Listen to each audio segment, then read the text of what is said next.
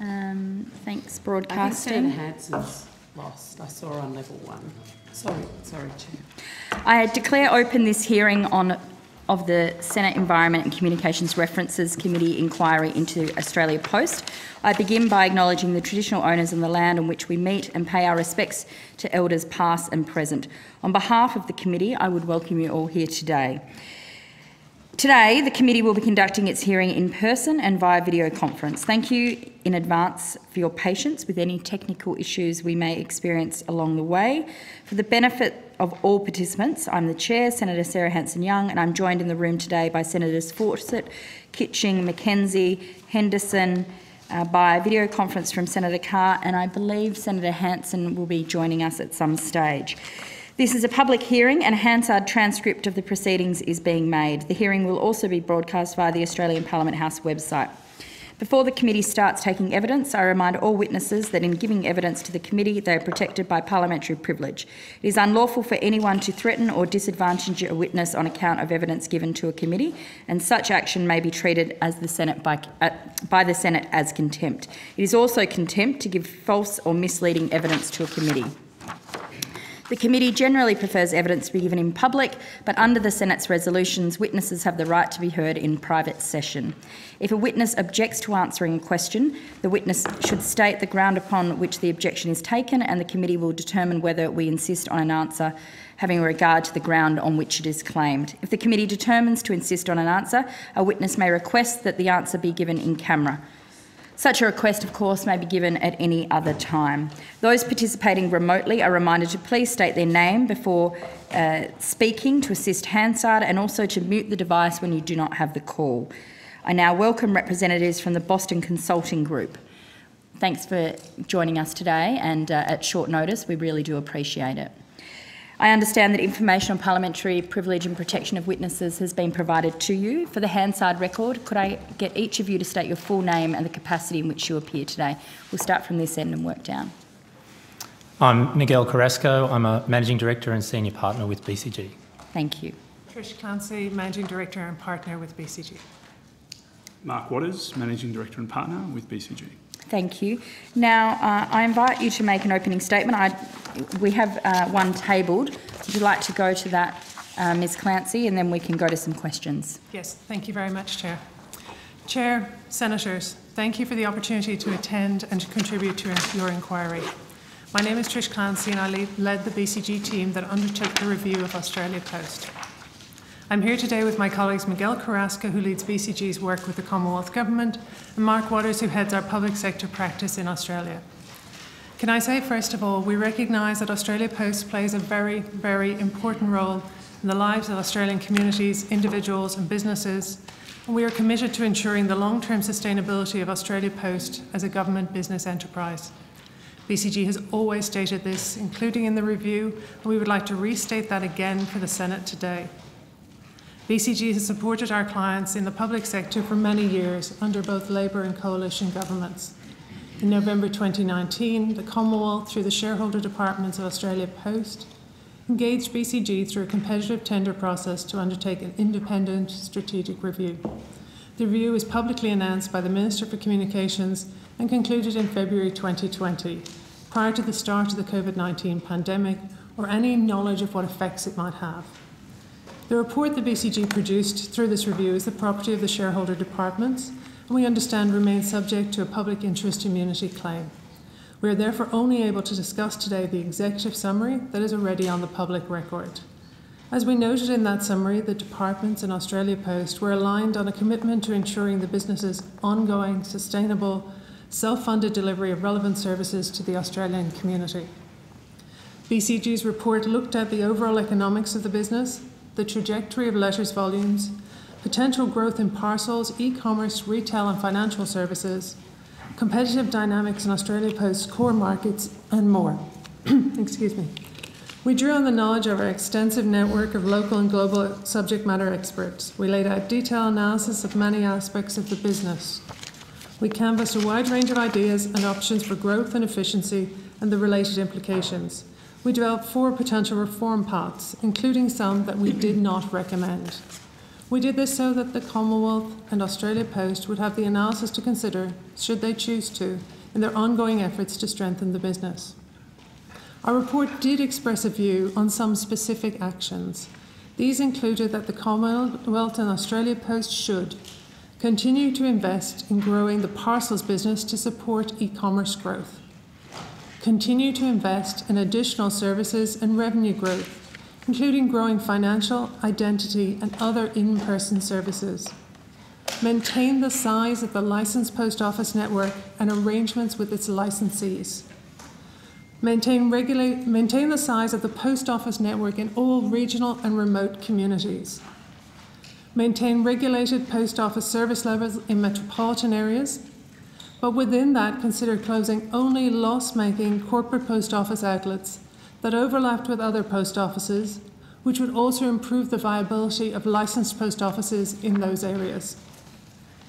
Maintain a level of service for the letters business that is fit for purpose and begin a multi year process to consider reforms that could assist the loss making letters business, though we did not specify what those should be. Make some head office and other cost reductions that would not impact service levels.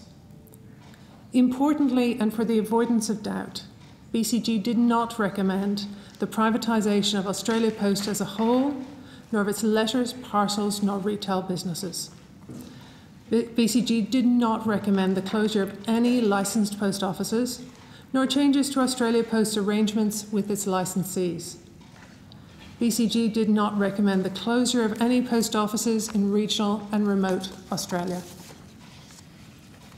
Our review was broad in its focus and did not start with any preconceived answers in mind, and we were not directed to explore or reach any predetermined conclusions.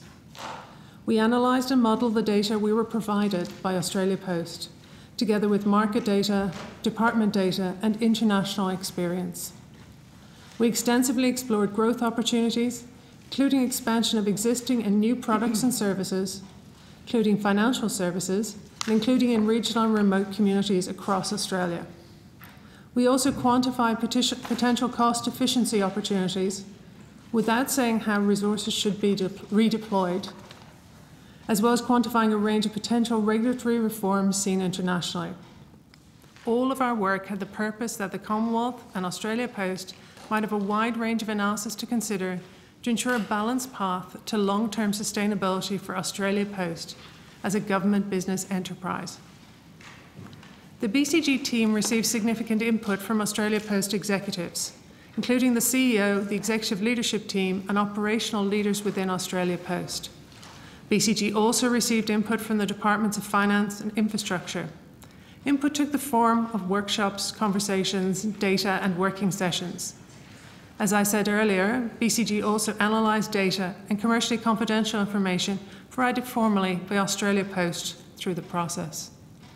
The BCG team met with Australia Post chairman once on the 4th of February 2020 and presented to the board of directors once on the 20th of February 2020. All feedback was considered by the BCG review team, but the report remains the product of an independent review by the BCG team. As I said at the start, Australia Post, Post plays a very, very important role in the lives of all Australian communities, individuals, and businesses. BCG always has, has always been and remains deeply committed to supporting the long term sustainability of Australia Post as a government business enterprise so that it may continue to play this important role in the future. Thank you, and we welcome your questions.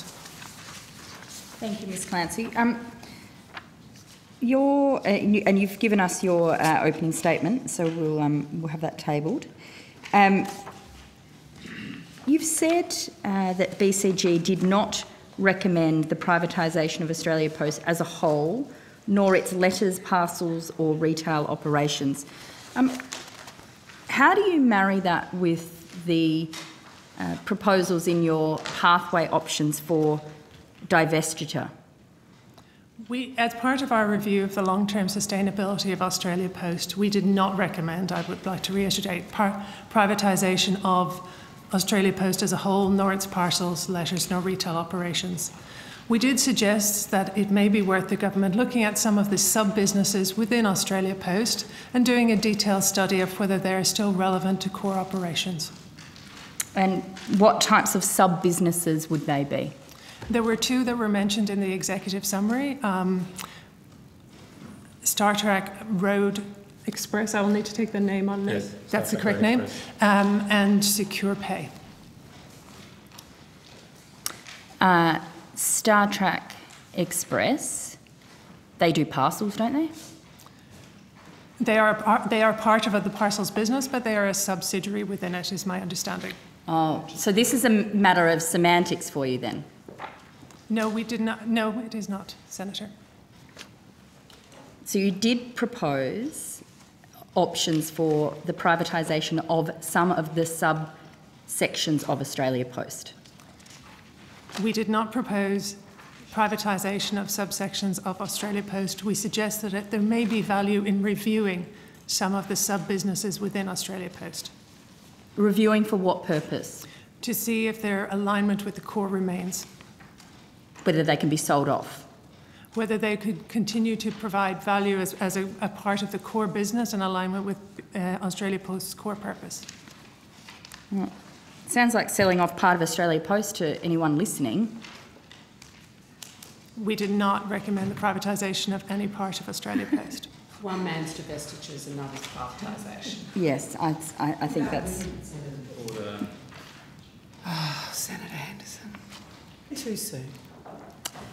Uh, okay, can I, just ask? There was a. We were told and informed by the board last week um, that there was a task force uh, that was es- was established, or a, a working group uh, that you worked with on this report.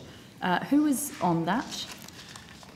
We, we worked with a working group of, um, so we met on a, on a regular basis with a group of uh, officials from Australia Post, uh, from the Departments of Finance and Communications. I'll have to take on notice the specific names, but I'm happy to provide them to the committee. And you said you met with the the chairman of Australia Post once prior to the meeting with the full board. That is correct. And so that was on the 4th of February. Um, was there any changes to the report between uh, from the, when you met him on the 4th and then when you had the full board meeting on the 20th of February? I do not recall any specific changes in that time. The nature of our work is we don't do the final report till we're finishing, and therefore it would have been continued to have been written during that time. Uh, I will go to uh, Senator Carr. Thank you, Senator. Yes, thank you very much, Madam Chair. Look, uh, if I, Miss uh, Liz Clancy, I'm wondering how your statement that uh, you didn't recommend uh, changes, and I might say the chairman has advised us that there were no recommendations in your report, and I, I do note on page 10 you, the word recommendation does appear several times. But I'm wondering how your statement to us fits with the summary that you actually provided the board on the 20th, was it the 20th of February? But that, was there a three-hour meeting? You gave a one and a half hour presentation? Can you confirm that? You We- did give a one and a half hour presentation? We gave a presentation to the board on the 20th of February. It was of approximately one and a half hours. Thank you. Now, in that presentation, your summary says that you wanted to, you give material risk and financial challenges are facing Australia Post.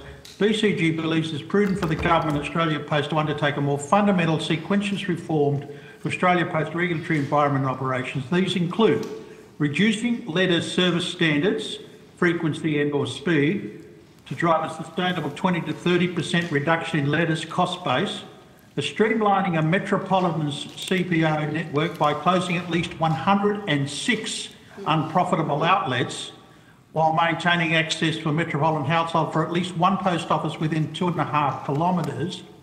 And I quote, exploring the potential for divestiture of parcels, while noting that this would leave a loss-making core business without meaningful reforms to letters. How does that gel with your statement to the Senate a few minutes ago? Senator, I, I'm afraid I do not have that document in front of me, and therefore it is difficult to, to um, I- I- Answer I'm to- Sorry. is Okay, this- well, I'll put it to you this way. can I just ask, Did you Senator recommend Carr- to board at that one and a half hour meeting BCG, to 'cause we just- explore the potential for the divestiture of parcels? So, sorry, sorry, Senator, Senator Carr, just for clarity, what are you quoting from? What document I'm quoting? quoting from the executive Can, hang on a second. Just hang on a second, please, Senator Henderson. I really, can we try and have a li- bit more decorum than last time?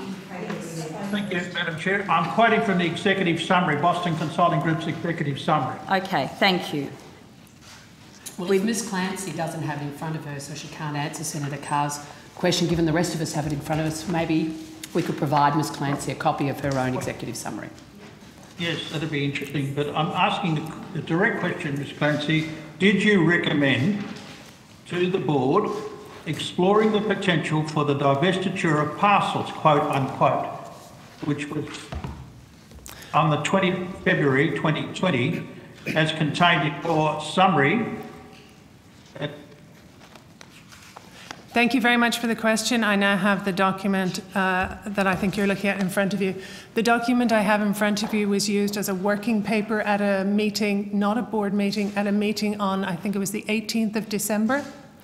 Uh, the recommendations are contained in the Word report that has been shared uh, by the former C, by, by Ms. Holgate. Um, the, we did not recommend the, di- the privatisation or divestiture of parcels in our final report. All right, well, I'm, I'm sorry, Ms Clancy, we've been advised the Australia Post review was dated the 20th of February. I want you to, I would like you to check your records because I'm, I'm advised that that document was provided on the 20th of February 2020, the day before the final report was issued. to the board. And I, I'd ask you again, how does that fit with your statement that you did not recommend exploring the potential for the divestiture of parcels when it's stated in your own overhead uh, presentation? What I have in front of me, I believe, was, was used in December, not in February. But And at that time, and between December and Yeah, sorry. February, we did additional analysis that led us to mm-hmm. our conclusion that Australia Post should not privatise its parcels business. Well, I've got here a copy also of the statement that was issued by the CEO in her supplementary submission, which clearly lists the options that are put before us as pathways, uh, as you uh, described them. Divestiture is there included in options four, options three, option two, options one, on page 20 of that executive summary. Perhaps you could explain to me, have I misunderstood what those words mean? Senator Carr, I am now referring to the Word report dated the 21st of February. The uh, potential for divestiture is, to look at potential divestiture of some sub-businesses is included in options two and three. Um, My apologies if? I confused the House earlier. Um, Option, it is included in option four. We explicitly did not recommend that government implements option four. I see. So when you put this position as to the closure of 106 post offices, what you repudiated that as well? We, we do recommend, we recommend, as part of our review of the long-term sustainability of Australia Post, we do not recommend the closure of any licensed post offices. We do not recommend No, the no, I- closure of any corporate post offices in regional and remote Australia. Within no, metro areas, within Uh, metro areas, we do recommend the closure of a number of unprofitable corporate post offices that are above the service requirements so that the license, so with the closure of 106 or 190, depending on which option was chosen, this would maintain service levels within current, uh, the current regulations. It would also allow more revenue for viability of the licensed post offices in these areas. So I'd be clear, you're recommending between 106 and 190 closures of Australia Post post offices. Corporate post, loss-making corporate post offices in metro areas. You, you may well describe it in many ways. I want to be clear about the numbers, 106 to 190 post office closures. That is correct. 106 to 190 corporate loss-making corporate post offices in metro areas, with the retention of all regional and remote post offices and all licensed post offices. Uh, Senator Carr, many we, would that involve? If I actually can I How many clarify? job losses, Clancy, would that involve? Sorry, Senator Carr, I was just wondering if I could uh, clarify one thing. And again, I refer back to the executive summary that's in the public domain. What we recommended was that Australia Post consider at least the actions outlined in Reform Path 1, which includes 106 corporate post offices in metro areas that are unprofitable. Thank you very much. I, now, I've asked we've already had that information. What I'd like to know is, on your estimates, the closure of between 106 and 190 post offices, how many job losses would that involve?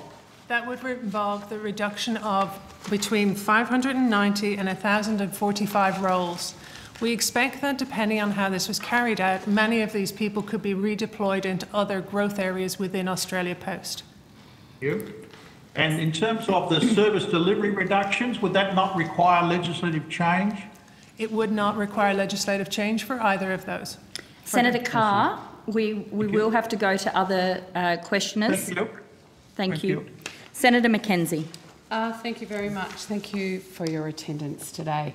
Um, Senator Carr's already uh, traversed a lot of the issues I wanted to go to, and I will be putting a range of um, questions on notice around um, people that worked on the BCG report who may have been political staffers uh, in previous roles, uh, and the other work that BCG undertakes for government. Um, so just they're coming your way. I'm really interested in. Um, you say incumbent banks are expected to retreat further from regional and remote areas in Australia, um, and the role that Ms Holgate's $220 million deal with Bank@Post uh, had on the financial sustainability of rural and regional post offices. Um, you see in this report with potentially 35% fewer branches and half as many ATMs as in uh, 2030. Did, do you see the renegotiation then of the Bank@Post deal uh, essential to maintaining the financial viability for rural and regional licensed post office holders? Uh, Senator, I think when we looked at all the growth opportunities that were available um, to Australia Post, financial services is clearly one um, that will play a significant part. Um, the um, uh, th- we didn't see, um, uh, you know, we saw we saw that that that would continue to remain an opportunity and that they should continue to invest in that business, um, uh, particularly in regional, rural, and remote areas.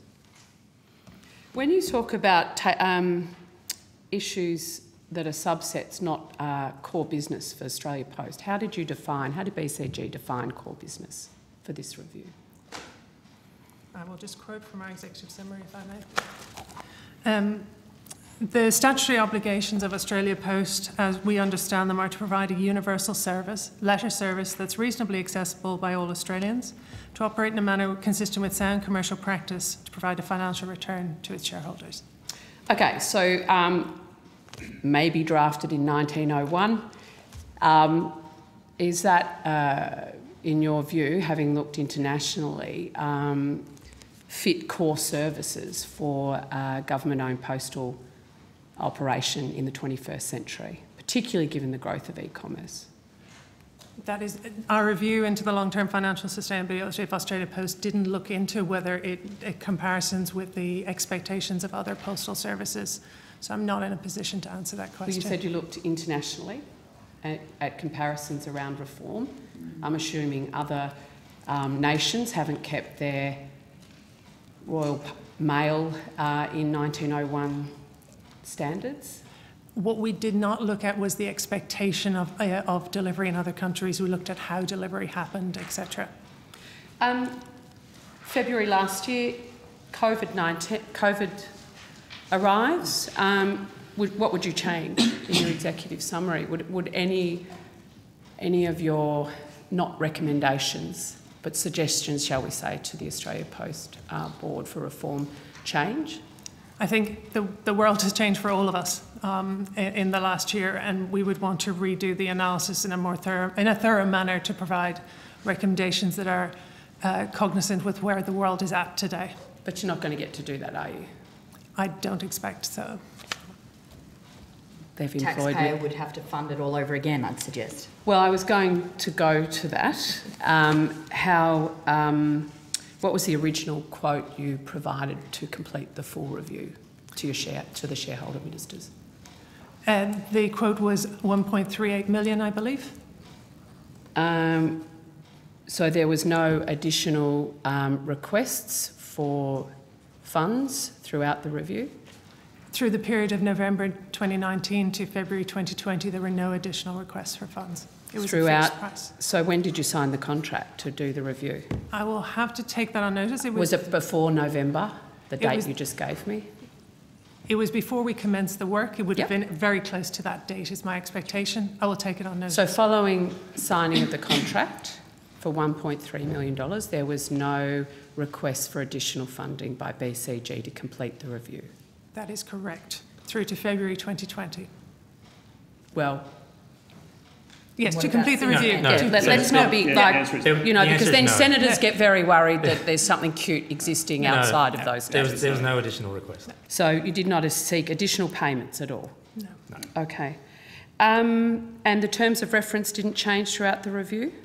No, they did not change. Um, I'm going to keep mine on notice and give time to other senators. Thank, Thank you. you. Could I just uh, follow up on um, the contract?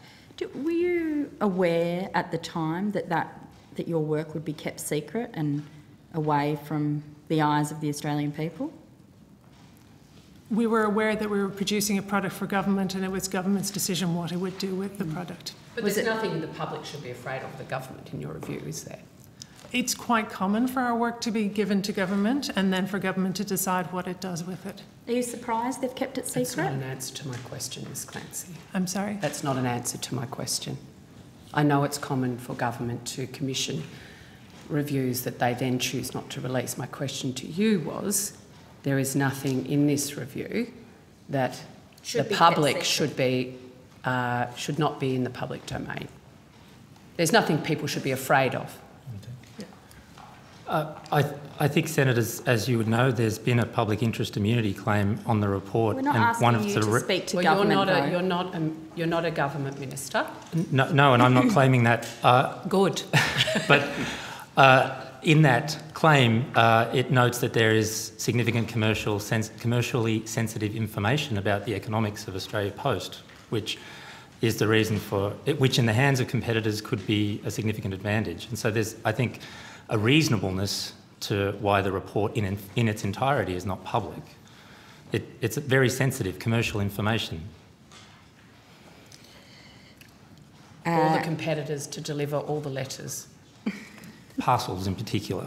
I'm sure that would be, you know, of much use that to some of not Australia Post's divesting, we're competitors. not- the, the board has made very clear to this committee, as you will have seen in uh, evidence uh, last week, that they're not interested in divesting of any part of Australia Post. Okay. Thank you, Senator Mackenzie. Um, did you discuss with the government a public version of the report that could be released? I do not remember any discussions of this nature. At what point were you told that the report would be kept secret? I do not remember being told that the report would be kept secret. So, when you wrote this report, did you understand that it would be kept secret or did you think that it would be made public? Surely that makes a difference to how the report is conduct- how the report is presented. It doesn't make a difference from the perspective of the analysis we do, the drafting we do, etc.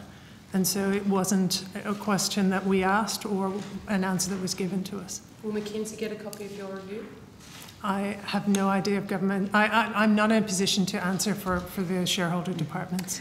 Okay. Um, out of the 1.38 million that it costs uh, to that that it costs the taxpayer for this report, um, How long did it take you to do? We worked on the report from early November to the end of February. And do you have accumulated hours that uh, you've, your organisation's put into it? I do not have that to hand. Could you take that on notice, please? Yes, I can. Um, and I'd like to know what was the profit made on this report of 1.38 million? Uh, look, Senator, we, we're not necessarily, um, uh, you know, th- this was a, a fixed fee arrangement, um, you know, for a fixed uh, outcome or agreed set of deliverables. Um, Fixed outcome. Well, it, a, an agreed set of deliverables and scope in terms of reference, um, and that's the basis of most of our engagements with, with I, government. I, I understand that, but you, you didn't do this out of charity. You were contracted to do this. It's your business. You make a profit on this. I'd like to know what the pro- you can take it on notice, but I'd like to know what the profit margin on this report has been to your organisation. Did you have to tender for this project? Yes, we did. Yes. Tendered through a competitive process. So, Yes, it appears on AusTender. Just while we're there, while you're looking for documents, did you receive any emails from the government ministers in relation to, you know, whether it would be remaining confidential or not? Could you have a look for any email, any correspondence We you can do. received? Thank you. uh, we'll go to Senator Henderson, and then we'll come to you, Senator Hanson. Uh, Thank you very much, uh, Chair. Uh, good afternoon. I wanted to just ask you to begin with is there any scenario recommended or not in which BCG recommended cutting services in regional and remote Australia? No. We, we, throughout the report and looking at the long-term financial sustainability of Australia Post, we recommended maintaining services in regional and remote Australia and continuing to invest in many of the services that regional and remote Australia, I guess, benefit from, like financial services. The, the, the Labor Party's been on a scare campaign about the, the so called privatisation of Australia Post as well as job losses and post office closure claims. And I want to refer to the 13th of April hearing. Senator Carr said the BCG review would have seen implemented massive job cuts, maybe as many as 8,000 in one of the scenarios here. The closure of 190 suburban post offices, massive reductions in service delivery standards, and a fundamental shift in community service obligations. Um, now, I understand that that refers to Reform Path 4, where it was made clear this was absolutely not recommended.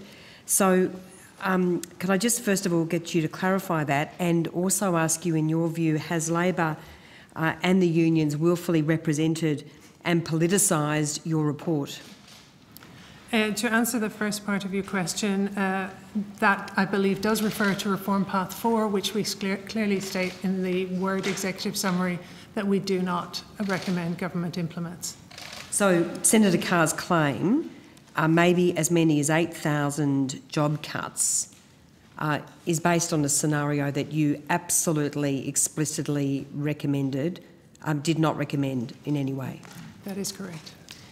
Um, sorry, sorry, Chair. I do have the I do have That the call. includes Sorry, places like Geelong and Tweed Heads, doesn't it? As, sorry, as- sorry, Chair. I do have the call, and I You would do- like. You do have the thank, call. Thank you very much. Thank you, Senator Henderson. Um, did did you meet with Ms Holgate and her executive team for the purposes of preparing this report?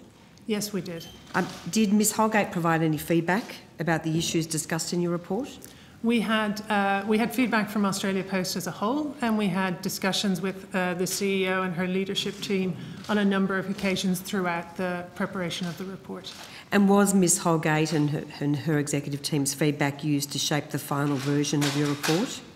Feedback from all the stakeholders was used to test our analysis, the quality of the assumptions, etc., and therefore uh, fed into the report. Although the report is an independent report by BCG and it was not um, beholden to any particular stakeholder. And did you discuss privatising Australia Post with Ms Holgate at any point in time? The option, uh, Reform Pathway 4 would have been um, shared with uh, the CEO along with other, share, other stakeholders.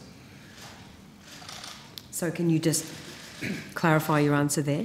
Um, so Reform Pathway, um, I do not remember any specific discussions with Ms Holgate on privatisation of Australia Post in part. But you had the discussion with Ms Holgate and her team, and, and, and, and she was fully aware of, of the, the options that you were canvassing? The, uh, the CEO and her leadership team were aware of the options, yes. Um, look, obviously, Ms Holgate has, has shared with the committee the executive summary of, of your report. Um, can you can you just make it very clear? Do, do any of the pathways, except, except pathway reform number four, suggest privatisation of Australia Post? No. What about Do, does, do, sorry, Chair. Do, do Well, any I- of the I'd like pathways? clarification on that because it's different evidence to what no, Ms but I haven't gave at the finished. I just want to clarify this with, with But a follow-up question. you did ask this Yes, but do any of the pathways suggest divestment of parts of the Australia mm-hmm. Post business? Yes. Uh, So path- One, two and three. Yes. What does it say under one, two and three under? Sorry, um, Chair, um, could we just allow the Okay, so, witness uh, to answer the question? Order. Senator Henderson. She is getting to the point, I think, Senator Carr. Senator Henderson. pathways one, two, and three all have the potential for targeted divestiture. Privatisation. Targeted divestiture, and what, and what's the difference between that and privatisation? In, we were in, within this scenario, we were suggesting that government looks at some of the non-core businesses to see if they were still relevant to Australia Post's future, Did you, um, financial future. did you discuss alternate day mail delivery with Ms Holgate or any members of her executive team? We, we discussed all the reform pathways with the CEO and her executive team, which would have included uh, alternative day delivery. And I, I just want to go back to my question. What do you say to um, the representation in relation to the 8,000 job cuts, which is obviously reform pathway number four, which you clearly did not recommend? Um, in your view, have Labor and the unions willfully attempted to misrepresent your report? Uh, look, I don't think it's really for us to comment how others might be wanting to use our report. Um, I think what we, um, what you will see in the public domain is the executive summary and the information that is the result of the rigorous analysis that we did um, to consider a wide range of options. And in, as it relates to potential divestitures, it does say potential divestitures. We were very clear that we didn't do the work that would be required in order to make a decision about any of those. Further scoping studies and detailed work would need to be undertaken to work out whether they are core or non-core, what the value of those assets might be, etc., and so on. And our recommendation was limited to only pursuing the activities related to Reform Path 1 to begin with. All right, thank you very much. Thank you, Chair. No further Thank questions. you, Senator Henderson. Senator Hanson has the call. Thank you very much. Um, Mr C- um, Carrasco, is that how you say it? Mr Waters, um, were you both in- involved in the review? Yes, I was the chair of the expert panel. You were actually involved in the review. How long have you been with the organisation, BCG? I've been with BCG since the year 2000. Right. Um, I'm led to believe that Ms uh, Clancy, you're the only one that was actually involved in the review. All three of us were involved in the review. I led the review. Right. Um, the executive summary here, and as you're saying, you had no intentions of actually, your report states part one, two, three, and four. You state you had no intention of actually implementing platform uh, reform path four.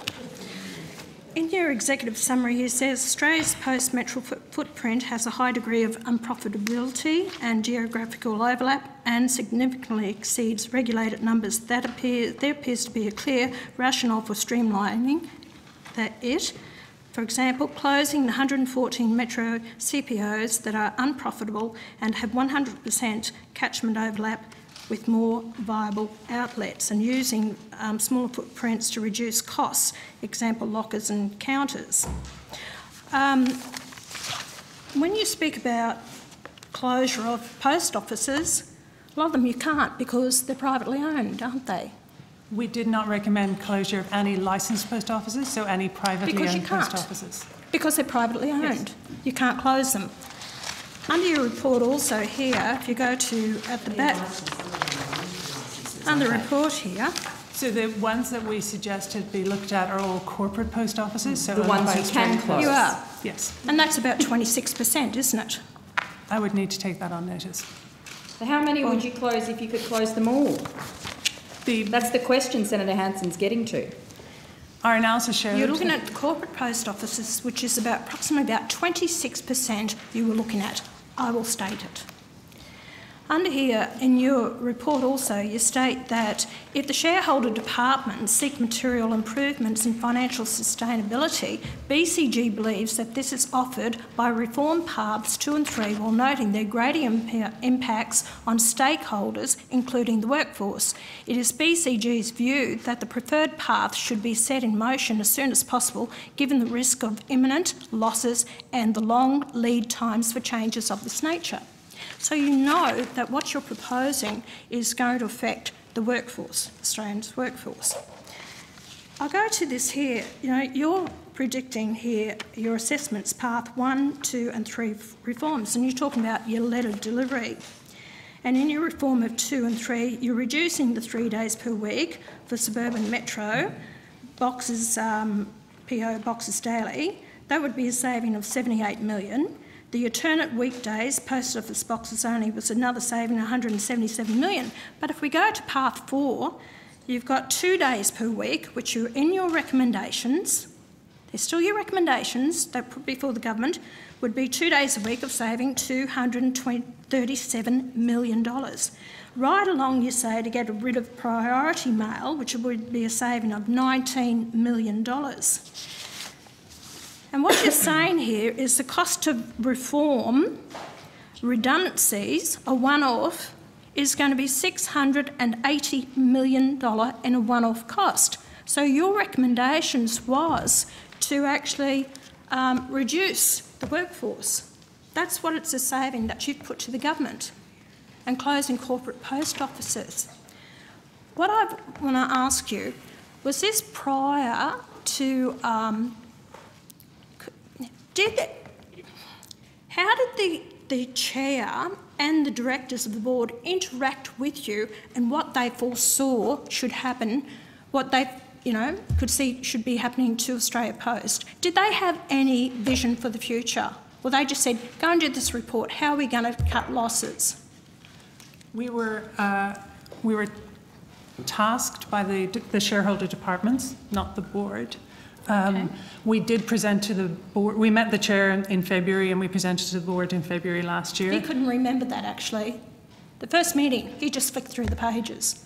He had no idea that they had a board meeting, but it's quite interesting that you've actually confirmed that, and later on he did confirm it. But you've had a full board meeting, you explained to them. Under your. Please go on, sorry. Um, in, in the board meeting, the board members asked a range of questions to understand our analysis, the options, the assumptions between, beneath each, etc. Right. Did you at any time look at what costs had been going on within Australia Post itself? Did you look at the cost of the executives? Did you look at the cost of, under the former CEO, Ahmed Fahour, what he cost the organisation? Rather than looking at getting rid of the workforce, rather than closing our corporate post offices, did you look at, were you tasked with looking at the internal cost of the organisation, the waste of money that was going on there? We reviewed Australia Post's operations um, in a broad sense as part of our review. Good. So then you did look at the remuneration payout to, to all the executives and everyone, did you? I will need to take that on notice. Well, you want, you, uh, no, sorry, you were involved in, the whole three of you were involved in it. You should be able to tell me directly, did you look at the cost of the organisation, what they paid out in remunerations? You must be able to tell me that, surely. And bonuses. We looked at the cost base of Australia Post broadly, the costs in various elements, in letters, in corporate, in parcels, etc. I do not have details of very specific levels of expenditure. So you never looked at what the remuneration they get? Like some of the executives were getting $669,000 in remuneration, in incentive payments. You never looked at that all, at all. I'm happy to take it on notice, Senator. I think that's a pathetic answer. that you, how long were you involved in this, this review for? Four months. If they have said that they would take the answer on notice. I'm sorry, I'm- Chair. I've said it, and I'm not withdrawing it. Well, I'm not saying to withdraw it. I'm just, re- I'm just, Senator Hang Hen- on. Henderson, I'm Just asking questions asking here. not to reflect on witnesses. How long were you please. involved in the review for? How long were you involved in it? Are you going to interrupt everyone today? like Just you did last let's, let, let's just, Please don't order, have a crack order, oh, order. Senator Hanson, this is your final question. Ms Clancy, how long were you involved, and your two colleagues, in the review for? How long did it take? The review started in November 2019 and complete in February 2020. Four Twen- months. Four months. Were you given a um, direction by the minister? Have you um, got a direction what you were supposed to look at? Uh, Our terms of reference were given to us as part of the tender process. Minister, the Minister for Communications announced the scope of the review uh, uh, around the time we started as well. Okay. Uh, Senator Kitching, you have a follow-up? Um, Well, actually, I have a question. Um, While you were giving evidence to other committee members, I did look up divestiture and it says the action or process of selling off subsidiary business interests or investments. The example it gives is the divestiture of state-owned assets. Oh, sounds like privatisation. And then we come to the Investopedia, a very sort of generic um, definition. In finance, divestment or divestiture is defined as disposing of an asset through sale, exchange, or closure. However, there are many reasons why companies engage in divestitures, and not all of them have a positive impact on the company. So, when you were discussing that with the shareholder minister, was there any? I mean, you can give different recommendations, but it's not up to you, even though you say, look, we really don't recommend you do option four. It's up to them really to take your advice and to do with it as they will. That's what they're paying for, they're paying for your advice. So, did you have any understanding from meetings with shareholder ministers that they were going to ignore your rec- recommendation? Um, um, we met with the Minister for Communications. He asked a range of questions about the analysis, the underpinning assumptions, etc. He did not express a preference for any of the options, nor a preference for no option. Now, can I go to your state, your opening statement, where you do talk about a public interest immunity claim? And what I'm interested in there is when I look to, you know, the common law. I mean, it is common law of the, you know, public interest immunity. Um, you know, why, why did you, Ms. Clancy, why do you think that that they claimed that? I, I'm not in a position to, to understand why other people would have claim, claimed something or not. Because, I mean, sometimes you claim a public interest immunity, and I'll, list, I'll go through a list for potential criminal offences. Do you think it was for that? Ms Clancy? Sorry, can you repeat the question? Um, do you think a public interest immunity claim was made because there were potential criminal offences? I couldn't, I don't think it's really our role to speculate on why Okay, let me it was read. made. Do you It's think it really a was- question for the government. Do you think it was law enforcement? Do you think it was national security, defence, or international relations? That's another ground. Do you think it was potentially prejudicing the proper functioning of government? Do you think it was that ground? Right, answered yeah, and, and, the, and Senator Kitching has a right to ask a follow-up question. That is what she's doing, Senator Henderson. Well- So, you, so just, Yes, there is no point of order. there. There is no point of order. I'm not of order. calling a point of okay. order. So I'm just Senator suggesting Kitching, that this is she's your last, this question. Yeah, and- this is your and last I'm- question. And thank you, Mr Carrasco, for responding. I am interested, and I'm happy for you to take it on notice for the grounds that I've mentioned. Um, do you was there any were any of these grounds raised? Um, do you f- and did you think that there was going to be when the public interest immunity claim was made by the government? Were you surprised? Senator, we were not in any way involved in But no, the I'm deliberations or decisions I'm by not the asking government you that. I'm asking claim. whether you were surprised that your report was subject to an to an immunity claim. I, as I said, I can't speculate on the rationale or the reason why they Were made you the claim. surprised, I, look, I'd refer back to my earlier answer, I think, in Ms that Clancy, I think my colleague was answering for us. Mr Waters? Indeed. Oh, so good. Oh, we're all in sync there. All in sync. Uh, Senator Mackenzie, a final follow-up, and then we have to go to our next lot of witnesses, please. Thank you. Given Just hang on. I- Okay, point of order. I'm sorry, I do not. I think all witnesses have got to be treated with respect. There was a clear reflection by your comments and Senator Kim, um, Kitching's comments on the on the on the witnesses here saying, "Oh yes, well they were all in sync." I think all witnesses need to be treated with appropriate respect, and I'm sorry. That is a very important principle of all committees. Uh, Point taken, Senator Thank Henderson, you. and I look forward to you behaving the same way. Thank Senator you, thank you very much, Chair. It sometimes depends on the witness. Um, I just going back to um, our earlier questioning about core business of Australia Post. Given that e-commerce has increased over 57% over COVID, and that even in your own report you talk about the increase propensity for this um, going forward for the mail service as, as a growth area. Was there ever any discussion that core business for Australia Post should be extended beyond a letter service, aka Cobb Co 1901? Was there any uh, discussion from shareholder ministers, from any stakeholders that you spoke to, of actually one of the reform suggestions should be guaranteeing Australians a parcel service, a regular parcel service from their postal um, organisation, of extending the, their core business. Uh, over the- the course of, the- I do not remem- recom, I, sorry, I do not recall conversations of that nature. We obviously discussed parcels as an intrinsic part of Australia Post's operations. Mr Carrasco, were you going to add something? I, I'm happy to add uh, to my colleague's response, um, and I refer back again to the executive summary, which says that in order to achieve the sustainability of the organisation, given the um, structural economics and of a loss-making letters business, you need other, more profitable operations to offset that. Um, that's why the parcels business is a critical part of the future, and we did not recommend privatising it. No, so it should become core business for Australia Post. It's essential for them to be able to meet that objective of sustainability, yes. Fantastic.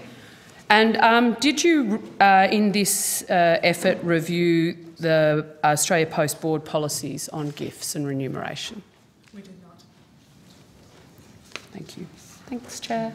Thank you. Senator Fawcett has, he promises me two very quick questions. Indeed. Um, Thank you for your evidence. Could you just confirm that you also, as part of your engagement with stakeholders, spoke to the licensed post office uh, owners? I do not believe we spoke to the licensed post office owner, or any representatives of the licensed post office owners. I will take that on notice to confirm for you, Senator. And if you do find you consulted with them, could you confirm that you consulted with both the licensed post office group and POAL, who are actually the larger representative group for licensed post offices? I, I will do. Thank Yes, you sir. very much. Thanks, Chair. Uh, Senator Carr has a quick follow-up question. You're on mute, Senator Carr, sorry. Might not be your fault, but Now clear? we are. 18 months into COVID, I think. Hey, how does this still happen? Sorry, Senator Carr, it's still not working. How's Just that? That's Is that better. working now? Dulcet tone, Senator.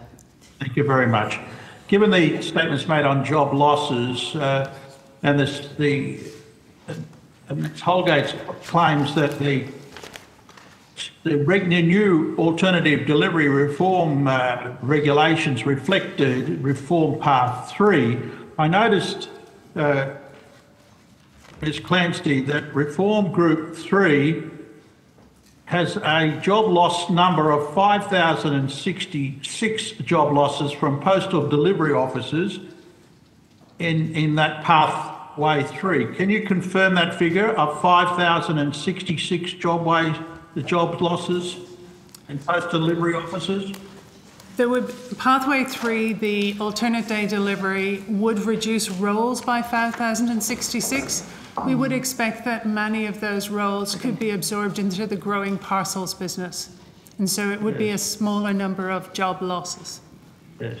So that would see the job, in- but according to your table, this is your table you presented, there's that number there. And of course, in pathway four, which you still colluded in your report to government and in, and in the statement you made uh, in associated with that report, you actually indicated uh, that that was a matter for the government to consider, even though you weren't recommending it. But you said, in addition, if the government decides to further investigate potential in a full or a partial divestiture of pastoral business, it should undertake a detailed scoping study in that regard. So the option for the government was put before it by you.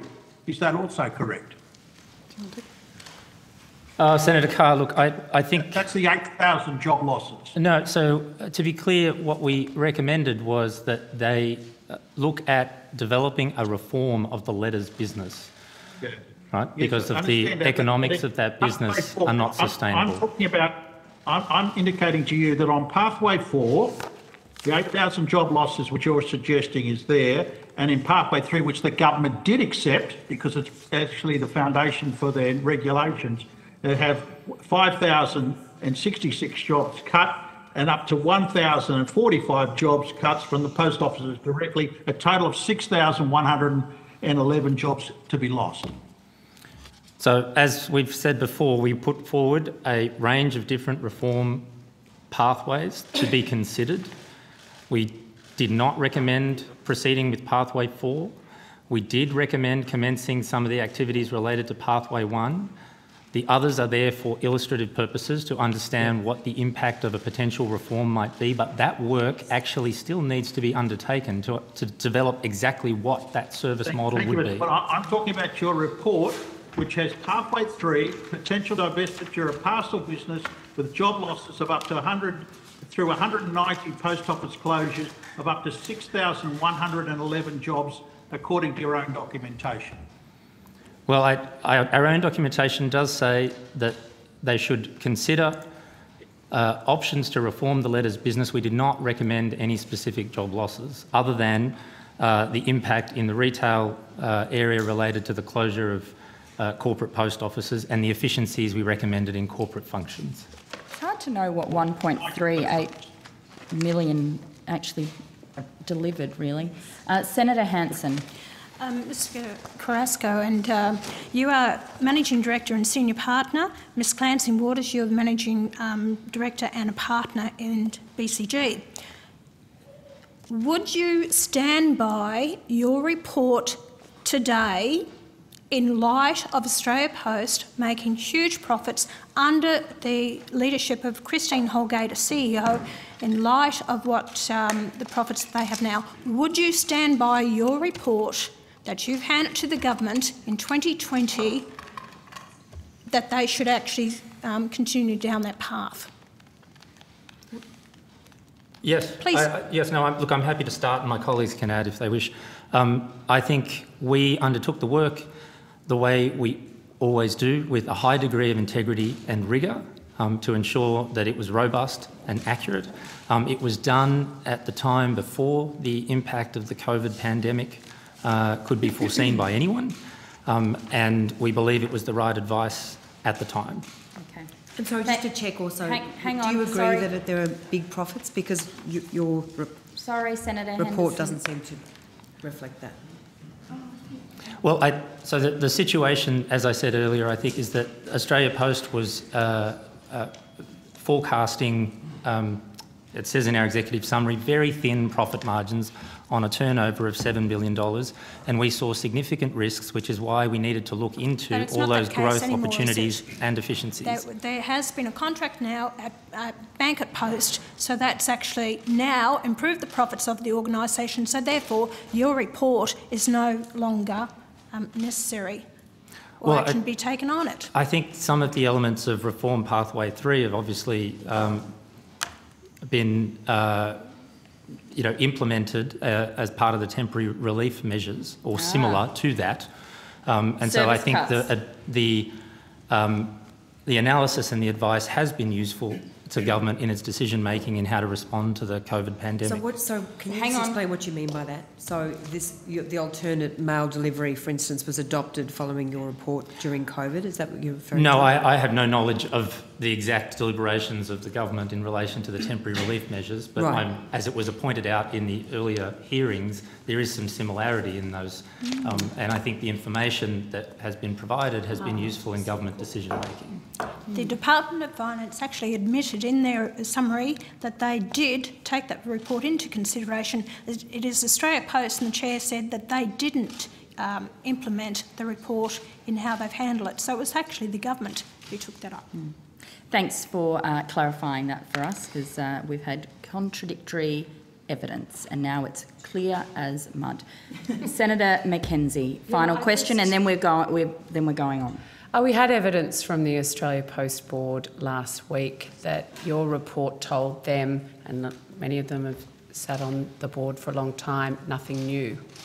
Um, would you agree? And I hope you don't, because $1.3 million of Australian taxpayers' money to tell the board nothing new about their business um, would be disappointing. If so, what are the new things that your report brought to Australia Post's attention? So we did a range of analysis as part of our report, some of which we believe had not been done previously by either Australia Post nor the shareholder departments. We called Such on- as? Um, I will need to take the, the very specifics on notice. Um, we created this series of pathways that drew on both the experience of Australia Post, but also experience of postal and parcels agencies uh, overseas, uh, and brought it together as a suite of options that gave, gave government and Australia Post choices uh, in terms of addressing some of the challenges that do exist in, particularly in postal organisations around the world. So you disagree with the Australia Post Board that your report represented nothing new? I believe we brought new, new value uh, and analysis to bear, yes. Okay. Thank you, Ms Clancy. Thank you for, as I said at the beginning, making yourselves available at short notice. We do appreciate it. And uh, you have given us some evidence that clarifies things, uh, so we're very thankful for that. You've taken some questions on notice, and we look forward to reading those. Thank you. Um, we do just have to um, suspend very briefly before our next witness comes up, Mr. Nutt, who is a director at Australia Post. And if I could just have um, uh, all of the voting members of the committee outside for a moment,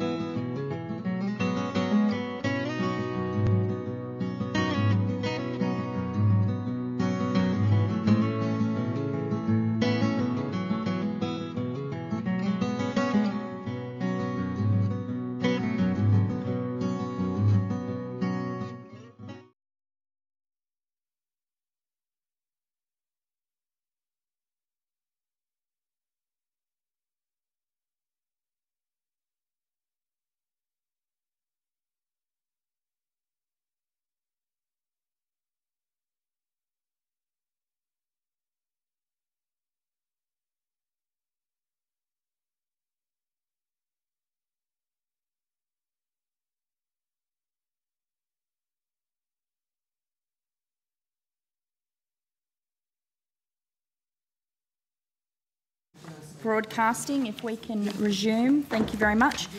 I now welcome Mr Tony Nutt, a non-executive director at Australia Post. Mr Nutt, thank you for coming in today and um, uh, sorry to hear that you were unwell last week. I appreciate you making time for us uh, in person today. Um, it's very good of you. I understand that information on parliamentary privilege and the protection of witnesses and evidence has been provided to you. For the Hansard record, could I please get you to state your full name and the capacity in which you appear today?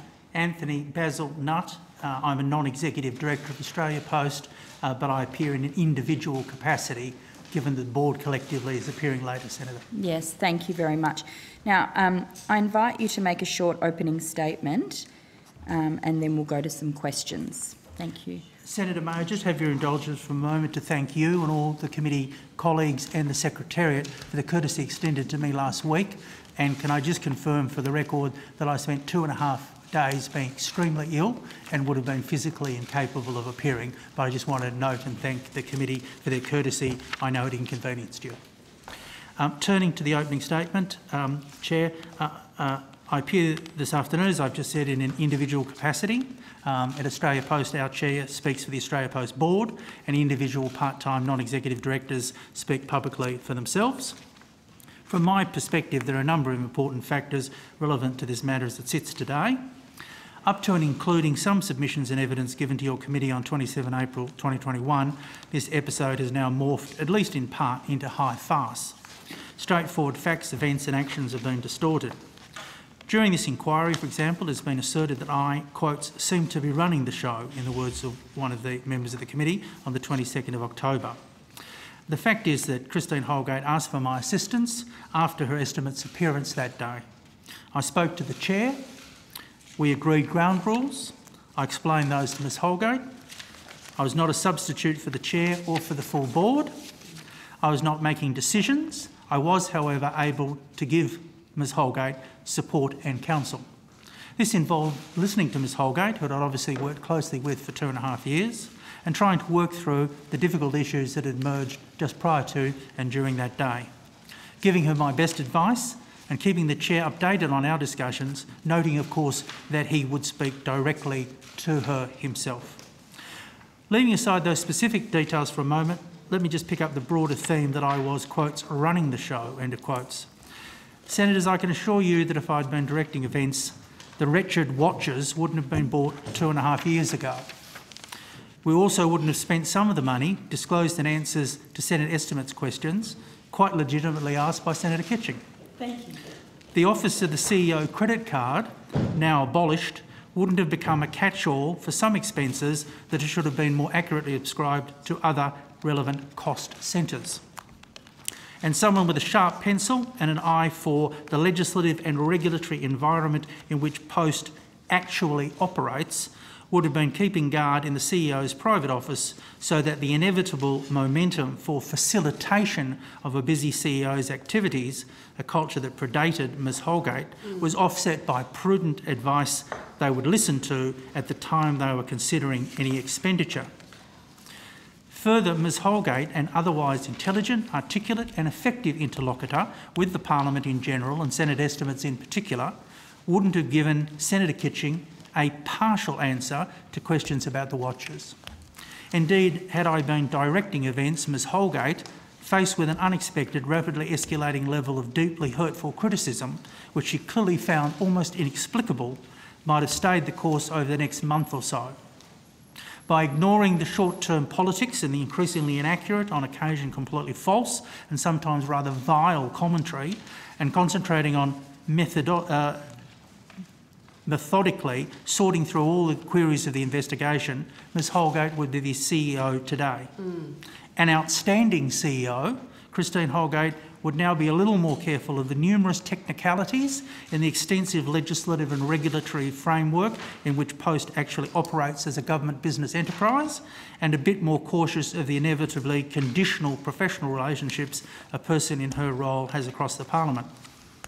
Finally, Ms Holgate would be CEO today because she had the support of the chair and every member of the board of Australia Post throughout what was an unexpected and challenging time. By lunchtime on 22 October last year, Chair, my assessment was that the watches, some aspects of the corporate expenditure previously disclosed, and the Senate estimate's answer to Senator Kitching that day was a problematic cocktail and would need to be dealt with thoroughly. More granular detail would inevitably emerge over the next several weeks as more assertions were made and elements of the media were provided with cherry picked information from people with their own agendas. Once the government, before question time, had decided to establish an inquiry, the best course of action was to A. Stake out a strong and principled position, including stating that there had been no improper action, the very finding of the Maddocks inquiry. Two, acknowledge error, even if well intentioned, obviously the situation around the watches, and explain briefly what happened and why. And three, confirmed that Ms Holgate would fully assist the investigation and that while she did so, Senior Executive Rodney Boys would act as CEO for a few weeks as we prepared for our busiest and most important time of the year. Chair, in conclusion, on the basis of known facts and likely contingencies on 22 October, Australia Post, its CEO, the board and our hard-working executive team would come through these issues collectively, a bit wiser, and with Post a better, stronger organisation with enhanced policies, procedures and systems. Thank you, Chair. Thank you, Mr Nutt. Um, I'm going to go first to Senator Kitching. Um, thank you, Chair. Um, I did wish to, and thank you, Mr Nutt, for your um, opening statement. And could we have that tabled, if that's possible? Thank you. I wish to address the evidence given by former Liberal Senator Ronaldson given last week. Mr Ronaldson did withdraw his comments, but they were reported. The former senator attended this inquiry by phone, billed as an independent director of Australia Post, a government business enterprise with revenue nearing $8 billion a year. Former Senator Ronaldson did not have the courtesy or grace that you have displayed here, Mr Nutt. He gave evidence he knew to be false, or if we're being charitable, was reckless as to its veracity, and we know where it came from. It came from his political masters. So, as this committee considers whether the government has corrupted the governance of Australia Post through political appointments to its board, it's worth reflecting hang, that this committee. Hang on a second, Senator Kitching. Point of order, Senator Henderson. I regret that I am going to have to raise another issue in relation to a senator reflecting on a witness. No, that is not a point of order. Well, it's not. It's actually not a point of order. Well, it's not. I've had it checked several it's times. It's not a point of order. Sen it's worth reflecting that this committee has itself witnessed the sorry spectacle, spectacle of members of that board who yes, are members of the Liberal Party. Hang appearing in their capacity as directors, reading out Liberal Party talking points sent by WhatsApp from a very senior member of the Prime Minister's own staff. Former Senator Ronaldson is a former Canberra housemate of current shareholder minister, Senator Birmingham. So he was a well coached witness by a panicked government unable to contain a governance crisis in one of our most important government business enterprises. The question is, the question the order, Australian... Senator Henderson. Uh, if you don't have a point of order, the question the Australian public no, it's, it's, is entitled to ask it is of not. all of the Liberal Party member appointees to the board of Australia Post is would a similarly sized, similarly complex private business appoint these Liberal Party I've, hacks? Senator Kitching their... has asked to be able to give an explanation. This is what she is doing. Senator Henderson. Senator Henderson. I'll read that sentence again. the question the Australian Order. public is entitled to ask of all Liberal Party member Order. appointees to the Board of Australia Post is would a similarly sized, okay, just, similarly complex just, private business appoint these Liberal Party call, hacks can I, can I to their Board of Directors? Senate, can we I all know the, the committee answer. to order, please? Thank you. Senate, Senator Kitching, I think we've probably had enough, and I think Senator Henderson, you know, you, I, obviously Senator Kitching is responding to what was it put to her. can I can I speak yes, without being interrupted? Yes, that's also in the standing orders. Senator Kitching uh, is wanting to respond to what was put about in reference to her at the last meeting. I understand that. We do have Senator Nutt now before us. So I think I'm Sorry, Mr Nutt. Again before Mr. Robinson. Okay, Senator, Senator, Ki- Senator person. Kitching, Senator Kitching, I think what we will, will do is we'll move on to questions uh, to Mr Nutt. And uh, if you have further questions for Senator Ronaldson, Oh, I uh, think he's or now Mr Ronaldson now, but he's a Mr. former Liberal Party senator. And in fact, before that was a member of the lower house. Chair, I would ask you to bring Senator Kitching to order. you're as is not a forum please, you are as bad as each other. Yes, Oh, I'm I not think that's debating. unfair. I think that's unfair. All I'm right, well, far I'm better. not debating. Far like better. Senator Kitching. Um, Mr. Mr. Nutt, and I will return to this statement because Mr. Ronaldson imputed and gave misleading and false evidence, and in fact, this process by reading out Liberal Party to- talking points. Mr. Ronaldson, of course, Po- point of of- course, corrupted this inquiry. He corrupted O- o- it. Order, This is outrageous. order. Mr. Is there a question, Senator Kitching? And I will continue reading this statement when the board appears. Senator and if any of those board members are to mention me again, and partly, of course, Chair, the reason I have to do it now Sorry. is Senator Henderson interrupted to such an extent is- last is a- week that it was impossible to get committee a question. Chair. No, it isn't, It is Senator not Henderson. Read on. Okay, okay, Mr. Nutt, okay. Mr. Nutt, were you given a um, direction from the board that you were to deal with Ms Holgate on that day? Sorry, was I Were given you a given direction I know the it's hard with Senator Henderson here because she does interrupt a lot.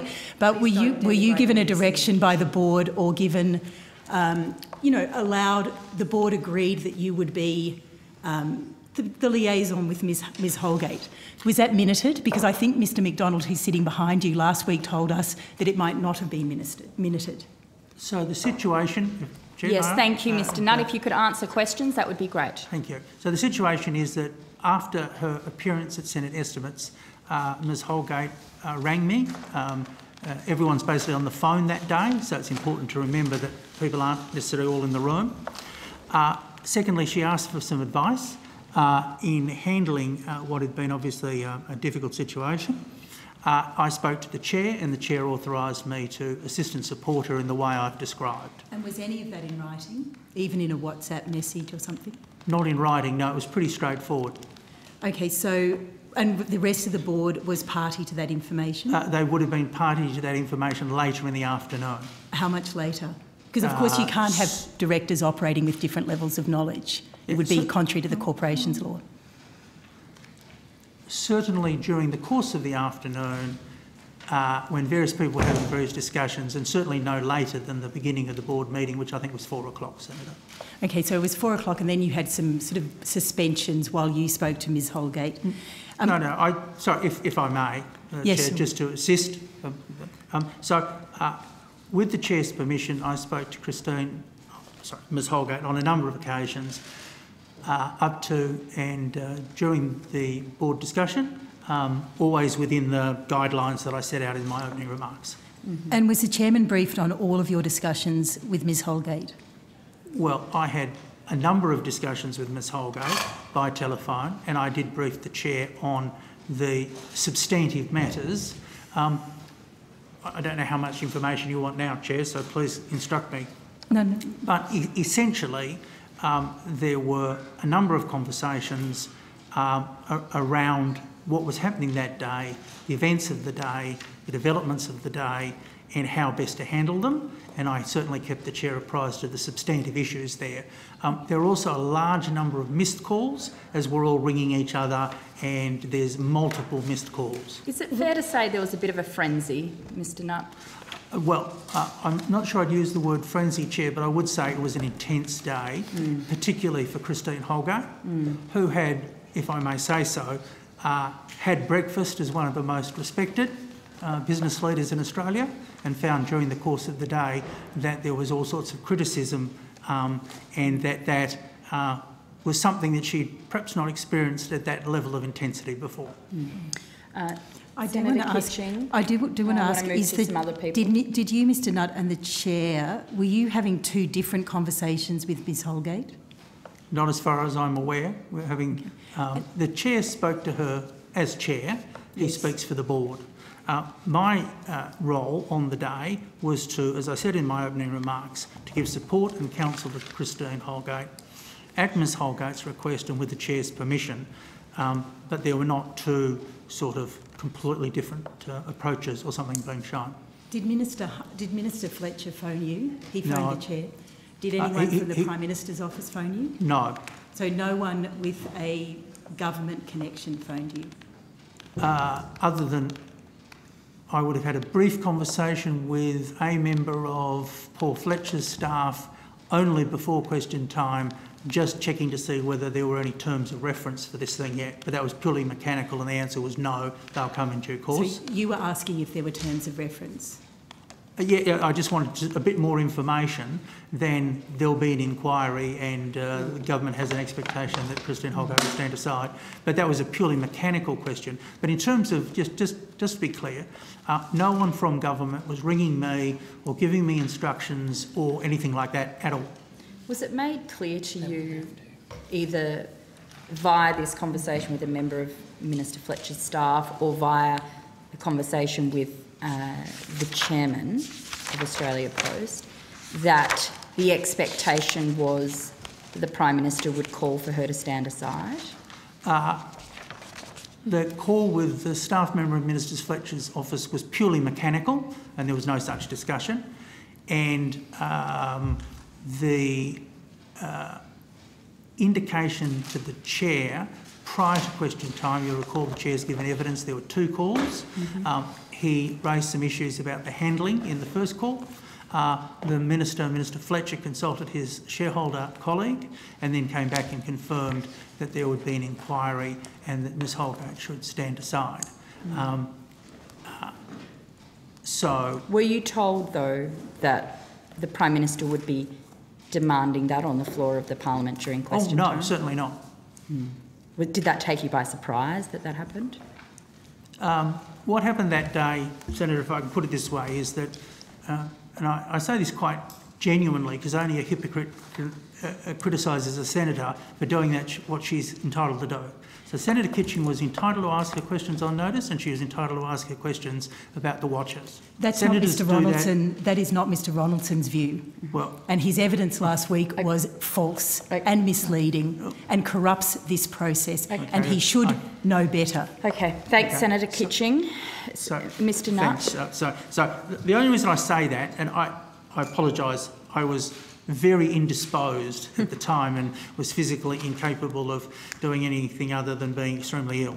Um, what I, the point I'm making, and, and I'm making this point, I'm not responsible for what other people say. I speak in their individual capacities.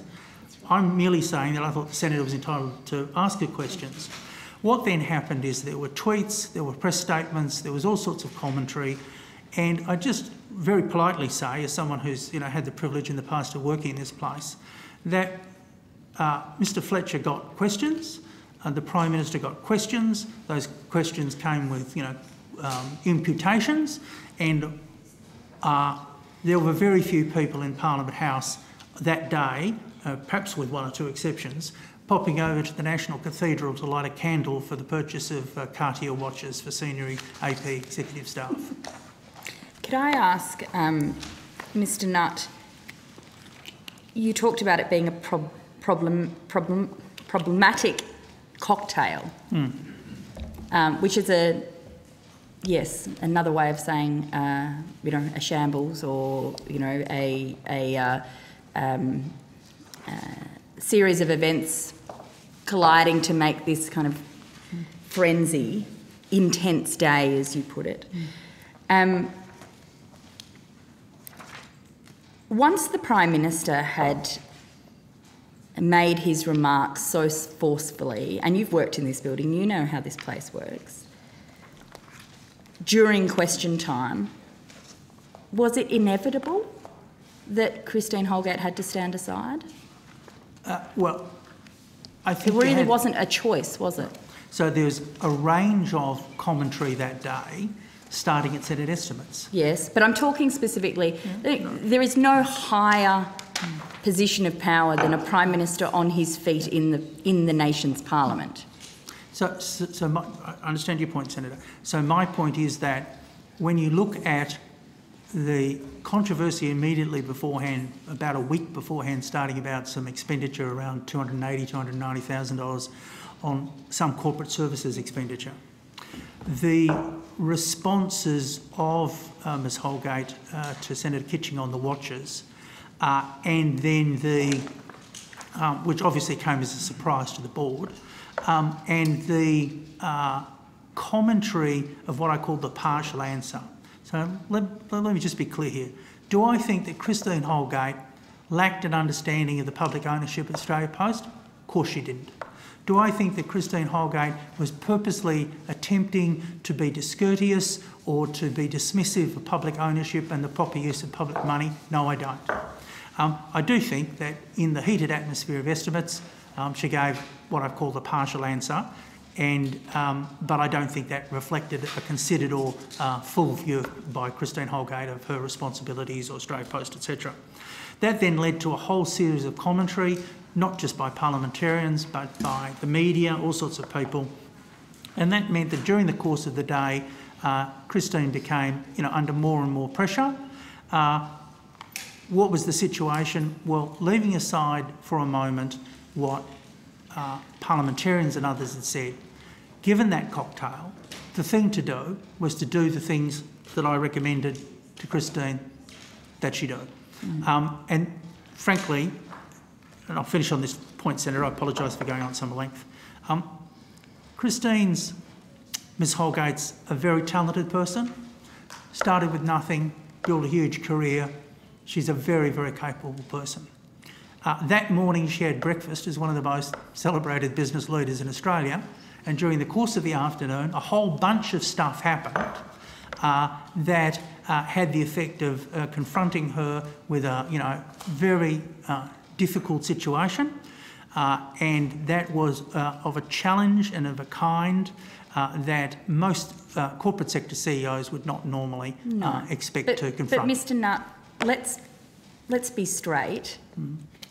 There is no more pressure to be borne on a member of the public service or a government uh, enterprise, the head of a government enterprise, then when the Prime Minister is on his feet in full flight demanding that you go.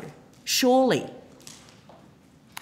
Did well, that not seal Ms Holgate's fate? Well, as I recall, the Didn't Prime that, Minister... Isn't that what the board had to consider? Yeah, so as I recall the Prime Minister's remarks, uh, and I don't have a transcript Hansard in front of me, uh, he said, you know, this was unacceptable behaviour, uh, that uh, there was going to be investigation, that Ms Holgate should stand aside.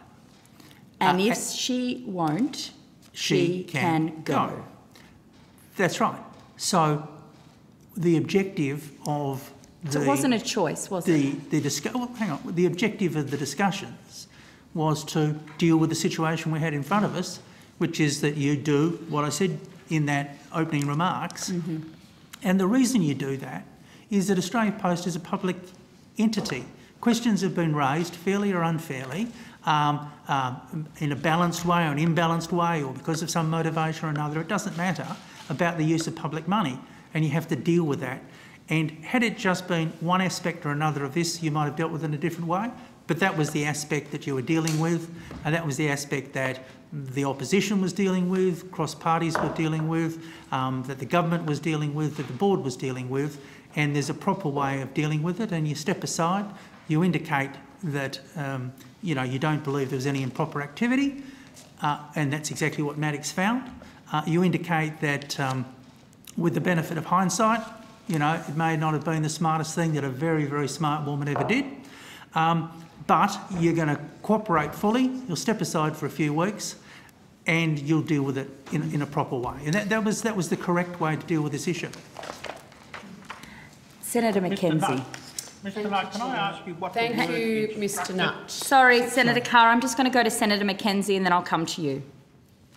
Um, in your opening statement, you mentioned there was a culture at Australia Post that predated Ms Holgate about how these things were dealt with, the credit card was used, I'm assuming a whole raft of governance matters um, around financial expenditure, including the gifting policy. um, that were well in existence prior to Ms Holgate arriving, or indeed yourself. Is that correct? Uh, look, I was not on the board uh, prior to Ms Holgate being the CEO, so uh, that observation reflects um, the cumulative learnings over two and a half years about the way certain things were done in the past, um, observing certain data on the levels of expenditure Mm. in corporate services, etc. It doesn't reflect perfect knowledge or, you know, here's seven case studies that prove that. We've That's had Mr. Fahour here before this committee for years, so we're kind of across that level of it.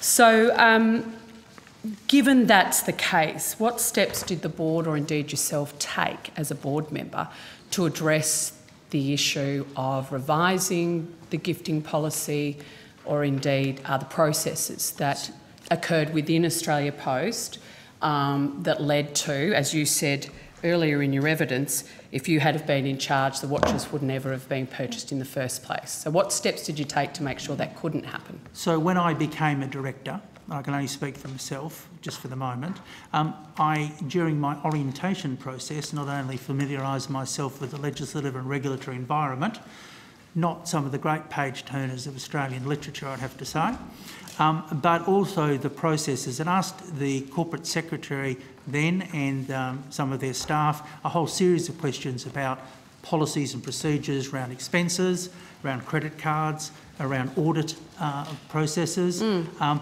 and uh, on the basis of the information provided and the policies then in place, they seem to be in order.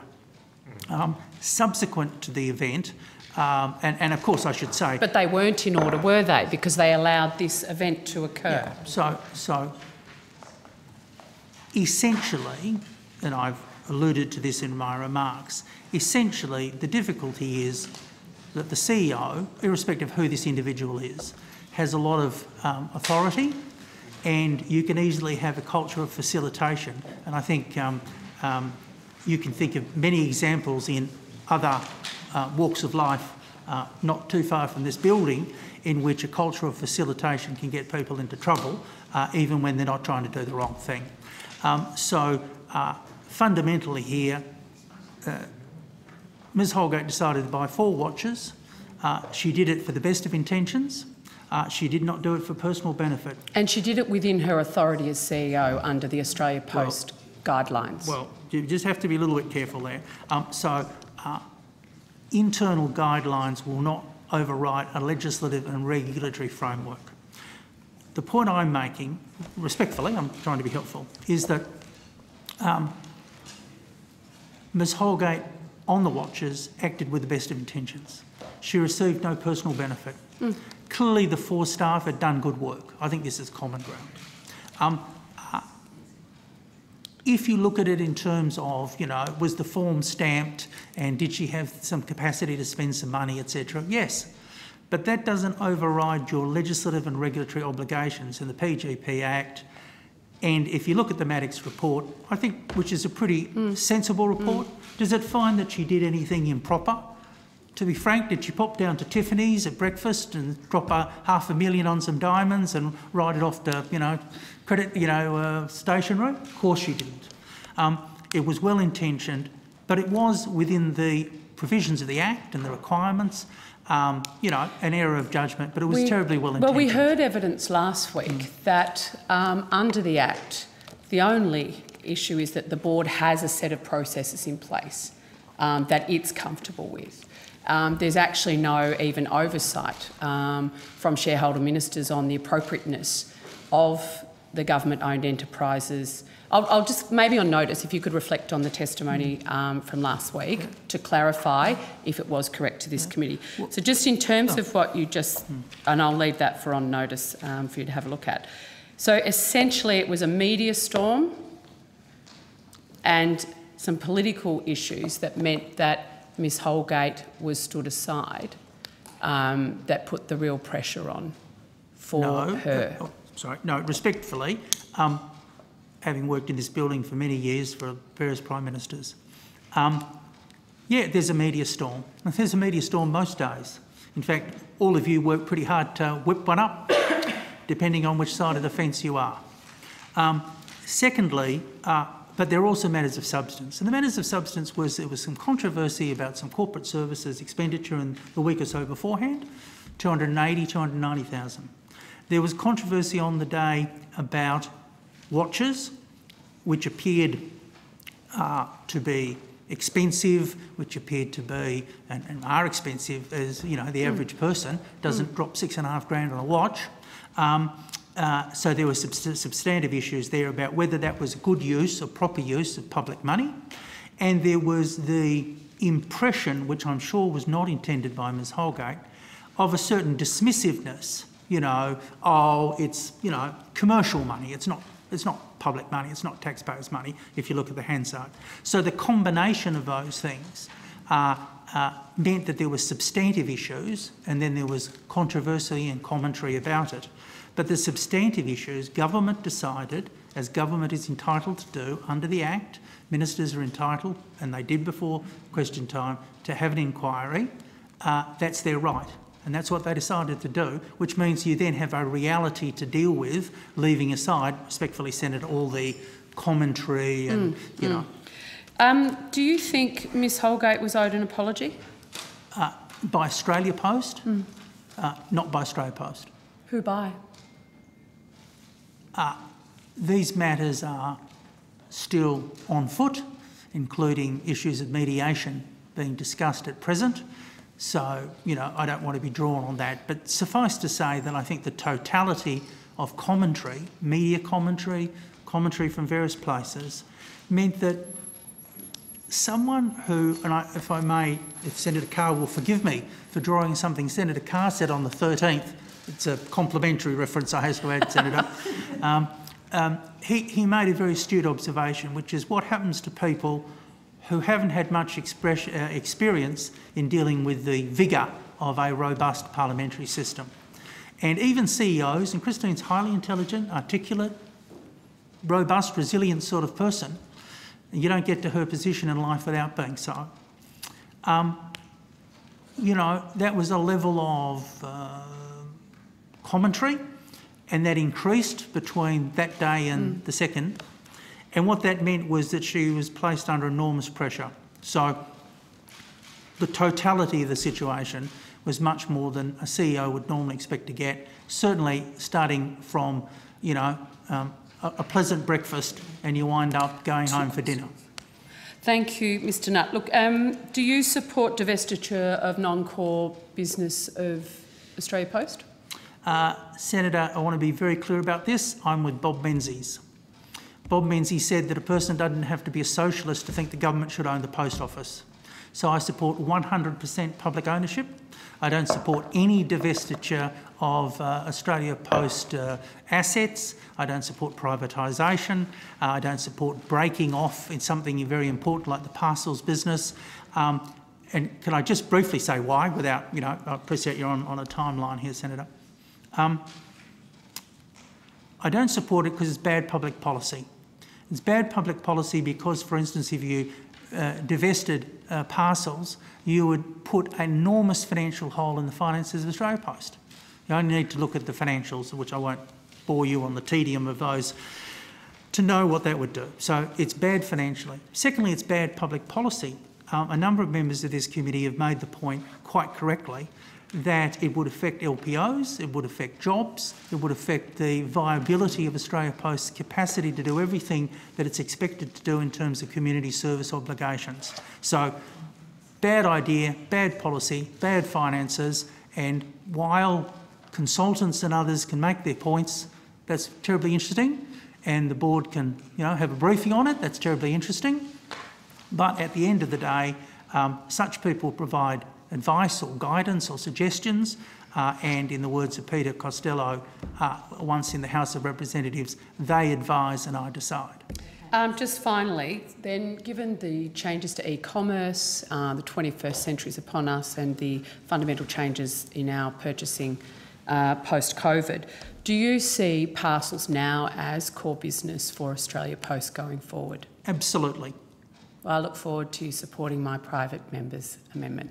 I'm happy to have a look at it, Senator. Chair, sorry. Thank you. Uh, I'm going to go to Senator Carr. Thank you. I won't detain you long, Mr Nutt. You're a very experienced uh, political... You guys need Uh, am I, am I still on mute? No, sorry. Can you hear me? Carr, I'm just... You're not. Continue. I apologise, Senator. I, I now can't hear the senator. And you're not a cat. Can you hear me now? Yes, we can. Thank you very much. Uh, Mr Nutt, you're a very experienced political officer and a highly accomplished one at that. Uh, I mean, the question arises in regard to the privatisation of Australia Post. Not only is it bad policy, but it's bad politics, isn't it? Yes, uh, my attitude is that it's the perfect example where good public policy and good politics are precisely the same. Um, if you try and privatise Australia Post, uh, you'll be in deep doo-doo. Yes. Can I ask you then about another aspect of politics? When did you discover that the Prime Minister had used the word, the Chief Executive has been instructed to stand aside? Uh, whenever that particular remark went public, uh, I had no advance knowledge of it or consultation, if that's your point, Senator. No, no, I'm, I'm not suggesting it is. You've already indicated that you weren't given prior warning. It, it was on the 22nd of October in question time. He made the comment that the Chief Executive has been instructed to stand aside. When were you made aware that he had made the statement to the House of Representatives? Uh, I would have been at that exact moment um, in transit um, because I was going for between appointments. Um, so I would have caught, it, caught up with that within minutes of him saying it. Um, um, that would have been the situation, Senator. I'm, I'm fair enough, I would expect that. And I'd ask you, what did you understand those words to mean? That there'd been inquiry and that Ms Holgate had been um, asked or instructed, or however you want to kind of phrase it, to stand aside during that inquiry. And instructed by whom? Uh, well, my understanding is that, and I think this is on the record through the Australia Post chair, that the Minister for Communications had been in touch with the chair. Uh, the chair had raised some issues um, around that.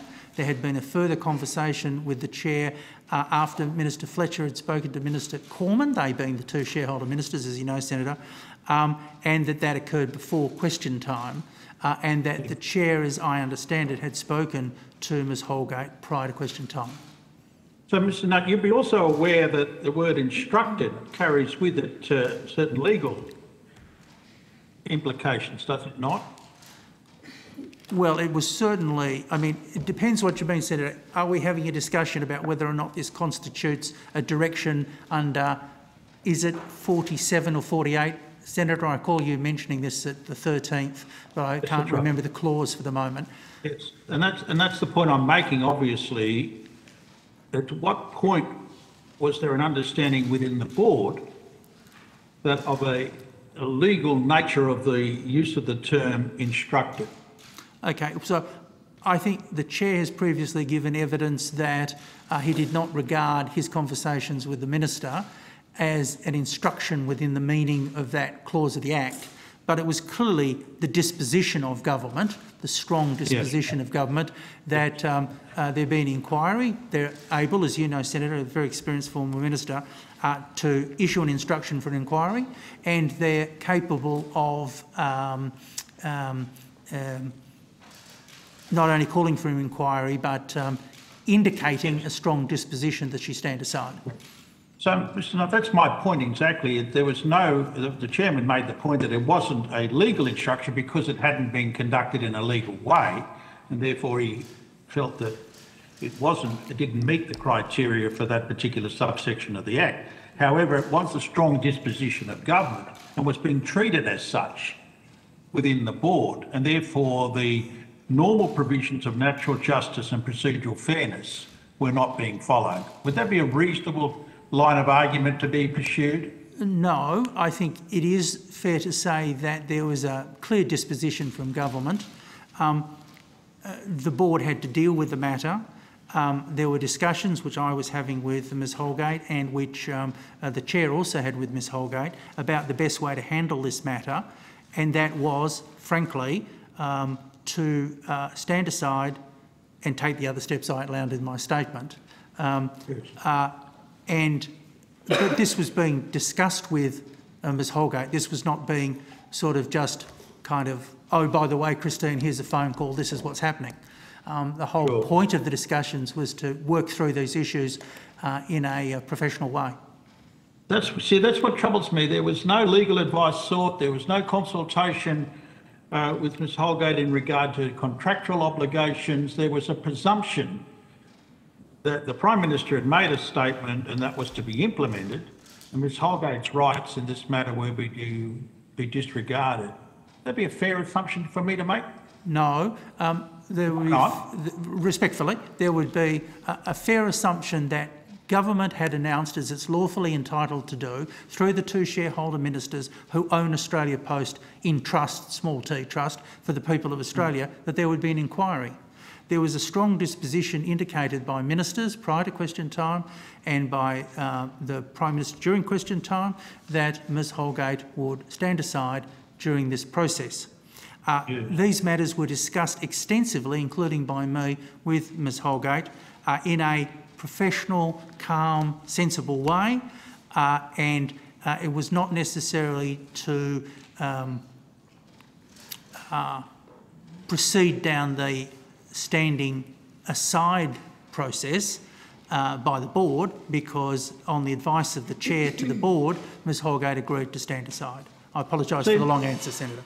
No, that's all right, Mr Nutt. I think I can only expect that it would always be in a calm uh, manner from yourself. But you see, the statement was the chief executive has been instructed to stand aside, and if she doesn't wish to do that, she can go. Surely that's a highly intimidatory statement from the Prime Minister to be making on the floor of the House of Representatives. Senator, uh, inquiry was called. There was a disposition, a strong disposition indicated that Ms Holgate step aside. Leaving aside that process, it was simply good common sense for Australia Post and for Christine herself, if I may refer to her by her first name just in passing, um, to handle this matter in a way that would deal with the substance of the issues that have been raised. And the substance of the issues that have been raised were corporate expenditures, watches, and whether or not she and the board, I myself was part of the board in 2018, um, uh, were going to be looked at i- in terms of the terms of reference when they were published, as set out in the So- Maddocks report. Senator So, Carr, we are going to, we are going to have to Just one final question. So the reference here, if she doesn't wish to do that, she can go. What do you think that meant? the Prime Minister's in the public record. Uh, if you wish to uh, uh, ask the Prime Minister what he meant or what was precisely in his mind or what the range of How did you contingencies interpret- How were. did you interpret those words? She can go. How would any reasonable person, particularly a person of your standing, your experience, how would you interpret those words? He can go. I, I respectfully refer you, Senate, Senator, to the uh, House of Representatives Hansard. I'm sure an experienced senator like yourself, a former minister, can do your own detective work. Thank you, Mr Nutt. Thank you. Thank you, Senator. Se- Senator Fawcett. Thank you, Mr Nutt, thank you uh, for your evidence today. Um, was hoping you can help us. The board presented evidence that Ms Holgate agreed to stand aside, and they cite the evidence of the two phone calls between her and the chair and subsequent emails on separate occasions to her colleagues wishing them all the best, uh, and that she offered her resignation in writing, seeking a response which was provided, and that she released a public statement of her resignation to the media. Ms Holgate contests elements of that. You are clearly in the midst of that fray. Could you give us your assessment, your recollection of what occurred and why there's a disparity between those two accounts? So we're talking about the 22nd and the 2nd. We're talking about the standing aside and about the fact that she resigned. Okay, so there's two lots of issues here, Senator, so I'll try and keep it contained. I appreciate your colleagues have questions. Um, on the second, I and the chair had various discussions with Ms Holgate. Uh, I had a number of phone calls with Ms Holgate, and I'm happy in due course, Chair, to provide my phone records to assist the uh, That would be committee. helpful, thank you, um, Could I just clarify? I thought, I may have misheard, but I thought you said the 2nd, and I I assume you're referring to the 22nd of October. No, no, no, sorry. I, I, the question, I, uh, my apologies. The, I asked Senator Fawcett whether he meant both the standing aside day, Oh, okay, so yes, the sorry. 22nd, and the resignation day, the 2nd, which... So let's just, the 2nd of November. Se- yes, se- 2nd of November and the 22nd. My apologies. Was that, is that correct, Senator? Yeah. Okay. So um, both the Chair and I had um, a number of discussions with Ms Holgate during the course of that day. The key point, I think, was that the Chair's indicated that in a phone conversation uh, with her at 5.50, and this has all been given in evidence, um, that uh, Ms Holgate reluctantly agreed to step aside um, to, uh, for you know, the period of the uh, investigation. And of course, you have evidence from Ms Holgate that makes this a point of tension between the two of them. I, think that's pretty clear. Um, uh, the chair reported to the board shortly after that 550 call that he had had a discussion with Christine that she'd reluctantly stepped as, uh, stood aside. Um, uh, and if you just think of the day, and without being tedious, Chair, and re- repeating my earlier commentary, this was a very difficult and challenging day for Christine Holgate. Sounds like it was difficult and challenging for all of you. Well, it, it, yes, that's true, and, and certainly um, I've um, dealt with a number of these highly sensitive uh, situations down the years, uh, and this was, you know, a, a difficult and challenging. But, but, but for, Chris, but for Chris, Christine Holgate as well. And this is, uh, just so there's no misunderstanding, this is a highly intelligent, articulate, senior professional woman for whom I have respect. Okay, so I'm not saying anything other than it was a difficult No, day. Um, so that's the point of tension but there, that basically he said that she agreed. She says she doesn't agree. Um, the uh, chairman reported to the board. The board then took certain flow-on action that day.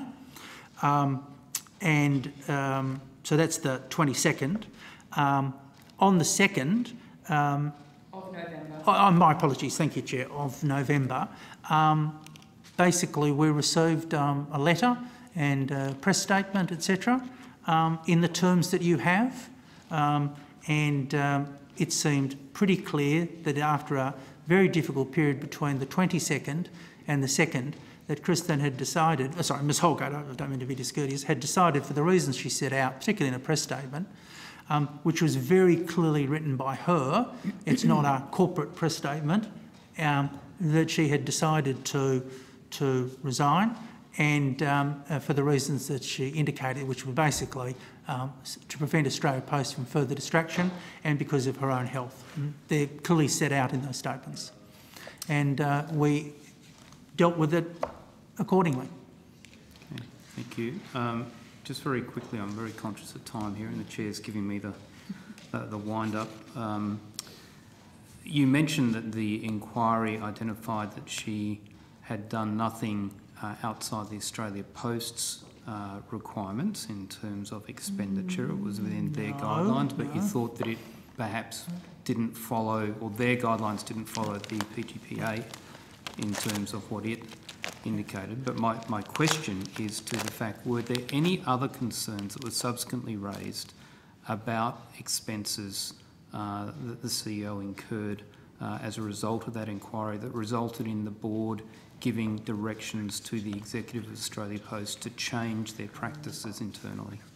So may I respectfully, just respectfully, Senator, correct you.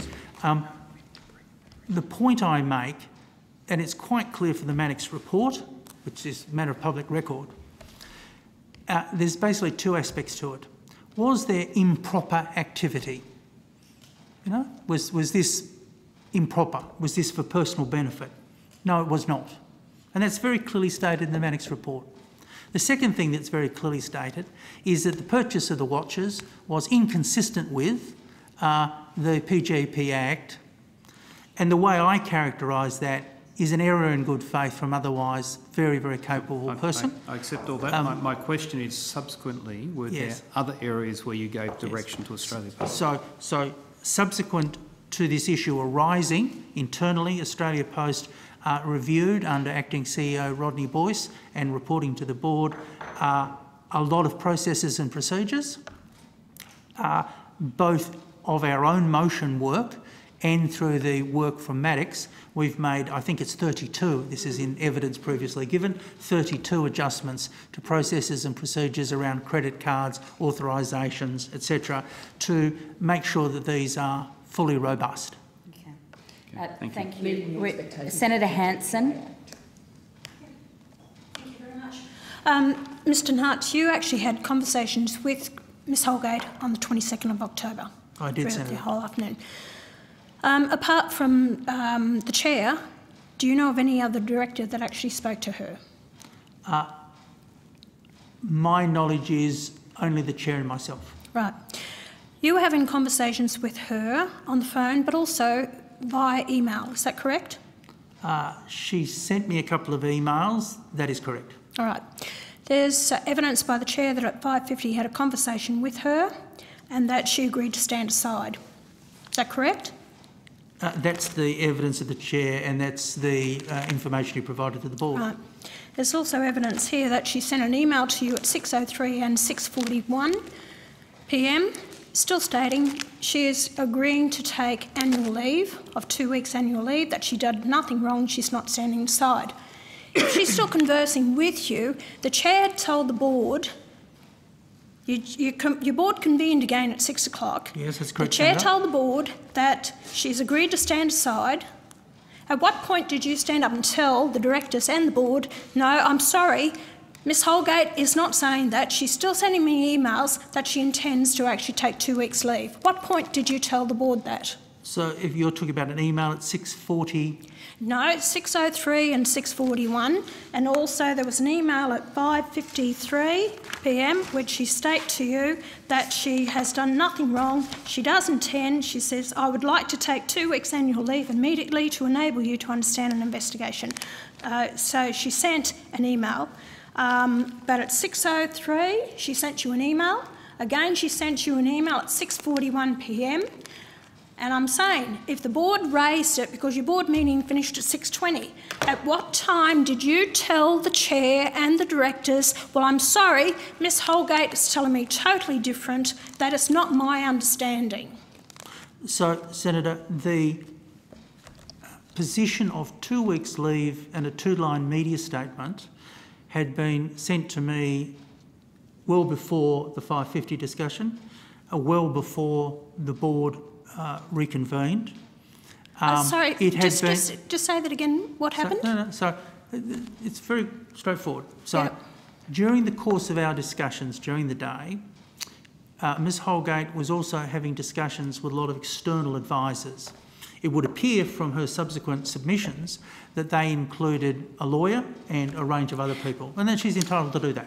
Let's, Um, let's Mr. get to the Mr. Nutt. question. We are running very short on time. Mr. Nutt, So I'm sorry, I'm not interested Senator Hanson in... has asked a, a direct question. I'm not interested in the other, uh, what she spoke to anyone else. I'm going directly to you. I'm saying that she had these telephone conversations, she had these emails directly sent to you, that she's saying she is not standing down. She wants two weeks leave. You knew that in your conversations with her. At what point did you argue with the board and directors that she has not agreed to stand down? Okay, so the... Or sit- did you, Mr Nutt? No, well, hang on. So I, I, I'm conscious of your time, Senator. I'm not trying to be difficult, so I'll see if I can concertina this. During the course of the day, and up to and including my last discussion with her prior to the uh, board reconvening, um, her position was that she wanted to take two weeks' leave and issue a two-line statement. She had communicated that to me both verbally and in an early email. I think, and I'd need to check, I apologise, Chair, somewhere around 4.54. I'd uh, communicated this to the Chair. I'd had various discussions with her about the adequacy or otherwise of, of that as a working hypothesis. And Uh, sorry, Mr Nutt, just to be clear, you didn't think that was appropriate? No, so uh, if, if I, I may, um, answering your question, Senator. Um, so uh, it took uh, the departments about seven days to get the Maddocks inquiry underway. Okay.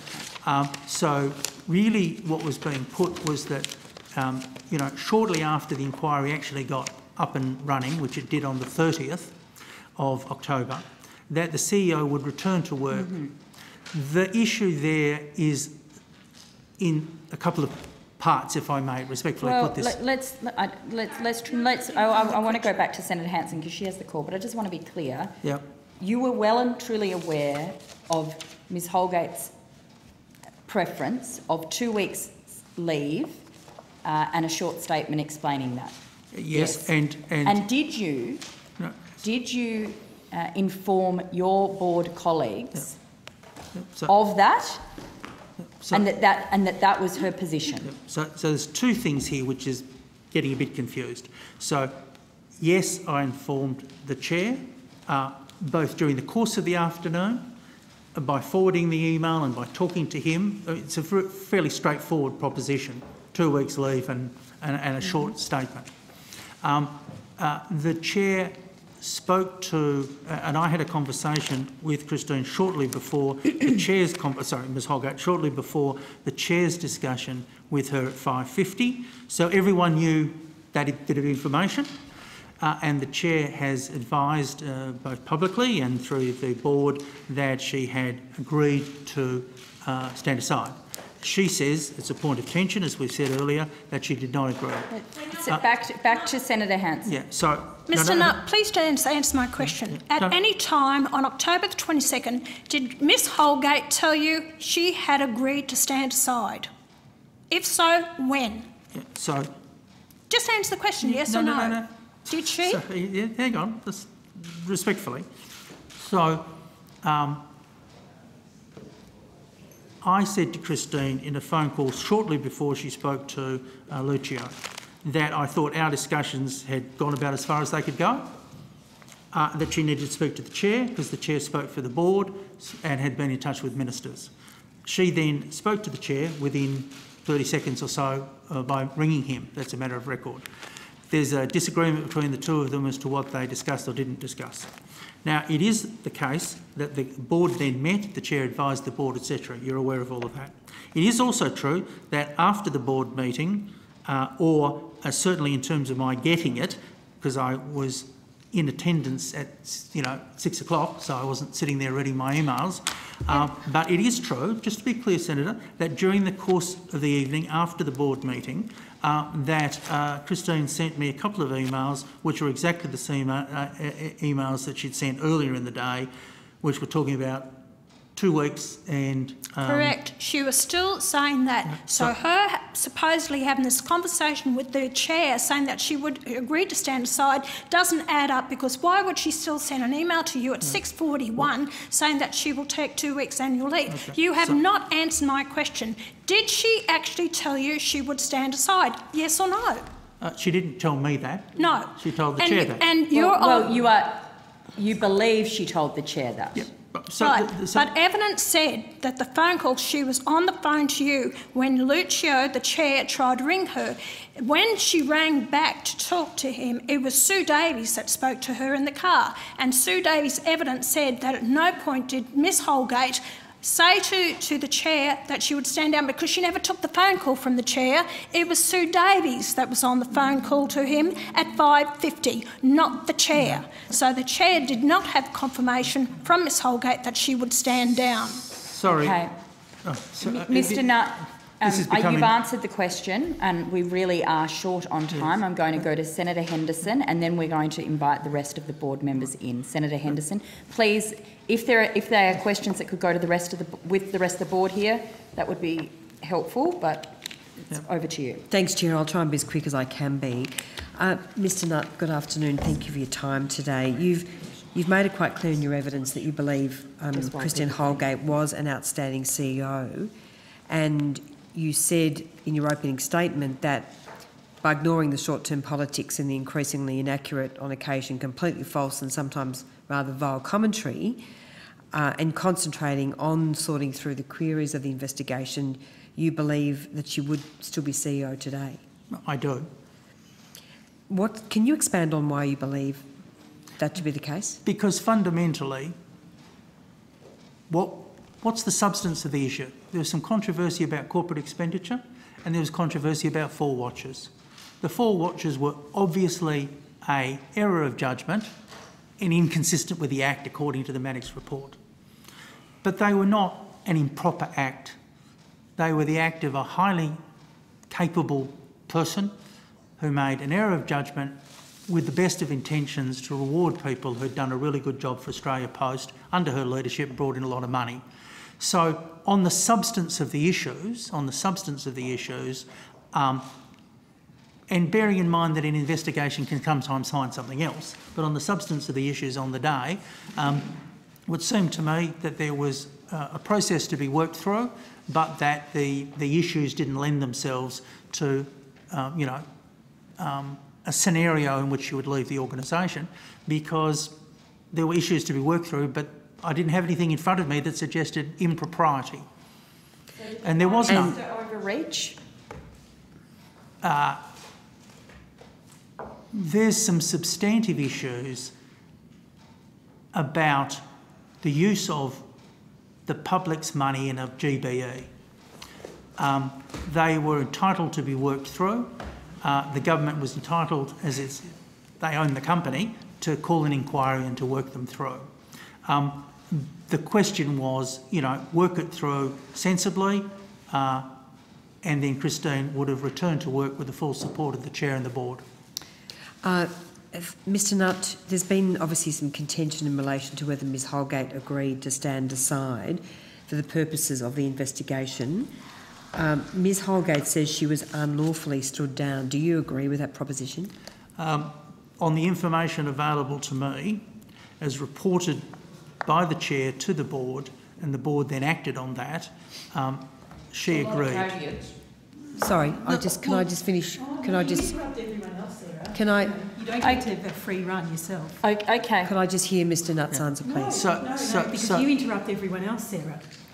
it, it, it does make it difficult for the witness to give an answer if sure we're sort of constantly, respectfully, to elected members of parliament present, um, uh, particularly when the propositions put, and this is not a reference to Senator Henderson, but may have been a reference to Let's earlier get to the question, the answer to the question, Mr Nutt. Come on. Sure. So, uh, do you want to just remind me, Senator, where we are? Yes. so um, there's been contention about whether Ms Holgate ag- agreed to stand aside. Yep. Uh, Ms Holgate, in her evidence, says that she was unlawfully stood down. Do you agree with that proposition? Not on the information available to me. And why do you say that, Mr Nutt? Uh, because on the information available to me, uh, as reported by the chair to the board, after a difficult conversation in which uh, Ms Holgate clearly was, you know, reluctant, um, she indicated to the chair that she would step down um, and uh, there's other evidence available that's been presented by Australia Post um, to the inquiry uh, about uh, what she was doing and saying in the days afterwards, consistent with that. Thank you, Mr Nutt. Chair, I do have That's- other questions, but I'll Thank wait you. for the next section. We're just going to take you. a short suspension for five minutes while we get the rest of the board in. Thank you, Chair. Thank you, Mr Nutt.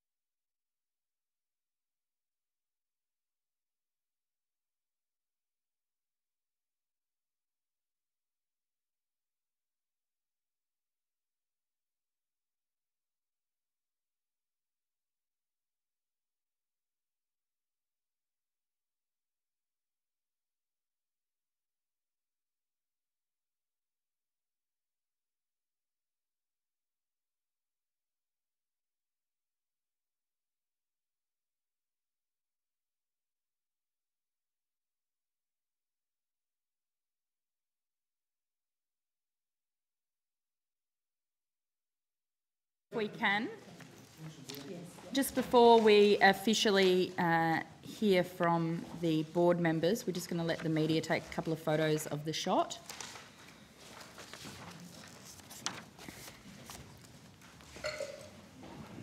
And we're smiling.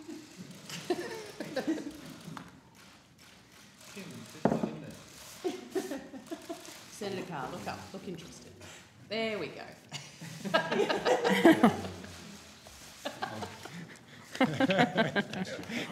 Thank you.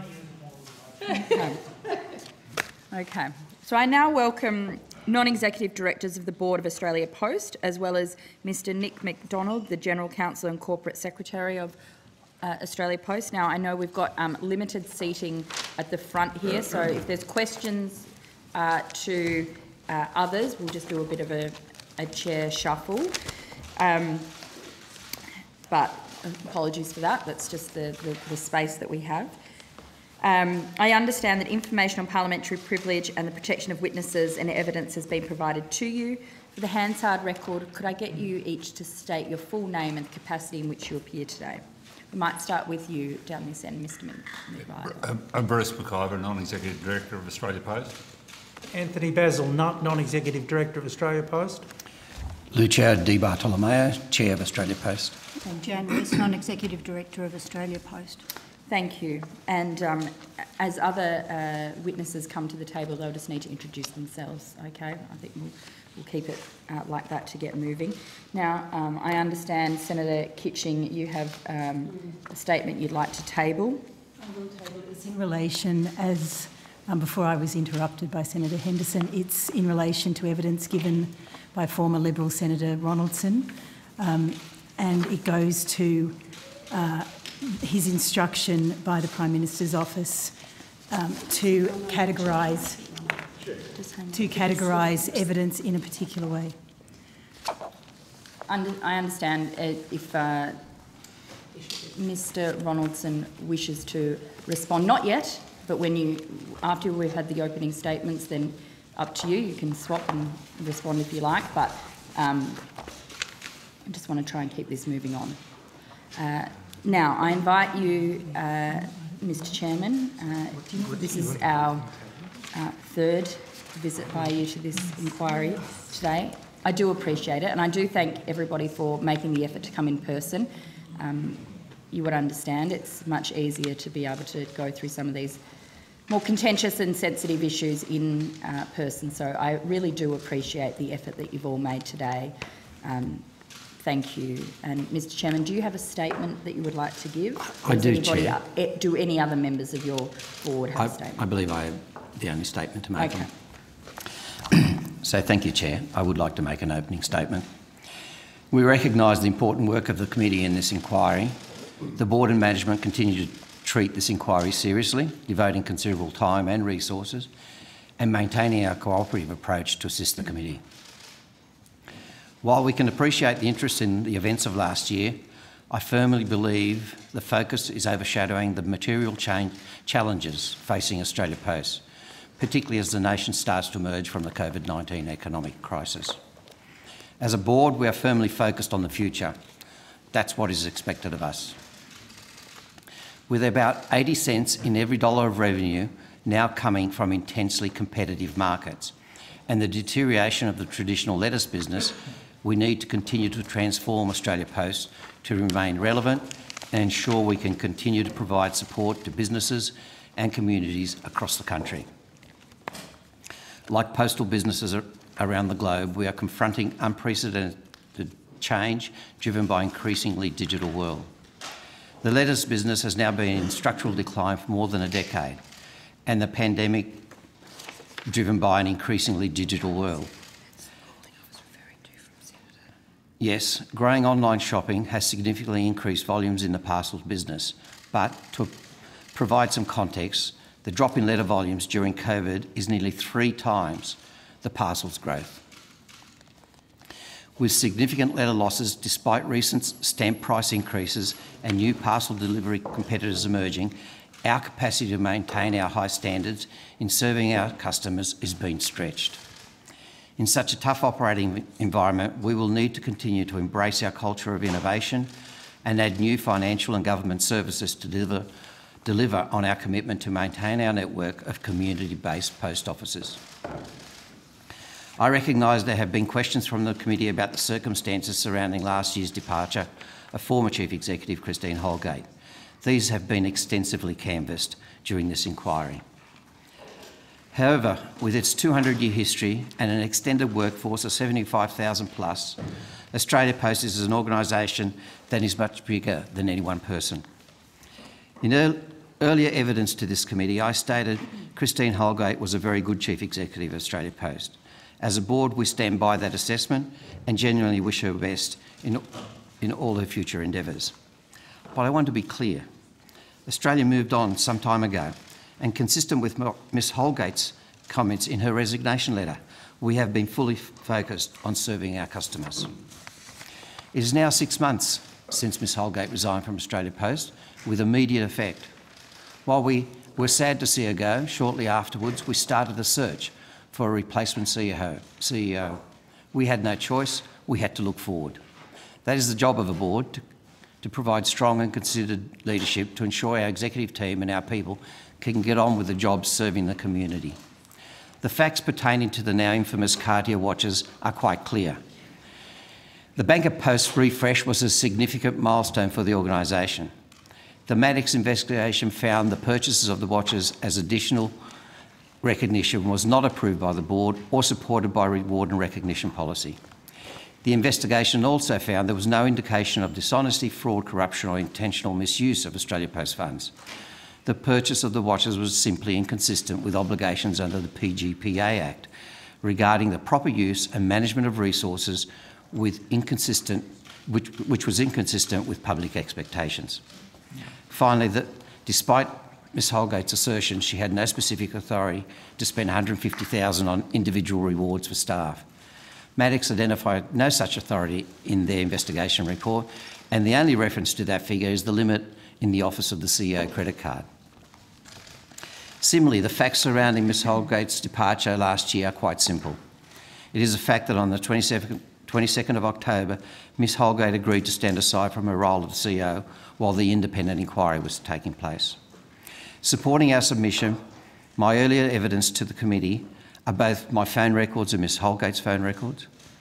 The 23rd October email from Ms Holgate where she thanks CEO Rodney Boys for agreeing to lead the team.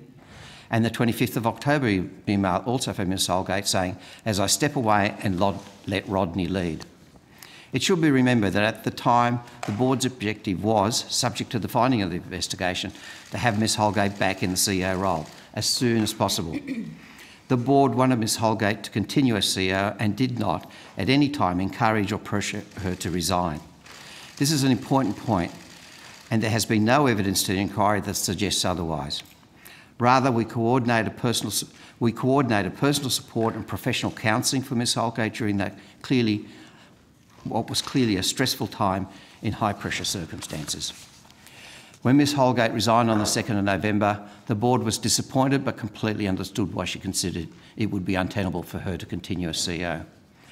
As per her resignation note to the executive team, in addition to her personal circumstances, Ms Holgate recognised the watches was an issue, it was a significant distraction for Australia Post through her resignation, was hoping the organisation could focus on serving the customers. And that's what Australia Post has been doing endeavouring to build a stronger, smarter and better business. As the Australia Post Chair, I am committed to growing the business. There is no secret privatisation agenda. Privatisation consi has consistently been ruled out by government and I can confirm the committee, to the committee that it has never been discussed by the board. The reality is we want to keep investing in the organisation and our people to continue to grow the business.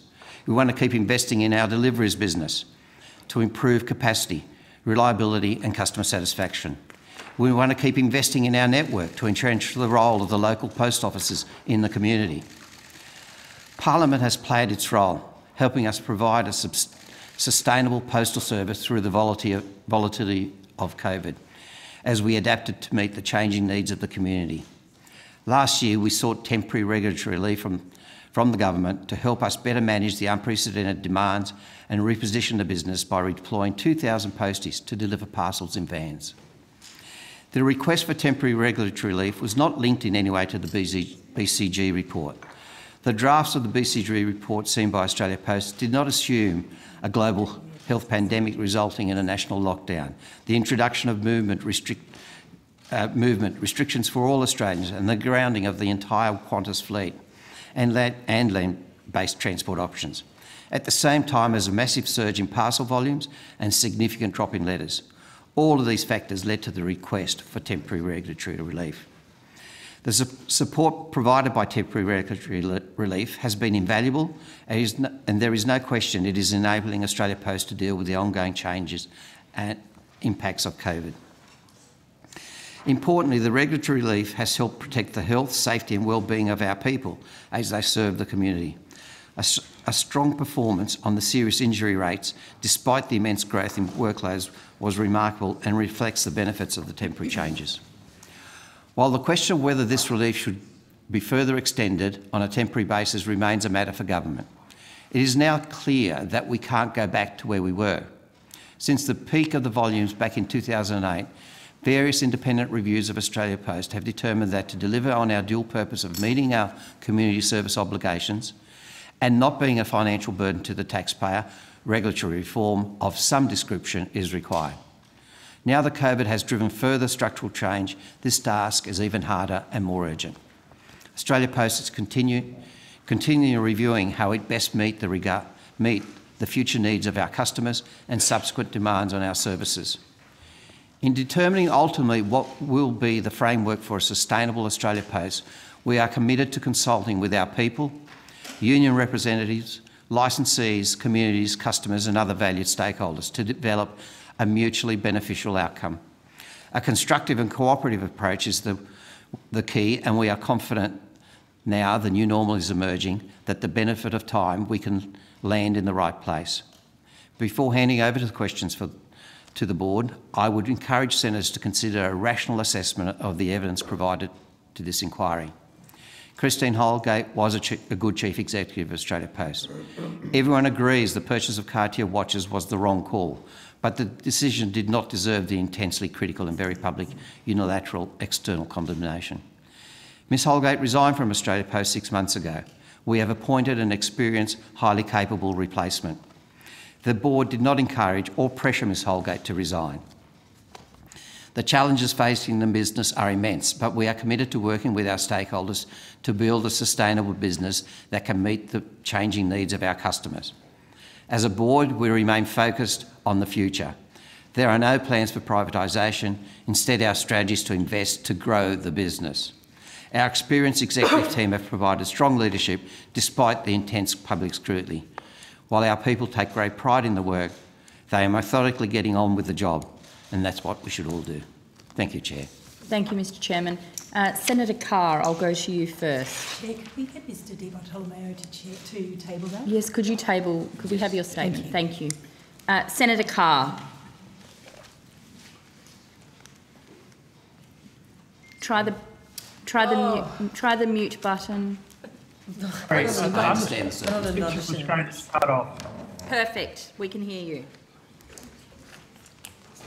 Is Senator Kitching, I thought she was uh, wishes to no, start off. Is that? I might start. Oh, okay. I'm happy no. if that's how Labor want to run it. That Senator Kitching. Um, now, Mr Di Bartolomeo, of course, not all of the board agreed that purchasing Cartier watches was inappropriate, did they?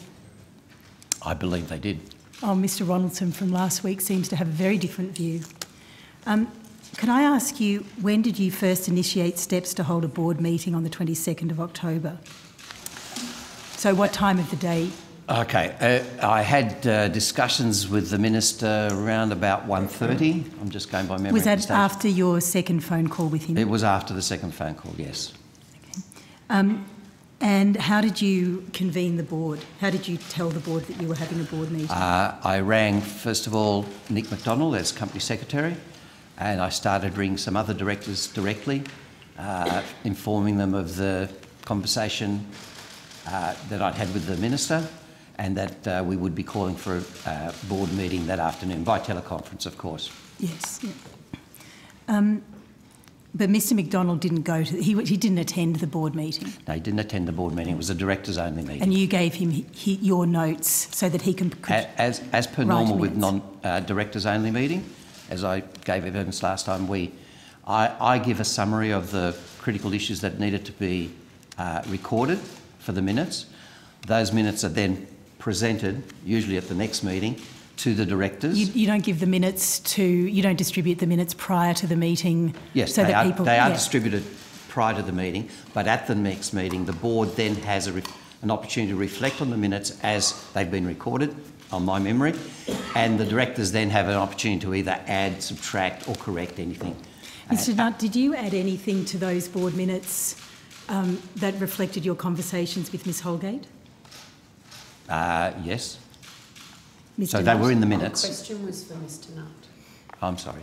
So I apologise, Senator. Can you just Um, so I asked if you had uh, added anything to the draft minutes, as they would be at that point, that reflected your discussions with Ms Holgate. no? No. And in the board, as we've discussed, Mr Nutt, in the, in the minutes, it wasn't minuted that you had been given authority by the board to interact with Ms Holgate. No. Mr MacDonald, I think I've asked you this before, but are you able to table those board minutes? And I think you last said to me that you were going to think about it, but have you thought about it? Uh, the minute, sorry, Nick MacDonald, Australia Post. Yes, yeah, can we shuffle chairs so we've got people Maybe at Mr. the Mc, table? maybe Mr. McIver. I might need you, Mr. Nutt. Maybe Mr. McIver can go.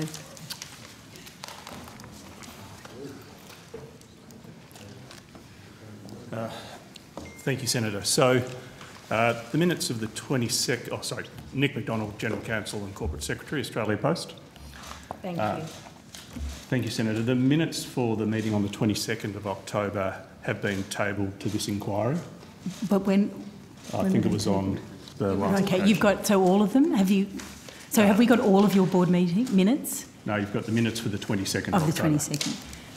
Can we have the minutes of the next of the meeting after that? Uh, I believe we took that on notice and the Yes. response to that is due on the 7th of May. But you're here Do you think you do you think you're going to? Do you think you could table them? Uh, so the subsequent meeting was on the 23rd of October uh, and that dealt... Oh, sorry. We know. Sorry. We know who you are There now. we go. Thank you. Uh, sorry. So the subsequent meeting was the 23rd of October. That dealt with a number of matters uh, that were part of the board's usual uh, Could you redact practice. those? Could you So, redact those out? y- yes, we could prepare a copy of the minutes with irrelevant contact, Yeah. content redacted uh, and only the relevant content remaining. Okay, thank, so you're going to do that, We and we'll get that before the seventh. Uh, well, yes, we will do that Good. uh, Okay, thank you. promptly. Um, now, the Minister for Communications has suggested the Prime Minister walked into some carefully laid question time trap where Labor somehow put words into his mouth and then forced the Prime Minister to say that if the CEO doesn't step aside, she can go. So I want to go very carefully through the timeline of events that day. Um, now, I can read, if people are unfamiliar with what the Prime Minister said uh, in that question time, but then I'll read parts of it. But um, so he said, and so immediately I spoke with the shareholding minister, the minister for finance, and the minister, the minister for finance, actually a former flatmate of Mr. Ronaldson's. Very interesting. And the minister responsible, the minister for communication, cyber safety, and the arts. And from those discussions, the following actions ensued: that there had to be an independent investigation done by the department, not by Australia Post, that the chief executive should stand aside immediately.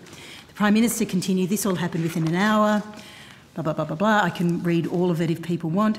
But essentially, what I want to know is we know from the evidence and the phone calls provided to this committee, Minister Fletcher spoke with you, Mr Di Bartolomeo, at 109 and 135, or was it 131, but whatever, around then.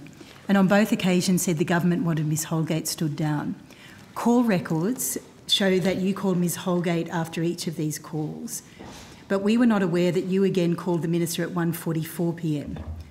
This call was to advise that Ms Holgate was not agreeing to step aside. So when, you, when we looked at the call records, there was an additional phone call from you. There but do you re- recall that? Okay, Yeah, good. there was. Um, the Prime Minister's office were then advised that Ms Holgate did not want to step aside, and this all happened before question time. Uh, 145, certainly before question time, yeah.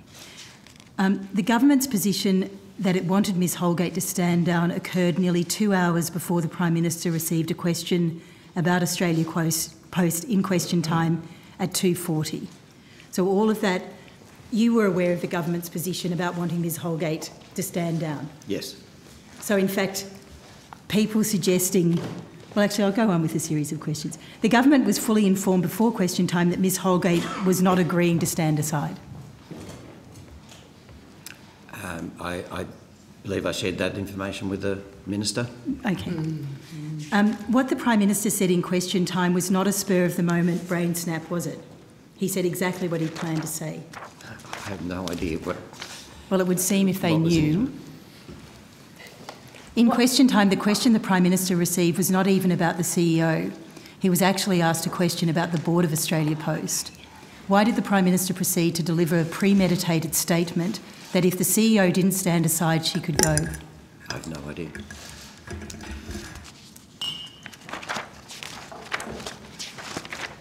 Oh, I want to ask you, um, Mr Di Bartolomeo, when did the internal audit report move from the chair to the CEO? You have an internal audit report. Ah, uh, yes, that would have been one of the actions that we took. Um, so it moved to the CEO, to the CEO from the chair. If I, Jan West, if I, if I can just clarify, when you say well, so my audit, understanding is that the internal audit report function used to go to the chair. Jan, is the chair. I'm the chair of the Audit Risk Committee. The internal audit function but, yeah. reports through um, functionally to the CFO, right. but on all matters relating to audit to me. So, and you can correct me if I'm wrong. It's internal audit. Yes, yes. Yeah. So my understanding was that the head of the internal audit function used to report to the chair. It didn't go through the CFO or the CEO. Not to my recollection. It's been in that. When Mr Stanhope Is comes. The old culture we're talking about. Yes, the old culture where, in fact, there was a more direct line and a better reporting system, I think but Mr Stanhope is coming, so I'll ask him. Um, but you're currently the CFO reports to you, is that correct? No.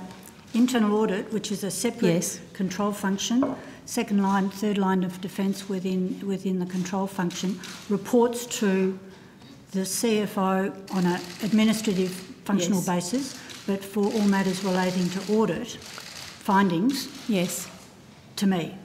So the, so, so the head of internal audit reports to you? On all matters relating to audit, yes. Okay.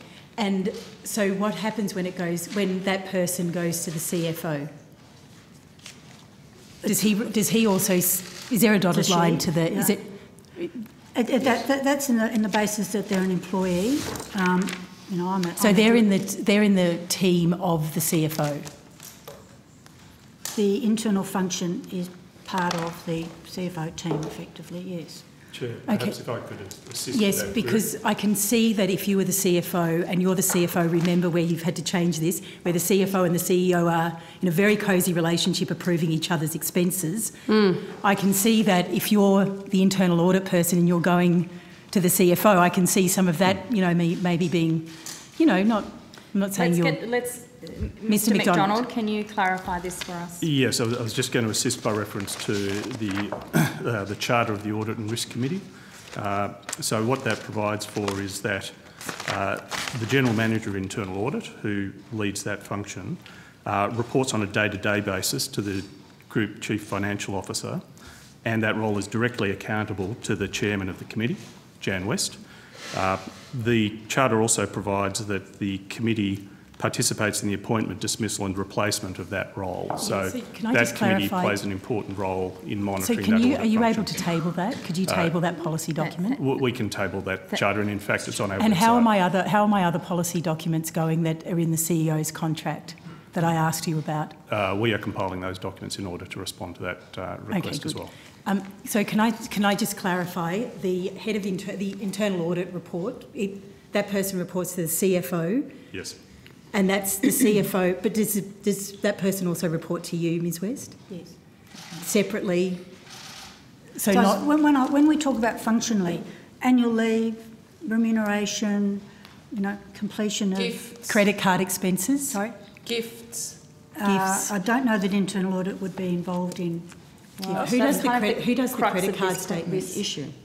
When you say do the credit card Who statement, looks after the credit card statements? You know, um, make sure they're correct. that's within the finance function. Okay. and- Reconciles them.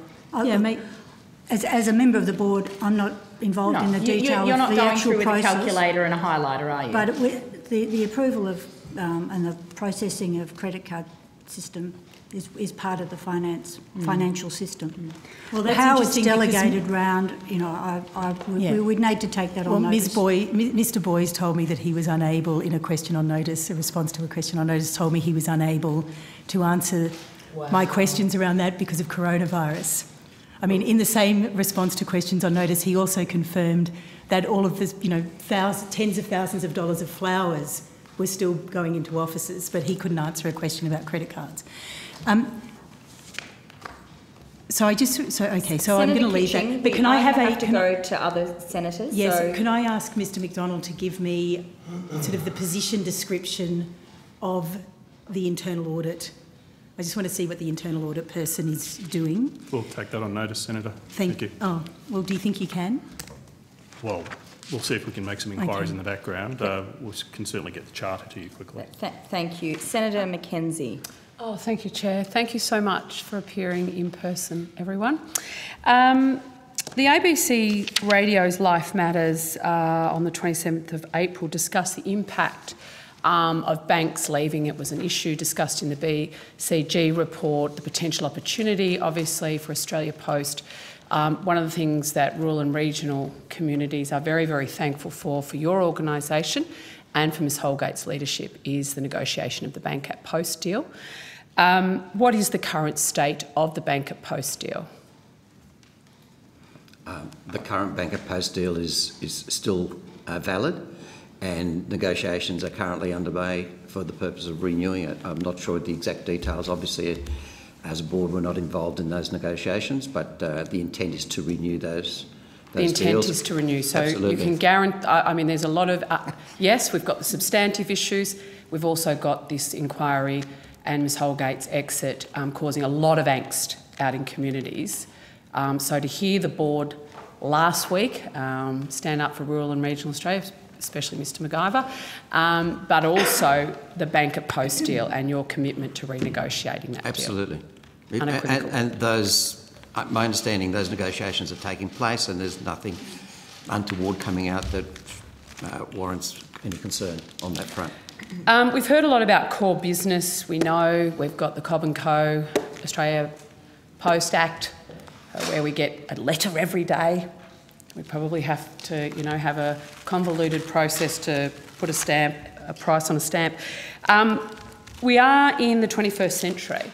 Um, what discussions are the board having around increasing the scope of core business for Australia Post to include parcels? Parcels is our core business today. Certainly, our regulatory environment puts letters front and centre. Correct. That, that, that has been our historic uh, reason for being. Um, but as I said in my opening statement, those letter volumes are declining at a fast rate, certainly over the last decade, accelerated dramatically last year because of COVID. Our parcel business has been growing, again, because of COVID, accelerated dramatically last year. To put it in perspective, something like 300 million letters less delivered last year than the prior year, 100 million additional parcels delivered more. So the prior growth is year. on the parcel side. Growth is on the parcel side, and 80%, mostly made up of uh, parcels, let me say, of our revenue is revenue that we, we gain in a competitive marketplace. In other words, we don't have a monopoly, we, ha- we are competing in the commercial space. So our focus has been for some time and further reinforced uh, at the moment, given the acceleration of these trends, to ensure we have a viable, profitable, successful parcel business. That's good news. So um, when, when the government, the shareholder ministers commissioned the BCG review, and one of the terms of reference was the regulatory environment that Australia Post um, operates within, um, was there any discussion or um, suggestions that we should be updating the regulate, regulatory environment you operate in to include your everyday core business as of the 21st century? And if not, why not? Um, the discussions I had with the minister certainly didn't go to that detail. Uh, the primary driver, as he was, and, and you might recall, I was a, announced as the new chair Yes. at the same time that this. Yes, I had and, the press and my discussions with the minister had been primarily around the focus of we want to ensure the financial long-term sustainability of Australia Post, uh, to ensure it's able to meet its CSO obligation, commu- community But there was no discussion about changing the CSO. But no, obligations. de- n- none of that detail. All right. What they, the terms of reference that we got didn't go to that detail either. Whether they, BCG were given more detail as to what they were after, I don't know. It, it wasn't our commission. Okay, well, I, I think the evidence today has been very clear that that's something we need to address. I just want to go to some um, evidence by the department um, last week, um, where basically said all uh, GBEs for Commonwealth entities and companies, the policies for the expenditure of public money are governed by the PGPA Act, and then it is up to the accountable authorities, in this case the boards, to set the policies within the organisations in respect to expenditure. So boards themselves are responsible for keeping the organisation's expenditure in line with the PGPA Act. It's not actually the CEO, it's the board's responsibility to assure, ensure the policies are in place and the compliance with those policies. That's the evidence the department gave uh, yesterday. I would like uh, confirmation from the Australian board that that's your understanding of, of the operation. That is the understanding of the board's. Mr operation. Nutt? Well, um, the wording, sorry, I don't mean to cheese pair, was uh, the, there's an act and, and a whole legislative regime, regulatory regime. Yes, as the chair's just indicated, the board sets the policies, but the uh, obligation is uh, the principal legislation and the regulations don't disappear because the board sets policy. So it sets a, an environment and the CEO and the other staff respond to that environment. Bearing in mind the CEO themselves are on the board. So yeah, I'm, I'm not so trying to I'm be cute. probably I'm going to the make a broader department's own advice last week, which seems in contradiction to, you know, maybe I just need clarity. Um, the governance and oversight requirements, this is a quote from the department, for government businesses enterprise require the boards to put in place codes of conduct, in particular that govern, among other things, expenditure on gifts and received gifts and benefits for employees within the organisation. So you're all nodding. Uh, it's the board's responsibility to make sure that appropriate policies are in place and that they're complied with. That's why I think it's important to clarify what the Maddocks report actually did say around this particular issue in finding nine, that yes, it did say the purchase of the watches were inconsistent with obligations imposed by the PGP Act, but then it very clearly across the page says the absence of a clearly identifiable and directly applicable policy, authorisation, direction, etc., um, by the board for the CEO was actually the cause. Um, so, whilst there was a technical breach of the PGPA Act, it was actually related back to the failure of there being appropriate policies in place for the CEO to follow and a compliance regime. I need some. If I I would, I would love you to respond to the department's um, evidence. Well, first of all, I support what the department says about the fact that the board ultimately has to put in place the structure, of policies and procedures that govern how we spend our money. So, Mr. Di Bartolomeo, is Can this I- the failure of the Australia Post Board? Sorry, can I answer the question? I will get to that. Um, clearly, uh, there were policies and procedures about how to, including on gifts and, and, and rewards for staff. Uh, the policy did not either rule out or rule in gifts like Was silent. was silent on that. Hmm. We we have given Or, evidence. in I have in the words of the Maddocks report, it was absent. I've given evidence that as part of the review that that was not only conducted by them but by us when this came out was whether all our policies and procedures were as as fulsome as they could be, and I gave evidence, and I think we've we've Yep. support we've given the information 32 actions were taken uh, that enhance those board's obligations. One of them, for instance, if I could pick an example that relates to the chair, was that in fact the CEO's expenses should be approved by the chair, uh, which is normal, normal practice for myself and, and other boards that I chair. In, in Australia Post, the practice had been that the CEO's expenses were approved by the CFO. Yes, we've, we've got this evidence. It- but there right. has been a lack of clarity about where the responsibility lay. Um, and it actually took Ms Holgate to lose her job for the board to become aware of the failure around its responsibility to put these sort of policies and compliance regimes in place. Because we're Let- talking let, let me correct, Let me later. correct that. Let me correct that. We started taking action on those things well before the resignation letter on the 2nd of November. In When it did you start taking action almost immediately. The 23rd of? October, the Oh, next no, no, day. no. And when were the watches purchased? Oh, they were purchased back in 2018. That's my point. That is my point. It's only because somebody was stood down.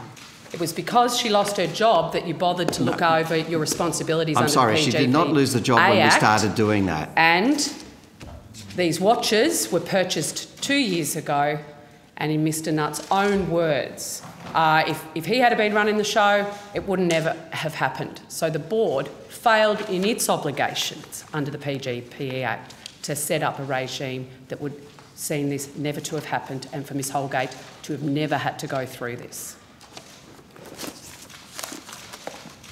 Is there a question? No, there's no question. Thanks, Mr. Uh, thanks, Senator Mackenzie. Um, There was an adverse finding made against the board by the Maddocks report. Yes. Sorry, could you please refer to which part of the report? I think it's, It's fi- nine. finding nine.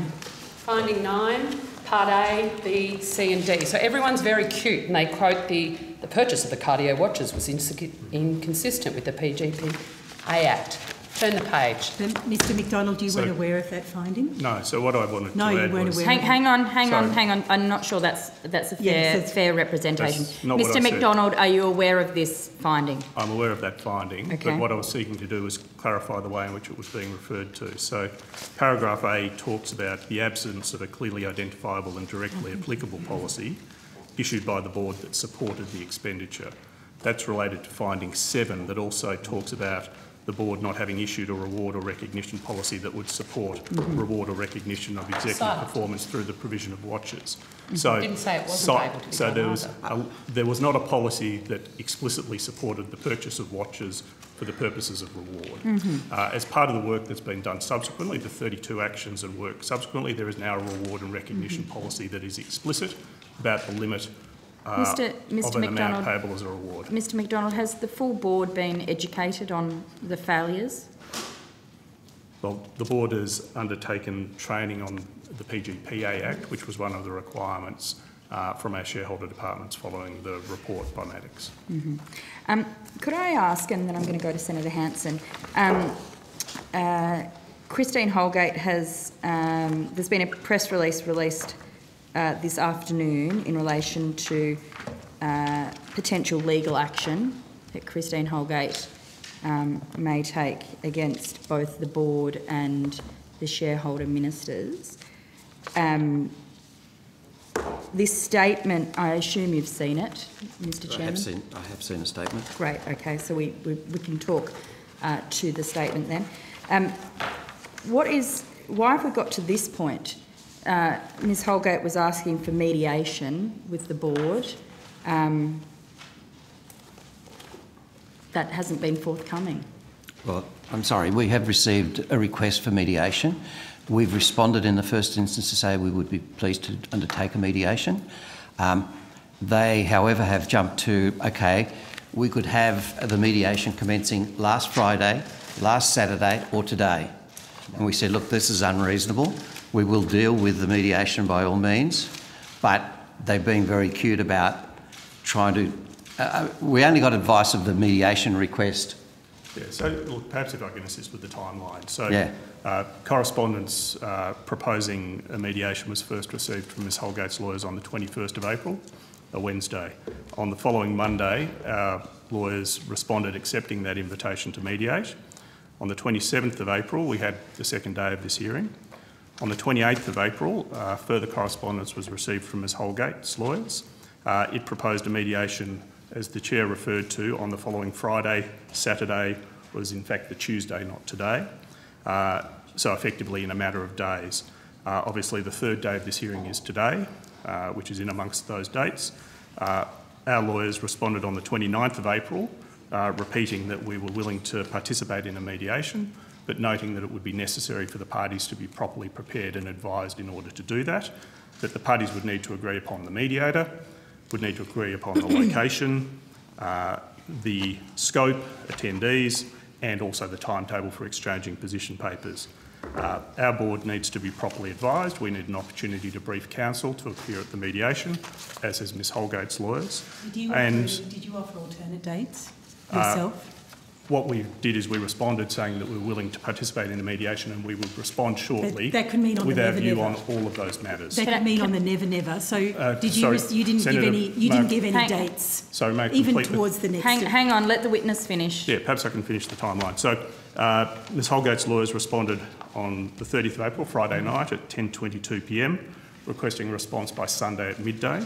Uh, our lawyers responded on Sunday at 8.19am, reiterating that we were prepared to participate in a mediation, but making the point that everybody needed to be properly prepared. That's just common sense for the mediation to be Okay, productive. Mr MacDonald, so just to be clear, and I'd like, um, this is a question I think for the, for the chairman as, and the board, as opposed to, um, uh, you know, your assistance.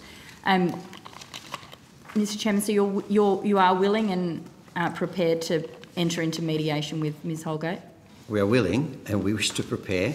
At this stage, we don't, don't even know the details of what the claims are, but that's part of the process that we're happy to go into. I- There's no debate here about wanting to mediate. We're, we're happy to do that.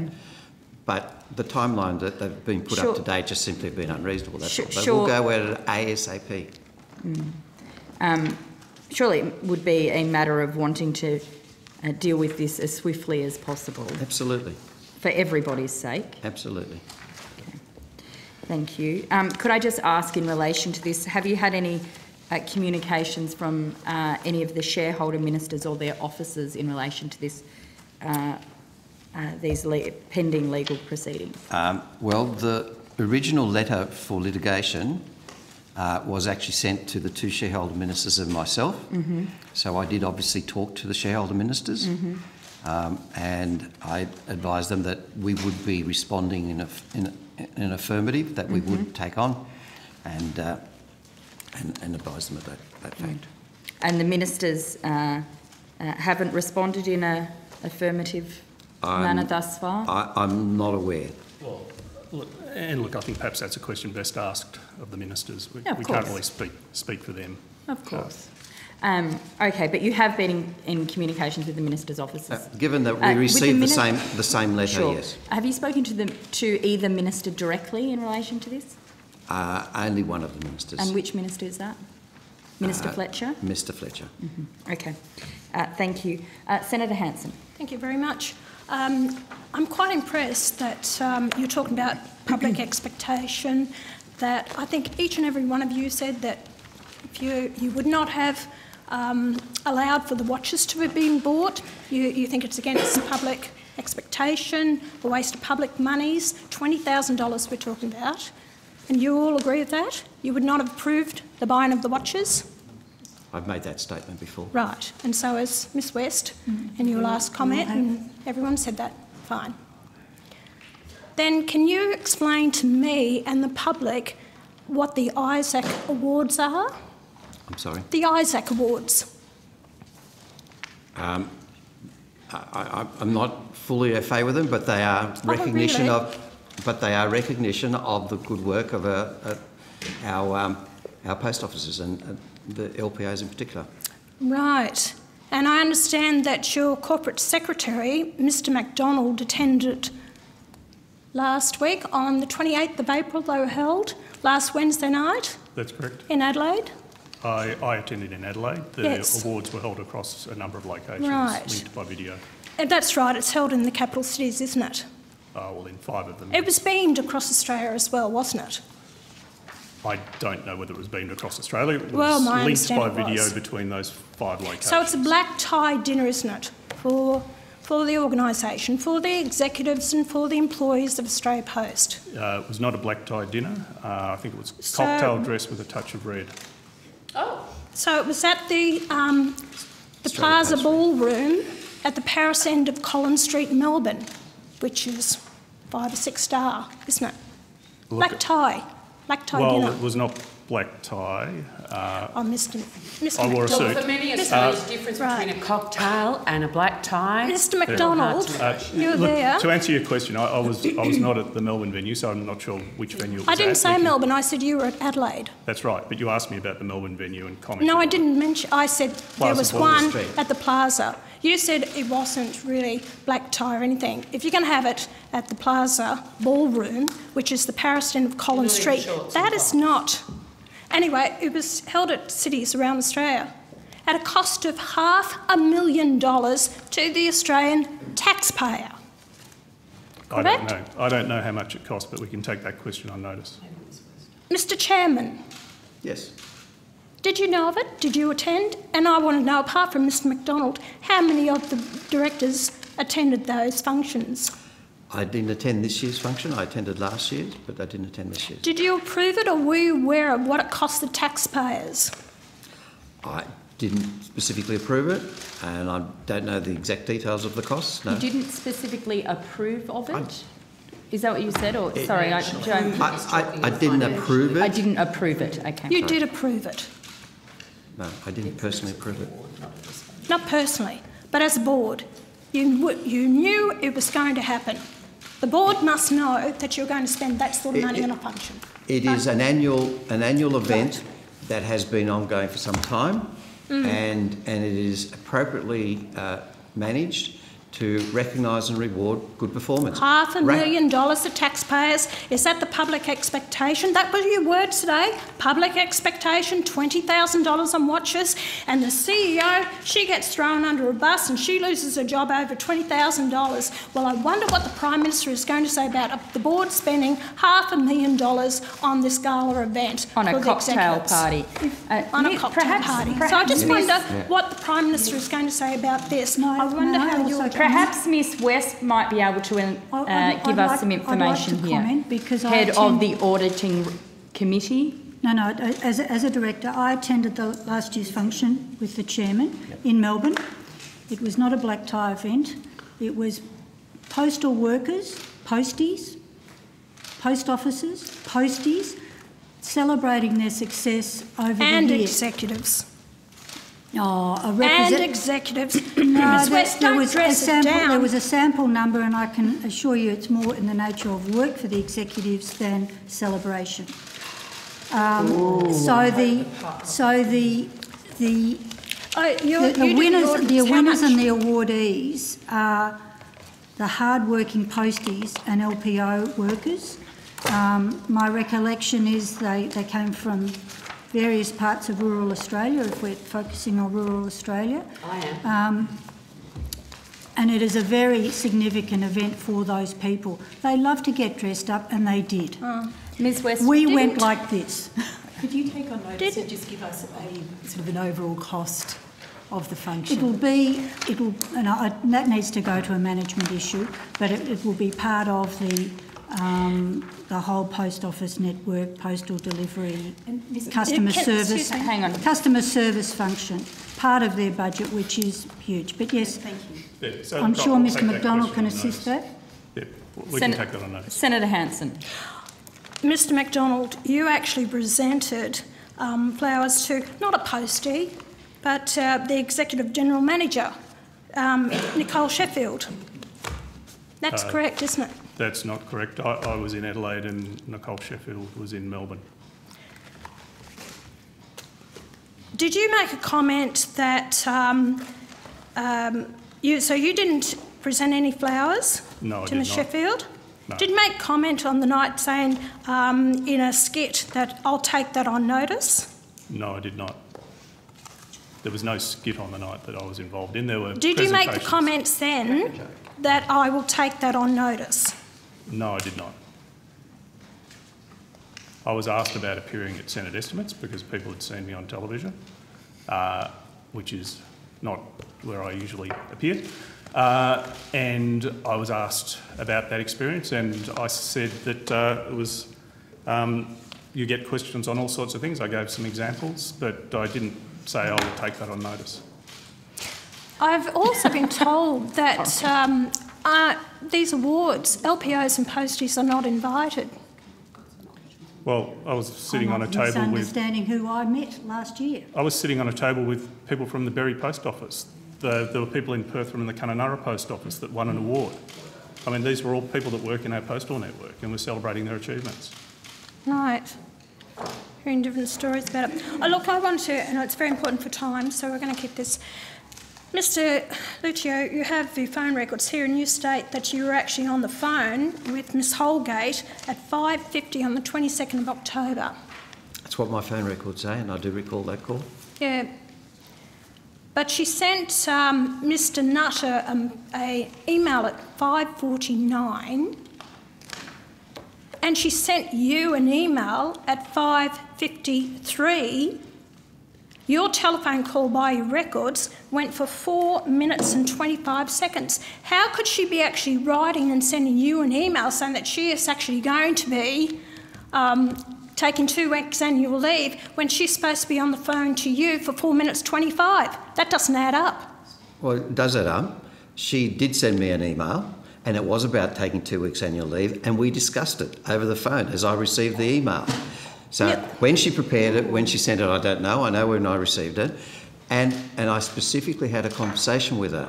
And I've, I've given this evidence already, so I'm not coming up with new evidence. But the conversation went along the lines Christine, taking two weeks' leave is not going to solve the issue given that the inquiry is going to go for four weeks. And secondly, why do you want to clear your leave when in fact you can, you, you can stand aside, be paid fully, and deal with the matters pertaining to the inquiry. And, Mr. and I had that conversation with I'll her. put it to you that you actually tried to ring Miss um, Holgate while she was in that car journey from Canberra to Sydney, and Yes. she was with Sue Davies. Yes. She couldn't take your call because she was actually communicating with, with Mr. Nutt. So therefore, when Christine phoned back, it wasn't, it was on her phone, but it was Sue Davies that had the conversation with you, not Christine Holgate, because at the time she was still com- communicating with Mr. Nutt through the emails. As Senator, these are the assertions you made at the last committee Yes. meeting, and I said to you And that's not the evidence from case. two people. I did speak. I did speak to Christine Holgate on her phone, and we spoke about the issues at hand. Is It's- it fair to say, Mr Chairman, that in that conversation, yes. You were putting the proposition that two weeks' leave wasn't going to be sufficient, Yes. and Miss Holgate was holding the line that she wanted her two weeks' leave and would be prepared to, to send out a statement saying that? I, I said uh, right again from the start of these hearings that my conversations with Christine Holgate directly on the phone, uh, she was she was reluctant. There's no denying that she was reluctant to stand aside. She wanted to stay in the role and the job. Then, after persuasion, saying, "Look, it would not be appropriate for her to be in the job while the inquiry was taking place," and then her next comeback was, well, what about the two weeks leave? And again, I said, two weeks is not enough, four weeks is required, and why take leave when we can pay you on, on our time? Is that, is that because that would impact on her entitlements if she was required to But take yeah, leave? it was clearing her leave. So she would have a, s- there'd be a s- financial detriment Well, it would was have been to her financial leave. detriment if. Mr. Hang on, So- hang on, hang on a second. A- And, and the end point, albeit reluctantly, I agree, was that she agreed to stand aside. And this was agreed on that agreed telephone to. conversation, was it on that telephone conversation? Yes, it was, before the six her? o'clock meeting, because I was then able to go back to the six o'clock, Alright. the recommencement of the meeting at six o'clock, and advise the board accordingly. And then we prepared all the documentation along those lines. and then I'll put it, it- to you that Miss Davies in her evidence said that she was sitting beside Miss Holgate in the car and never heard Miss Holgate agree to stand aside. And that was Sue Davies' um, evidence and Christine Holgate's evidence. So there's two evidence there that is no, not hold on. I heard I heard Sue Davies's All right. evidence also. I- What she said was that she didn't hear Christine Holgate say, I, w- I agree to stand aside, but she didn't hear anything different to the evidence I gave. She She, she, she could barely hear the conversation. In fact, they were both often on the phone, talking to whoever they're on the phone, facing the opposite direction in the car because it was noisy and it was difficult to How hear their own that? conversation. Mr Chairman, isn't this there. How do you know precisely why, isn't this precisely why, as chairperson of this board, in the midst of this frenetic afternoon, you could have taken a breath, waited 24 hours and actually had a rational, reasonable, calm conversation with the people involved. This is what strikes me as incredibly strange that the Prime Minister does what he does, he flies off the handle. The board had no other option but to respond. And while Christine Holgate is refusing to, st- to step down, you had to push her to a point where it was inevitable. And you had nothing in writing. And you had nothing in writing. You, have, you, you haven't managed this calmly and rationally May- at all. May I respond, Senator? Would you, oh, this is my question to you. Okay. If you had this over again, would you at least taken a breath, stepped back and dealt with this calmly and rationally? I believe while it was certainly hectic that afternoon, we did discuss it calmly and rationally. We weren't in a shouting match, not, with Sen- not, not between Christine Holgate and myself. It was being discussed. Yes, I do agree. She, she was reluctant to stand aside, um, and, and she saw that somehow this was potentially impacting on her. We said, look, this is simply a means to get to the end. The end for us was her to get through this investigation and have her come back in the role. That was our objective. She did agree. We then produced a number of documentations that we mailed, emailed to her. Uh, and in fact, all the discussions on documentation that occurred between us did not in any way dispute the notion of her standing aside. It was only some five or six days later that the, the question came back that she didn't stand aside. So it was rational and calm at the time. But you didn't even get Uh, advice. You didn't even get No, advice. We, we didn't need advice. We were asking our CEO to stand aside. You didn't need advice on that? Can I ask a couple of Well, questions, yes. please? Sorry. Really? Did someone, did anyone Mr. at the board Bartolomeo. meeting? Well, we will come. We will come back to you, Senator Hanson. Let's just get this question. Did anyone at the board meeting, now I presume there are people with legal qualifications, did anyone say maybe we should get this in writing? Uh, no, we didn't ask it. We, we could get it in writing, but we So did now put you've got two- No, uh, Hang- hang that on. afternoon.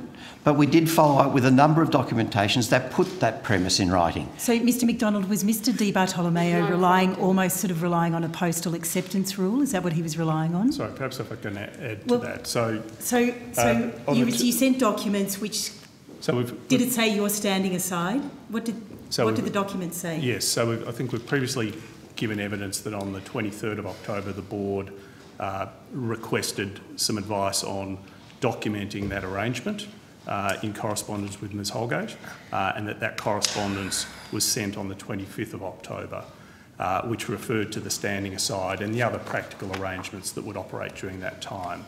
Uh, there were also the other contemporaneous documents, the statement that was issued uh, and the, the two emails that have been referred to earlier, the 23rd of And October in the you morning and the 25th of October on the Did you, weekend. did you post, express post these documents? Did you email them? Did you know that she was monitoring, expecting to be monitoring her email in order to receive the documents? How did you ensure that she saw the documents? Okay, if we deal with the various documents, there was the letter that I mentioned, the correspondence recording the standing aside and those arrangements. Uh, that was sent by Sue Davies to Christine Holgate. I'm not sure exactly of the method. Is this all in Uh, we can evidence take this on notice. This, this is We're going to go back messy. to. We, we are going to go. very messy. We are going to go back No. to Senator Hanson. Senator Hanson, you have the call. Thank you. Cool. Mr Di Bartolomeo, Lucius. if you're having... Lucia? Can I call you Lucia? Thank you. If you had a telephone conversation with Miss Holgate at 5.50, she's, suppo- and that went for 4 minutes 25 seconds, and she sends you a phone, an email at 5.53, she's pretty, pretty good at doing that then, right, typing you an email. And during that telephone conversation, you supposedly have convinced her that she will stand aside. Why didn't she put it in the email? I think she had the email ready beforehand. Um, we spoke about it. We re- I received What it. was it? What was in that email that she sent out to you at 5.53? What did it say? uh, basically seeking two weeks' leave. Right. She also sent an email to Mr Nutt at 6.03 and 6.41. The same advice. I have done nothing wrong. I am seeking to have two weeks annual leave. She's spoken to the chair and she wants to take two weeks annual leave. At no point did she tell Mr Nutt that she had agreed with you to stand aside. Now, I'd like to know at what point, Miss West, you might be able to answer this. What point did Mr. Nutt tell you of Christine Holgate's emails to him that she, she did not want to stand down, that she wanted two weeks' leave at that board meeting? During the course of the afternoon, because I think Mr Nutt has, has already um, reported that she had indicated the two week, the preference for two week leave, two Right. weeks leave during the course of the afternoon. Were you aware of the emails to Mr. Nutt at 6.03 I and cer- I certainly 6.41? wasn't. In fact, you asked me this question last week, and and I had said that I, I wasn't aware of those emails. You weren't. I said our meeting had finished at 6:20, so the Correct. meetings at 6:41, we minutes were, that the emails we wouldn't have been aware of anyway. No, so if your meeting finishes at 6.20, at no point did Mr. Nutt say, I'm sorry, Christine Holgate is not going to stand down, she wants two weeks annual Well, I- I- leave. So that I wasn't think you might have discussed, was that that discussed with the board at any time? Was that discussed with the board of her, how she, What her she wanted to, what she wanted to do? Not not after the chairman reported that, that she had agreed to stand aside. So you've taken his word for it, there was no evidence of it, it was just a verbal thing, but everything else was in writing, especially to Mr Nutt, continually saying, I will take two weeks annual leave. So that's it. Well, we weren't aware that the, the ongoing two weeks annual leave Right. situation, the assumption is that the chairman has advised us and Yeah. working relationship, we totally trust what Ten we're days told. la- afterwards, on the resignation letter, which was accepted by the, by the chair, Chair? By the board. by the board, By the you board. accepted? Yes. Right. But Ms West, You knew know- that- you didn't you didn't decide to communicate with other board members Can I- once you got a once you received documents for, or whatever you received from Ms Holgate. So, So. Ms West didn't know. When did Ms So West? which, when- which documents so are you talking the about? the 640. I don't want to interrupt Senator Hanson, which I am. Um, but when did you know? So you received it 640. No, I didn't. You did What? They didn't receive anything. What, what, The- I don't know where your line of questioning is going. Let's, Yeah, you could, well, I want to ask, I want to ask, when did the board directors, because when I asked Mr Nutt earlier in the day, Mr Nutt demurred from asking, answering in the affirmative that board directors should actually all act with the same knowledge. And it seems to me that you've got lots of board directors acting with different levels of knowledge. You've got Mr MacDonald with some knowledge, he's not on the board, but does the minutes. But you have different, you can't operate like this. And I hope that this is one of the 32 recommendations you've done. You've got people acting with different levels of knowledge at different times. You've got you and Mr Nutt having different conversations with Ms Holgate. okay, We- back we- to Senator but- but- Hanson, please. What I would like to know, the letter of resignation that came Yes. This is the 2nd of November now. on the, um, what date? 2nd of November. Right. At 10.46am? That's it, that's it. Right. We agree. Then you actually sent it on to the minister at 11.45? I advised the minister whether I sent it to Advised the him. Don't know, minister? But certainly, Well, they, they've had a copy of it because that got out to the media at 1.30. well, uh, that, that's not quite right, but nevertheless. Well, it is. It was on Sky That wasn't News at what- 1.30. There was, nothing on Sky at 1.30. It was at 2.03 that Sky started talking about it. That was Minister Fletcher's office. Well, someone's put it out and you sent that letter and the letter of wasn't us. resignation the other. It wasn't us, and No, I but gave you that did- evidence but- at the last did- meeting. But just to be clear, and we have had this You evidence passed already. Yes. that you gave that, you gave the resignation letter and information to the minister's office, yes? I, look, I, I certainly rang him. I, I'm not 100% whether I gave him the letter, but probably did. But I- Yes, it. okay. Senator Hanson, we're going to have to move Yeah. to Senator You Henderson. have, you have actually stated that she was in, her mental health was not the best. She was suicidal. She was not in the best of health. You receive a resignation letter from her that day and you just accept it. Where was your duty of care? And I'm talking to the board members. Where was your duty of care? You should not have accepted that resignation until you could have actually spoken to her to see about her mental health because it is not right to have accepted that. And you, and you say you care about her, you cared about her health, where, where her mind was at. I, I was certainly aware in the immediate aftermath of the Senate, the 22nd of October, that she was under great stress. I agree. Um, Ten days later, uh, Christine sends us a resignation letter Offering and, her and, and, a copy, and a copy of a statement she was going to make publicly at two o'clock in any event, any event. And it was a rational letter, a rational statement she was making that while we were very reluctant of the circumstances, we understood the circumstances. So between you getting the letter at 10:46 and you sending it to the minister's office, did you have a meeting with the board Uh, in that hour? Did you have a meeting? Did you discuss it with the board? Senator, yes, we did. We What, first of all, is that minuted? yes, it is. Uh, we met at one o'clock. It takes a while to get everyone by contact, telephone, find a time that Yeah. they're available, and we did. We met at one o'clock, where we received, where we discussed the letter in question, we discussed the statement in question, and in fact, um, we then, I think, There, there's a break taken from At 1.35 about to 1:30? 2.45. Mr Nutt and Miss West, you're actually um, legal eagles, aren't you? No. You know, the legal profession? You're I'm a chartered accountant. Oh, I'm sorry, Wilmot A is. A humble arts graduate, Senator. Michael is a lawyer. You've got the, Right, so where'd you get the legal advice to accept this letter? Hold on, you don't need it. If an employee comes along, whatever level they might be at, and they want to resign, you don't need legal advice to decide whether you take it contract, up. is it? That's what you've just asked. It's not under the contract, is it? Because under the contract it says that six months' notice That's right, and on we both have. parties. So Okay, that's all right. right. So, But we are so retreading we are old going back water. on old ground. And I, I we agreed to. as Okay, order. Ms Holgate wanted. order. I'm going to go to Senator Henderson. Right. Um, thank you very much, Chair. Um, look, I just look, we are obviously travelling over some ground that we covered um, when we last talked, spoke about this. Two or three Um, times. Ms Holgate has said that she was unlawfully stood down and that she did not resign. Uh, what do you say to that, just to try and sum up your position, please? In terms of, the, first of all, the standing aside, I have clear views about what my discussions were and that she did stand aside. Clearly, Christine Holgate is saying something different, uh, that she didn't stand aside.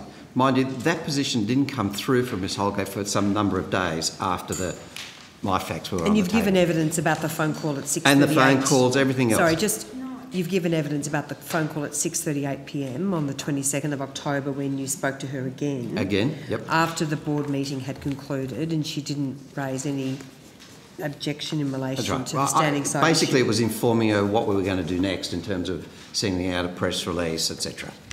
And can I also just refer you to the 7.20 email that went out that evening, which included a media statement? Correct. Do you have a copy of that, or are you? I don't. I don't have a copy, but Well, in A that, media statement from, who- just so this that is we're a media clear. statement from, uh, um, that was a media statement, I believe, from the shareholder ministers. was it? Uh, and that was sent out, that was sent out to Ms Holgate, and that did refer to the chief executive standing aside? So the, there was a public statement from the chair at 7.40pm uh, regarding standing aside while the investigation was undertaken. Uh, that was emailed to Ms Holgate and her media advisor at 7.20pm. So that So the public statement was made at 7.40? 7.40pm. And then the draft, well, that public statement was emailed in advance? yes. And what, could you read out what that said, or the relevant part in relation to standing aside? Okay. So... This is a statement from you as From- chairman. from chair. Representing the, The board. board. Yeah. Yep. Correct. All right. An hour after, an hour, less than an hour after you, you Yeah, concluded your meeting. Yeah. So uh, what that statement said was, the Australia Post Board and management team will cooperate fully with the recently announced investigation to be conducted by shareholder departments. We remain committed to delivering for our, stake, our important stakeholders, our people, our post office partners, our customers and the community. Group CEO and Managing Director Christine Holgate will stand aside during the investigation. During this time, Rodney Boys, Chief Financial Officer, will be acting in the role. Okay, and so then the next morning at 6.27am, just to get the timeline correct, um, Ms Holgate sent an email to Australia Post executive team indicating, uh, thanking Rodney for agreeing to lead the team, uh, This is all evident. and then indicating that um, can they please remain strong during um, to lead our ship through this. So during that period, I understand it was a very vexed couple of hours where Ms Holgate did not want to stand aside, but your view is, uh, Chairman, that eventually she did, and then that was reflected in the in her in her subsequent conduct. Correct. And, and uh, what I was saying was there were a number of contacts, whether formally or informally, where her standing aside was accepted. Uh, the, the change in position from Ms Holgate as to whether she stood aside or didn't, in her case, uh, came some days later. Right? Yep. Um,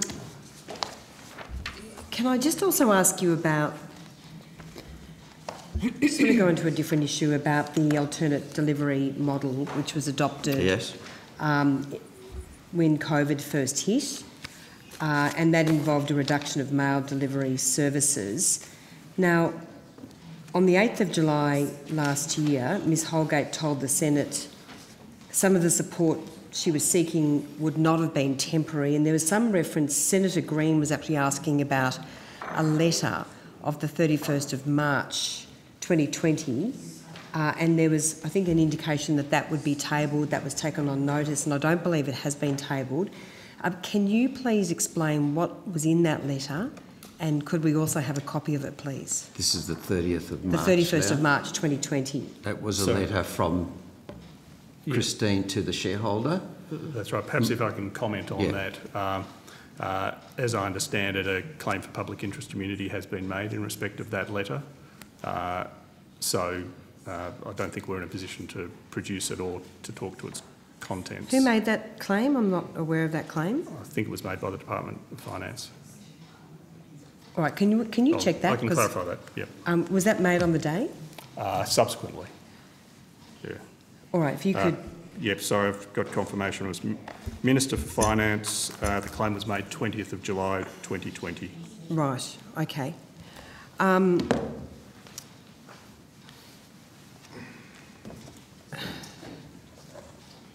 so, so I just want to ask about the, the, the mediation. Ms Holgate has said that she, when she resigned that she would not be seeking any financial Was not seeking. Um, has her position changed? Um, given that we don't know what the claims are against us yet in detail, uh, I, I guess we can't be definitive, but it would appear to be so given that they are looking for mediation uh, as a prelude to potential litigation after. Do you understand the, the quantum of monies that you might be seeking? None of those details, and, and that's why, we, you know, I, I know they, they wanted us to start mediating last, last week.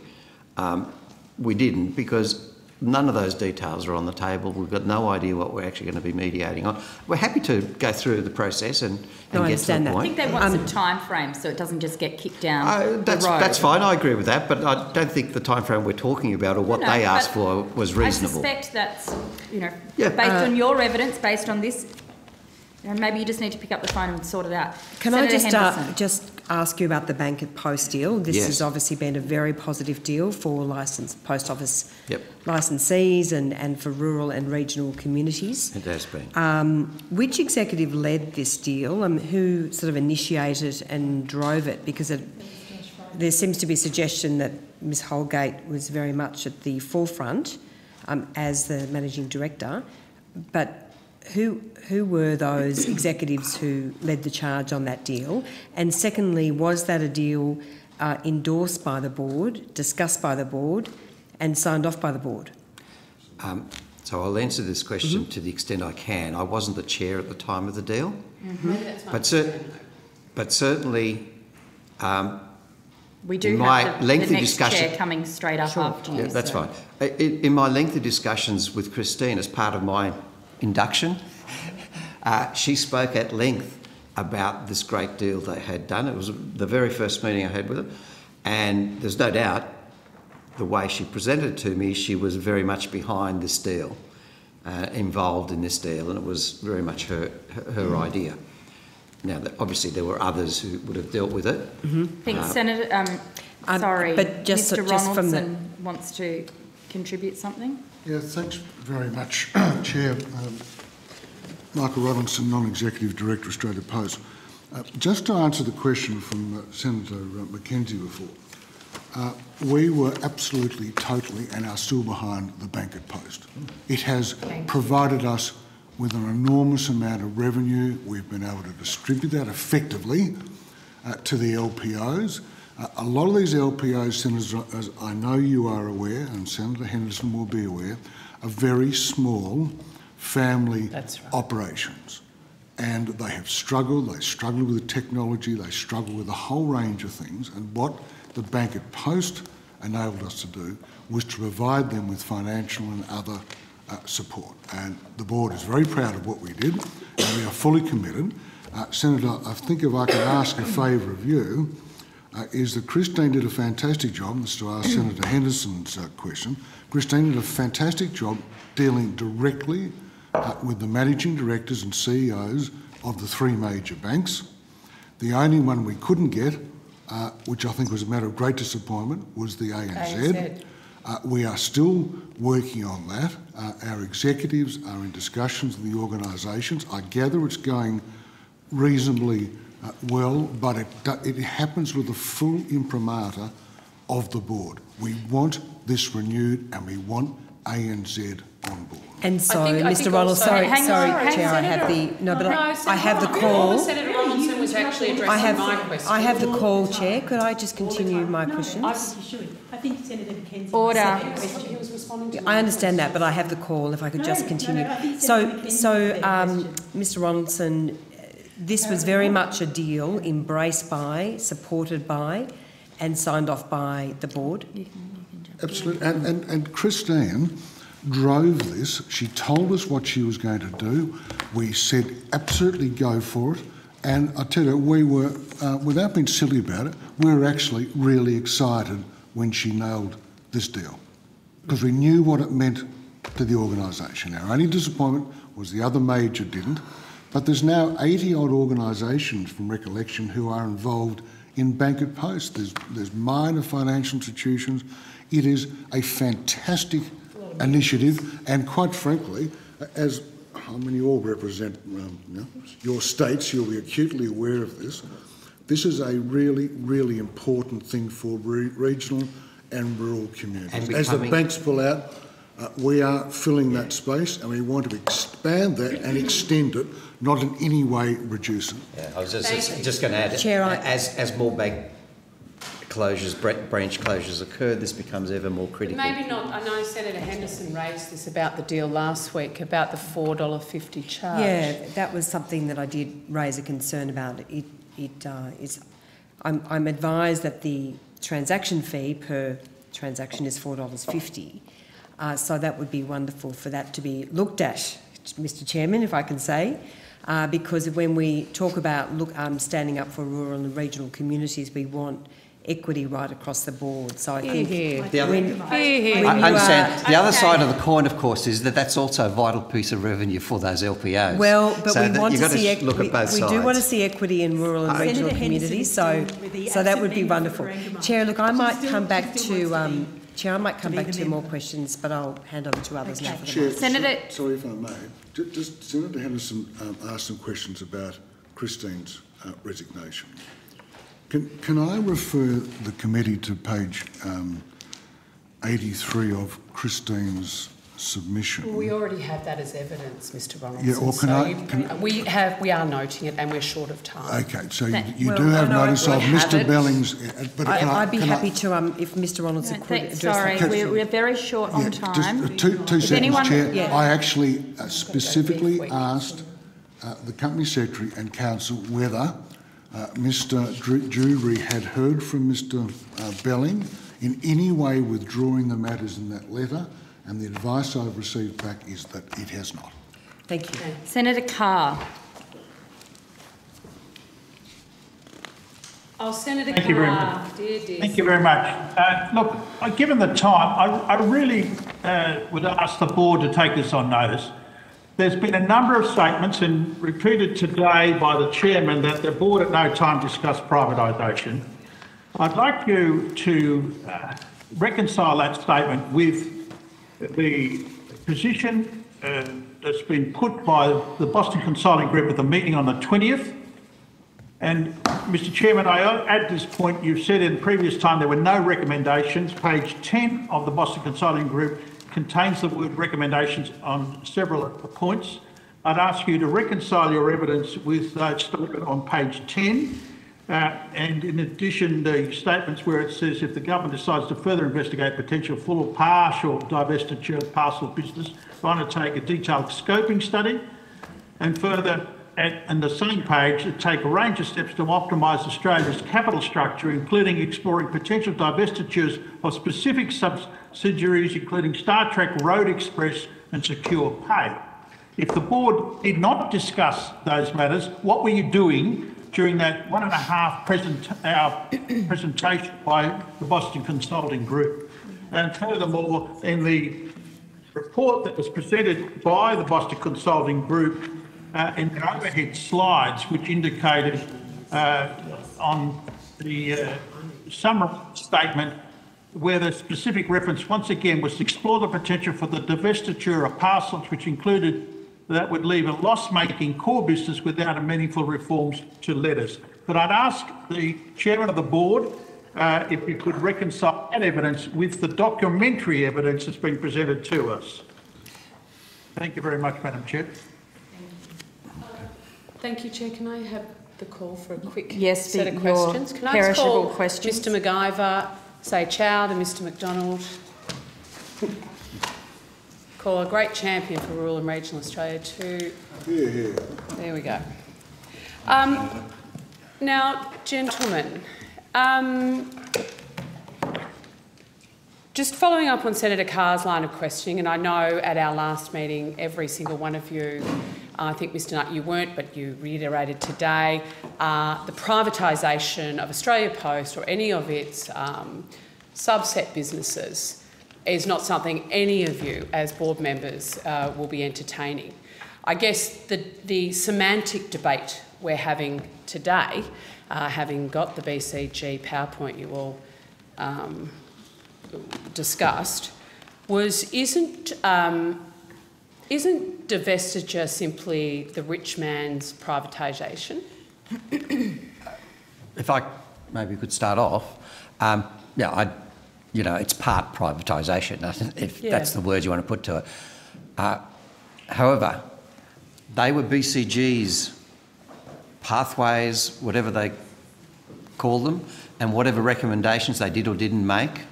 But we didn't discuss it. It wasn't for us to argue whether the the shareholders consultants were on the right track or not the right track. They were things that they would put forward. being informed. They were being, we were being informed, and we were so informed. But it wasn't our report. It wasn't any action we're going to take. It wasn't, and the fact that it subsequently has remained. Mm. Well, COVID sort of. Um, yeah. I, I guess Um, my we- question is. Oh, sorry, sorry. No. No, that you've answered the Okay, question. thank you. Um,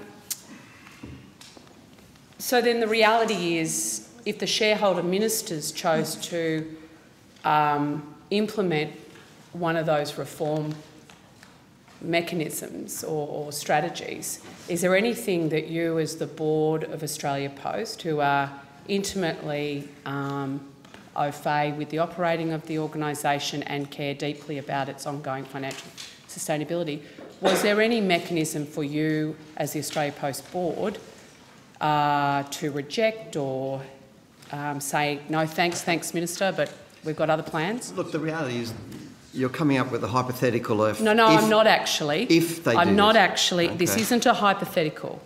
What regulatory framework or um, legislative mechanisms do you have at your um, at your uh, availability if a shareholder minister had have chosen one of those? It's not hypothetical because this could have happened. It's only that COVID took over. I don't think that's right. I, look, I, I'll I'll put it in general terms. I'll answer it in general Do terms. you have the power to say no? No, thanks. No, no, I'm just No, no. asking the Hold board. Fir- First, Mr Bartolomeo, please. Can I, I'm can I answer? I'd like to answer. Sorry, Senator. Um, look, I've, I've worked in GBEs or state-owned corporations virtually my whole career. Um, and the, the, the kind of line that I've always worked to is I always give my shareholders the best advice I can give with my professional. So you knowledge. can't say no. There is no power for you. To, if they, Uh, no, no. If if that if they ask that question with a direction, in other words, it's a formal ask, Yeah. then we can't say no. yeah, okay, that's right. But but if it's not, and it's really teasing potential directions, we give our best advice. The Yep. board will always give its best advice. So one of the um, issues I was pursuing on the back of the fabulous ABC story around um, your decision as an organisation to cancel um, perishable good postage, um, Mr Boys gave some really interesting evidence, which I, I really, you know, food safety regulation. Um, there's seven different versions across this great federation. He, his evidence to us was that um, it's really complex. And I actually, la la la la, actually went through it and said, so you actually did not know that there were seven different food safety regulatory environments that you had to post across prior to getting a report, which apparently is a KPMG report. Is that correct? I'm not aware of that. Anyone aware of this? So, was the decision to stop delivering perishable goods a decision of the board? No, No. it did not come to the. board. Okay, so the board didn't commission the KPMG report, which is Mr Boys has referred to as being. I, I'm not aware. Either am I. Not Okay, aware. so on notice then, on notice, I'd like the terms of reference of this KPMG report. I'd like the, um, you to table the report. I want to know when it was commissioned. I want to know how much it cost. And I want to understand the recommendations that see um, Australia Post cancelling the um, postage of perishable goods um, and then obviously backflipping within a Chair, matter of uh, weeks. Sorry, um, Chair, Chair through you, Senator. Um, I think when the board, um, and I'm speaking for myself, and I'm, I'm sure I speak for others, but when the board became aware of um, this issue, uh, concerns uh, were raised, and I'm sure they were raised by many of my colleagues um, as well, because it was, in fairness, uh, out of left field. Yes. Now, I, I am, I am confident, uh, and you know the gentleman as well as I do, um, uh, Bruce Bilson, that I'm confident the discussions with Bruce, uh, that it will elevate the status of, of, of this, and I would hope that we have some uh, resolution. But I can assure you, uh, the board did not make a decision uh, to do that. And you weren't aware And we this weren't was aware, okay. and, and we have moved, and I'm not reflecting at all on what was done, I'm reflecting on what has happened since, uh, and I think we are, fair to say we are now fully engaged in Thank you, this Mr discussion. Ronaldson. And uh, there's some questions on notice from Senator Mackenzie. I just really uh, want to finish this by half past. Um, Senator Henderson, We're gonna get you've got four minutes. Oh, yes, thank, thank you very much, Chair. Look, I just um, wanted to go back to this issue of the BCG recommendations and the regulatory relief which was put in place, which of course involves a reduction in daily mail services in metro areas and in some regional areas. So that you could boost the number of parcels being delivered by reason of the pressures that you were under because of the COVID. So Ms Holgate has said on the 13th of April that um, she objected rigorously to the BCG recommendations, which do include alternate, some of them do include alternate mail delivery. Um, but we, we obviously now know that she actually uh, did appeal in the Senate, uh, did appeal for the regulatory relief to be adopted, which obviously involved a reduction in mail services. So, how can we reconcile those two positions? Which, have, because of course, the regu- regulatory relief was very, very similar to some of the recommendations made by BCG. Well, from my perspective, I think the board's perspective is BCG to us was a one and a half hour presentation by a consultant that we hadn't engaged to a terms of reference that we were vaguely aware of, but operating for, for our shareholders. Mm-hmm. We took that, in, that session as an information session, no more, no less. Um, and the details then of what was occurring during COVID and the impact it was having on us led us quite separately, independent of whatever BCG had said, good, bad, or indifferent, Mm. as to how we were going to deal with the circumstances that we were facing. And in discuss- Christine, uh, obviously at the, sorry, Miss Holgate, at, at the, the heart of this was developing with her team uh, a number of measures that, that uh, she wished us to consider as a board, and we did, uh, ultimately seeking temporary regulatory relief along the lines that, that you're aware of, The so-called Parcel Boost Initiative. yeah, all put in place, about yeah. all about getting resources to where we desperately needed them, i.e., in the metropolitan area, some 2,000 postal delivery officers were taken off their bikes and put into a van to help delivery of those parcels. And we were able to do that by going to alternate day delivery. So effectively, half the postal officers, postal posties, uh, in the metropolitan area were diverted to delivering parcels in vans, and it got us through this really terrible period, Did and Ms. Hol- successfully so. Did Ms Holgate ever suggest to you that some of these measures should be imposed on a permanent basis? Uh, Such was- as, such as the alternate mail delivery? It wasn't discussed as a, as, as a long term. In my own opening statement today, I'm saying I don't think the regulatory arrangements as we have today is what's best for Australia Post going forward, but some change is required.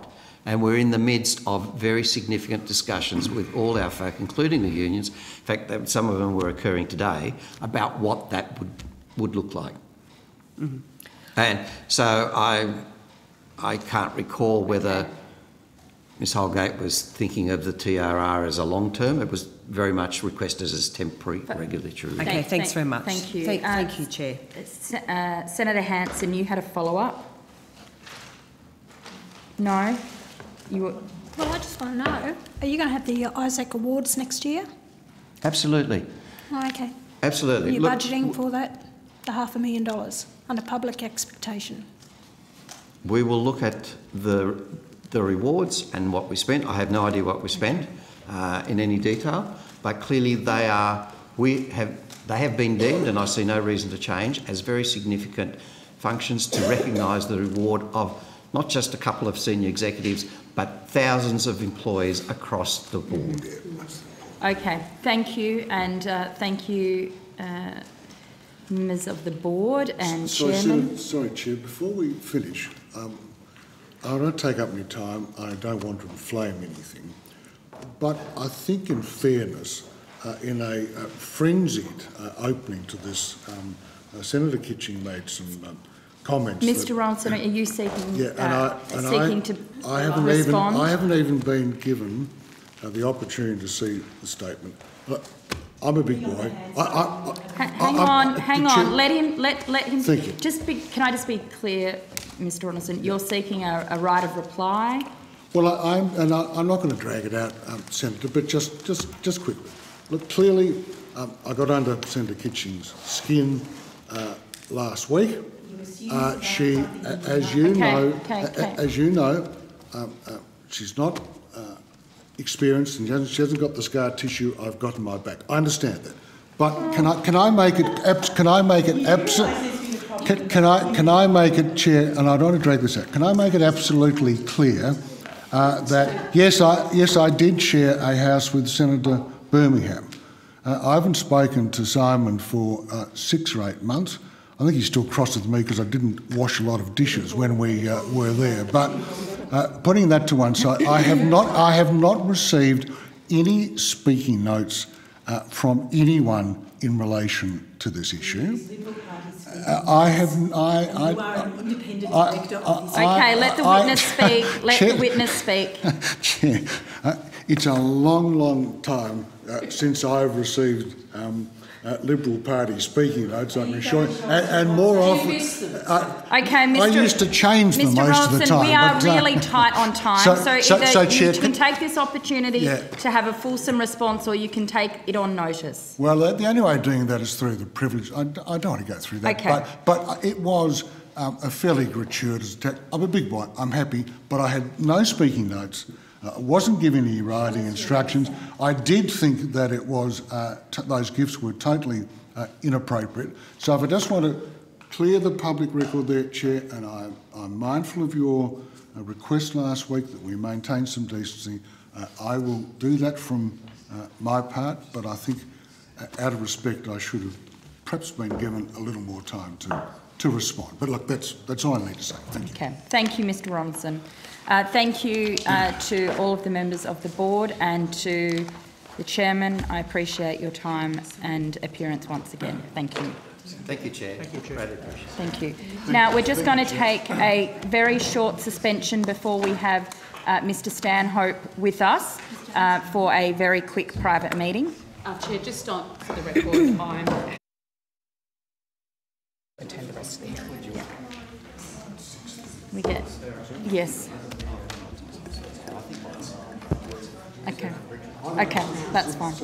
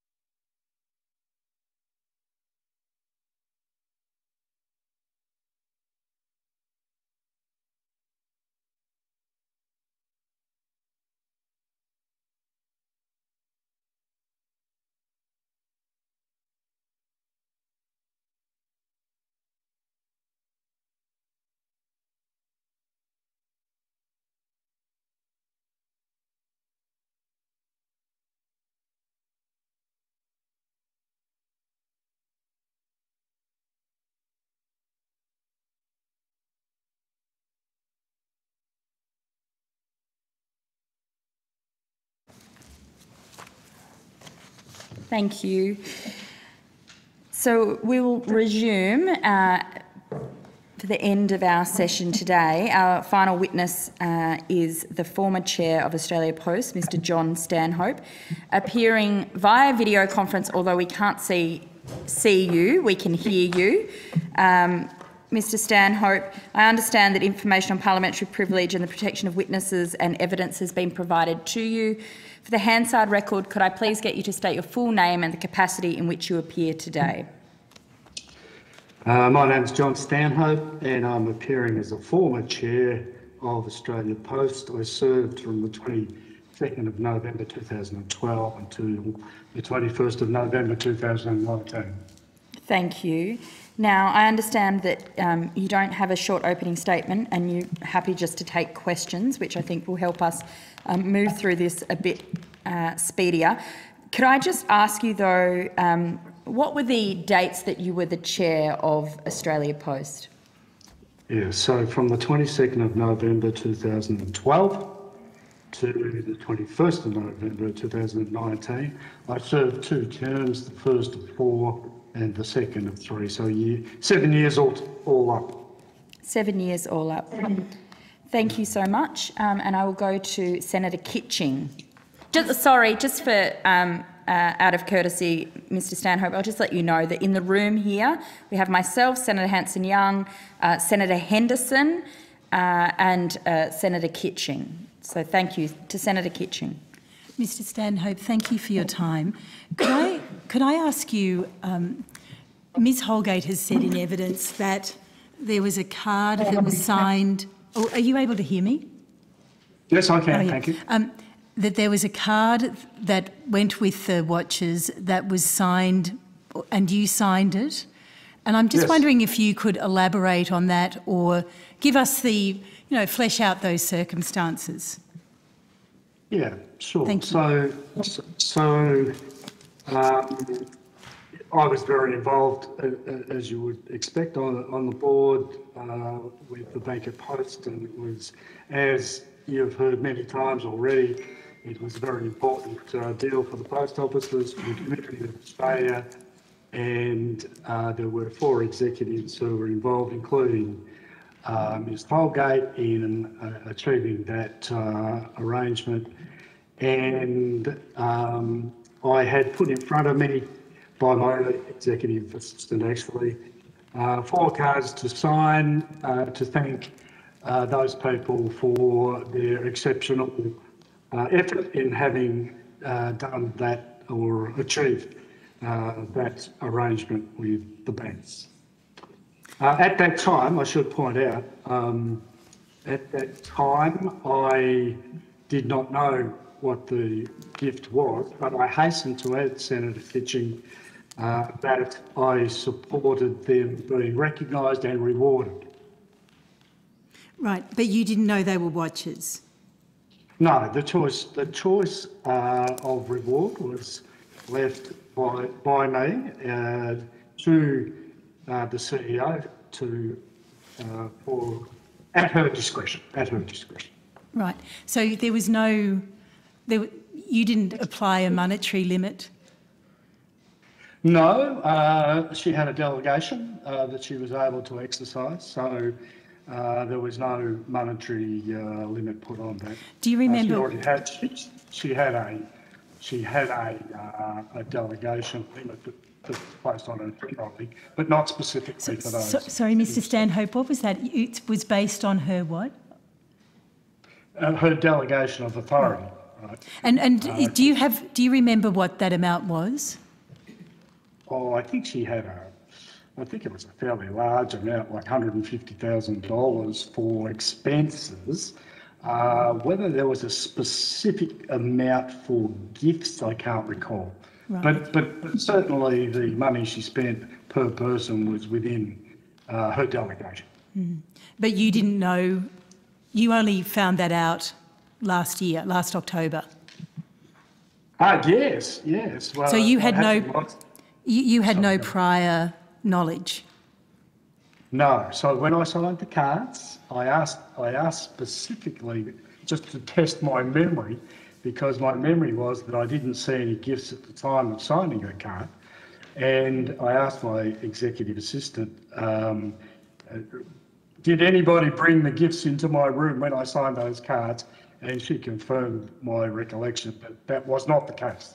So, so you asked you asked your executive, your former executive assistant, on the day of estimates when Ms Holgate gave that evidence. Uh, I, I asked her, might not have been that, no, not that day. Right, I okay. asked her when I, when I uh, was told there was a departmental uh, investigation and that I would be invited to participate. Can I ask you? So, who approved when you were chair? Did you approve the CEO's expenses? No, I did not.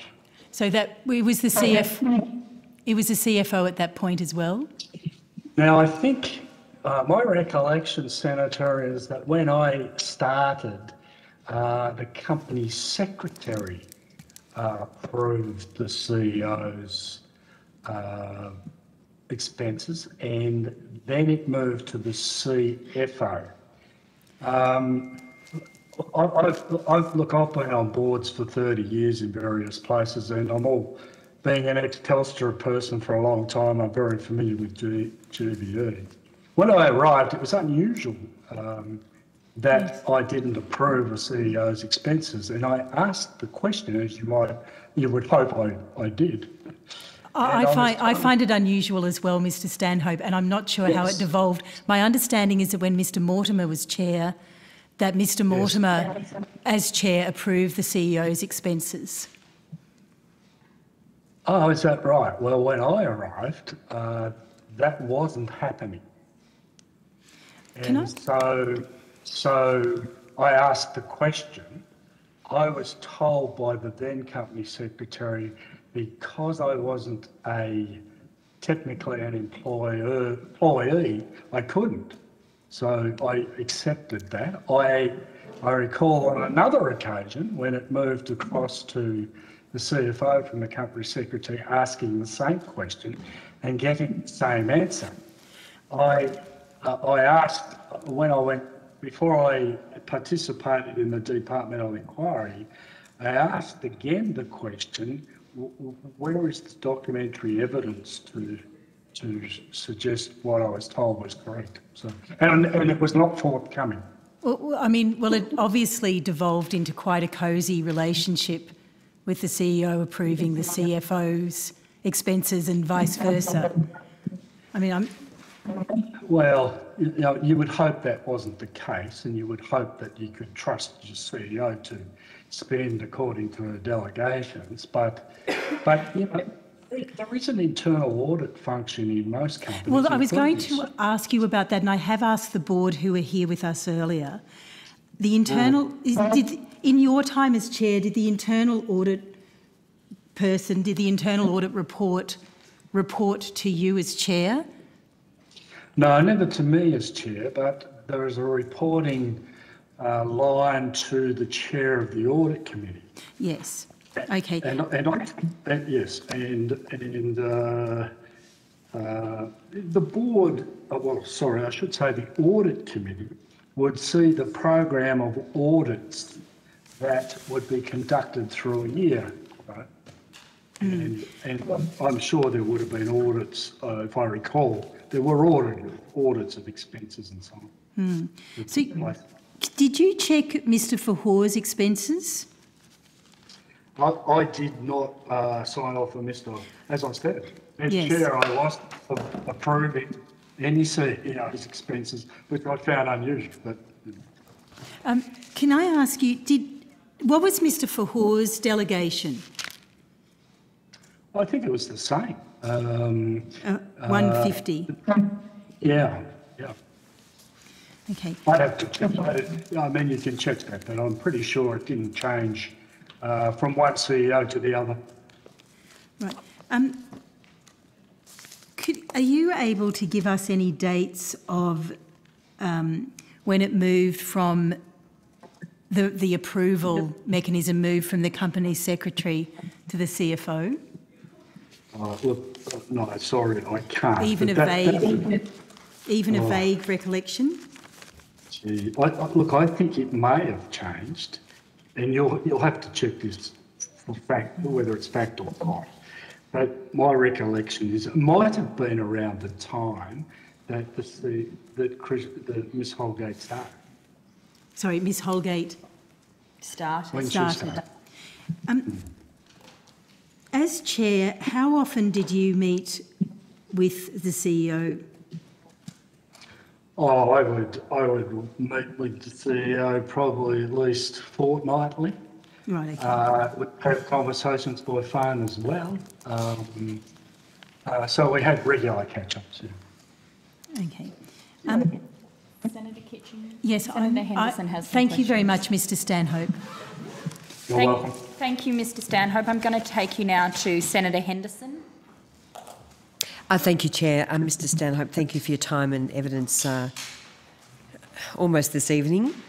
Um, in uh, Ms Holgate's submission to this inquiry, she said she spoke to you on the afternoon of the estimates hearing. Uh, what did you discuss?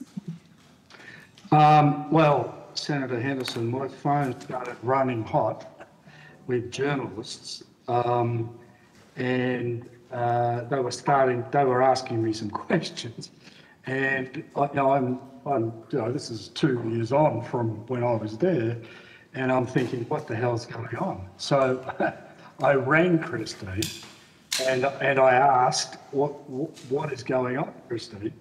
And she said, oh, I've just been to Senate estimate, and there was this question and, and so on. I can't talk, I'm about to get into a car. And that was about the conversation.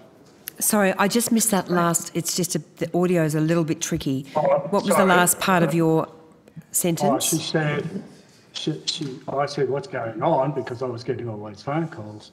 And she said, um, look, I can't really talk. Um, I've just come from Senate estimates. I'm, I'm about to get into a car. Right. So, uh, did, did you have any other discussion or did you terminate the phone call at that point? No, she said, I'm getting in a car, I can't talk to you. I did try to contact Miss Holgate a couple of days later because there was a whole lot of press and so on that was occurring, but she wasn't answering her phone. So I was ringing to find out if she was all right.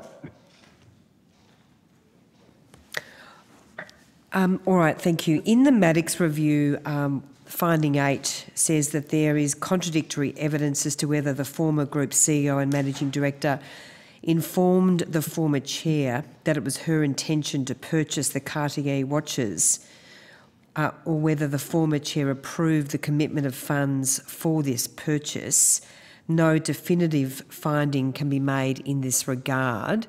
I understand you've addressed some of these questions with Senator Kitching, but could you um, succinctly um, respond to that suggestion uh, that you approve the purchase of these watches?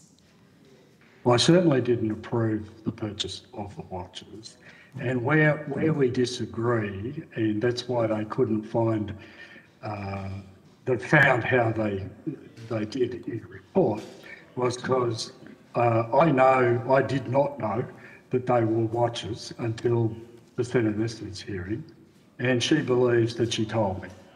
So we have a difference of view.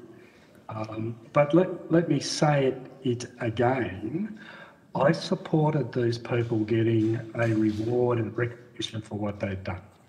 And, and, and, and she said she chose the watches. She, she made the decision to, to choose what the reward was. I did not know, and, and I, it was also said that I attended a presentation. Again, my recollection was I didn't. I checked again with my diary and my executive assistant, and I, it, it appears I did not. So, um, so we have, see, we have a disagreement, if you like, as to whether she told me she was going to get watches. I say I didn't know. She says, I think I told him. So Ms Holgate, in her submission, makes it very clear, in, in her view, that you did approve the purchase of these watches.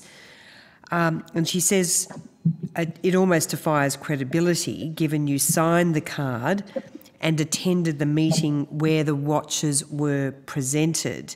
And she says, Why would someone write in a card and not know what the gift was? What's your response to this? Well, my response to that is I knew they were getting a gift. I did not know what it was. And if you read the words in the card, I don't talk about a gift at all. I, I say, job well done, uh, and sign it. Which, you know, it, it's something, a good, a good thing for a chairman to do for people who have done a good job. So, why would Miss Holgate so adamantly say in her evidence that you did approve these watches? You can only ask her that. I mean, I, I'm adamant that I did not. So, So. Mr Stanhope. so sorry, Holgate- Chair, I do have the call. I do have the had call. earlier, Sarah, you Um, just sorry, that. sorry, I have the call, Chair. Could I? I've Mr. just got some more questions. Miss Holgate said everyone Senator, on Senator Kitching, 19 Senator Kitching, you will just have to wait your turn. You'll just. Thank you. Henderson did wait this morning. Right, Um, no, I know, but two wrongs don't make a right. Senator Thank, Henderson. thank you very much, Chair. Mr Stanhope, did you um, receive any gifts from Australia Post in your time as Chair? When I retired, I received a Mont Blanc uh, pen, which I understand the board approved its gift to me. Oh, so that was approved by the board, was it? Do you, do you know what the value was of that pen? Uh, It's probably worth a couple of thousand dollars. Um, thank you. Ms Holgate claims in her submission that under the previous CEO, it had come to light cars, watches and trips to the Olympics were given.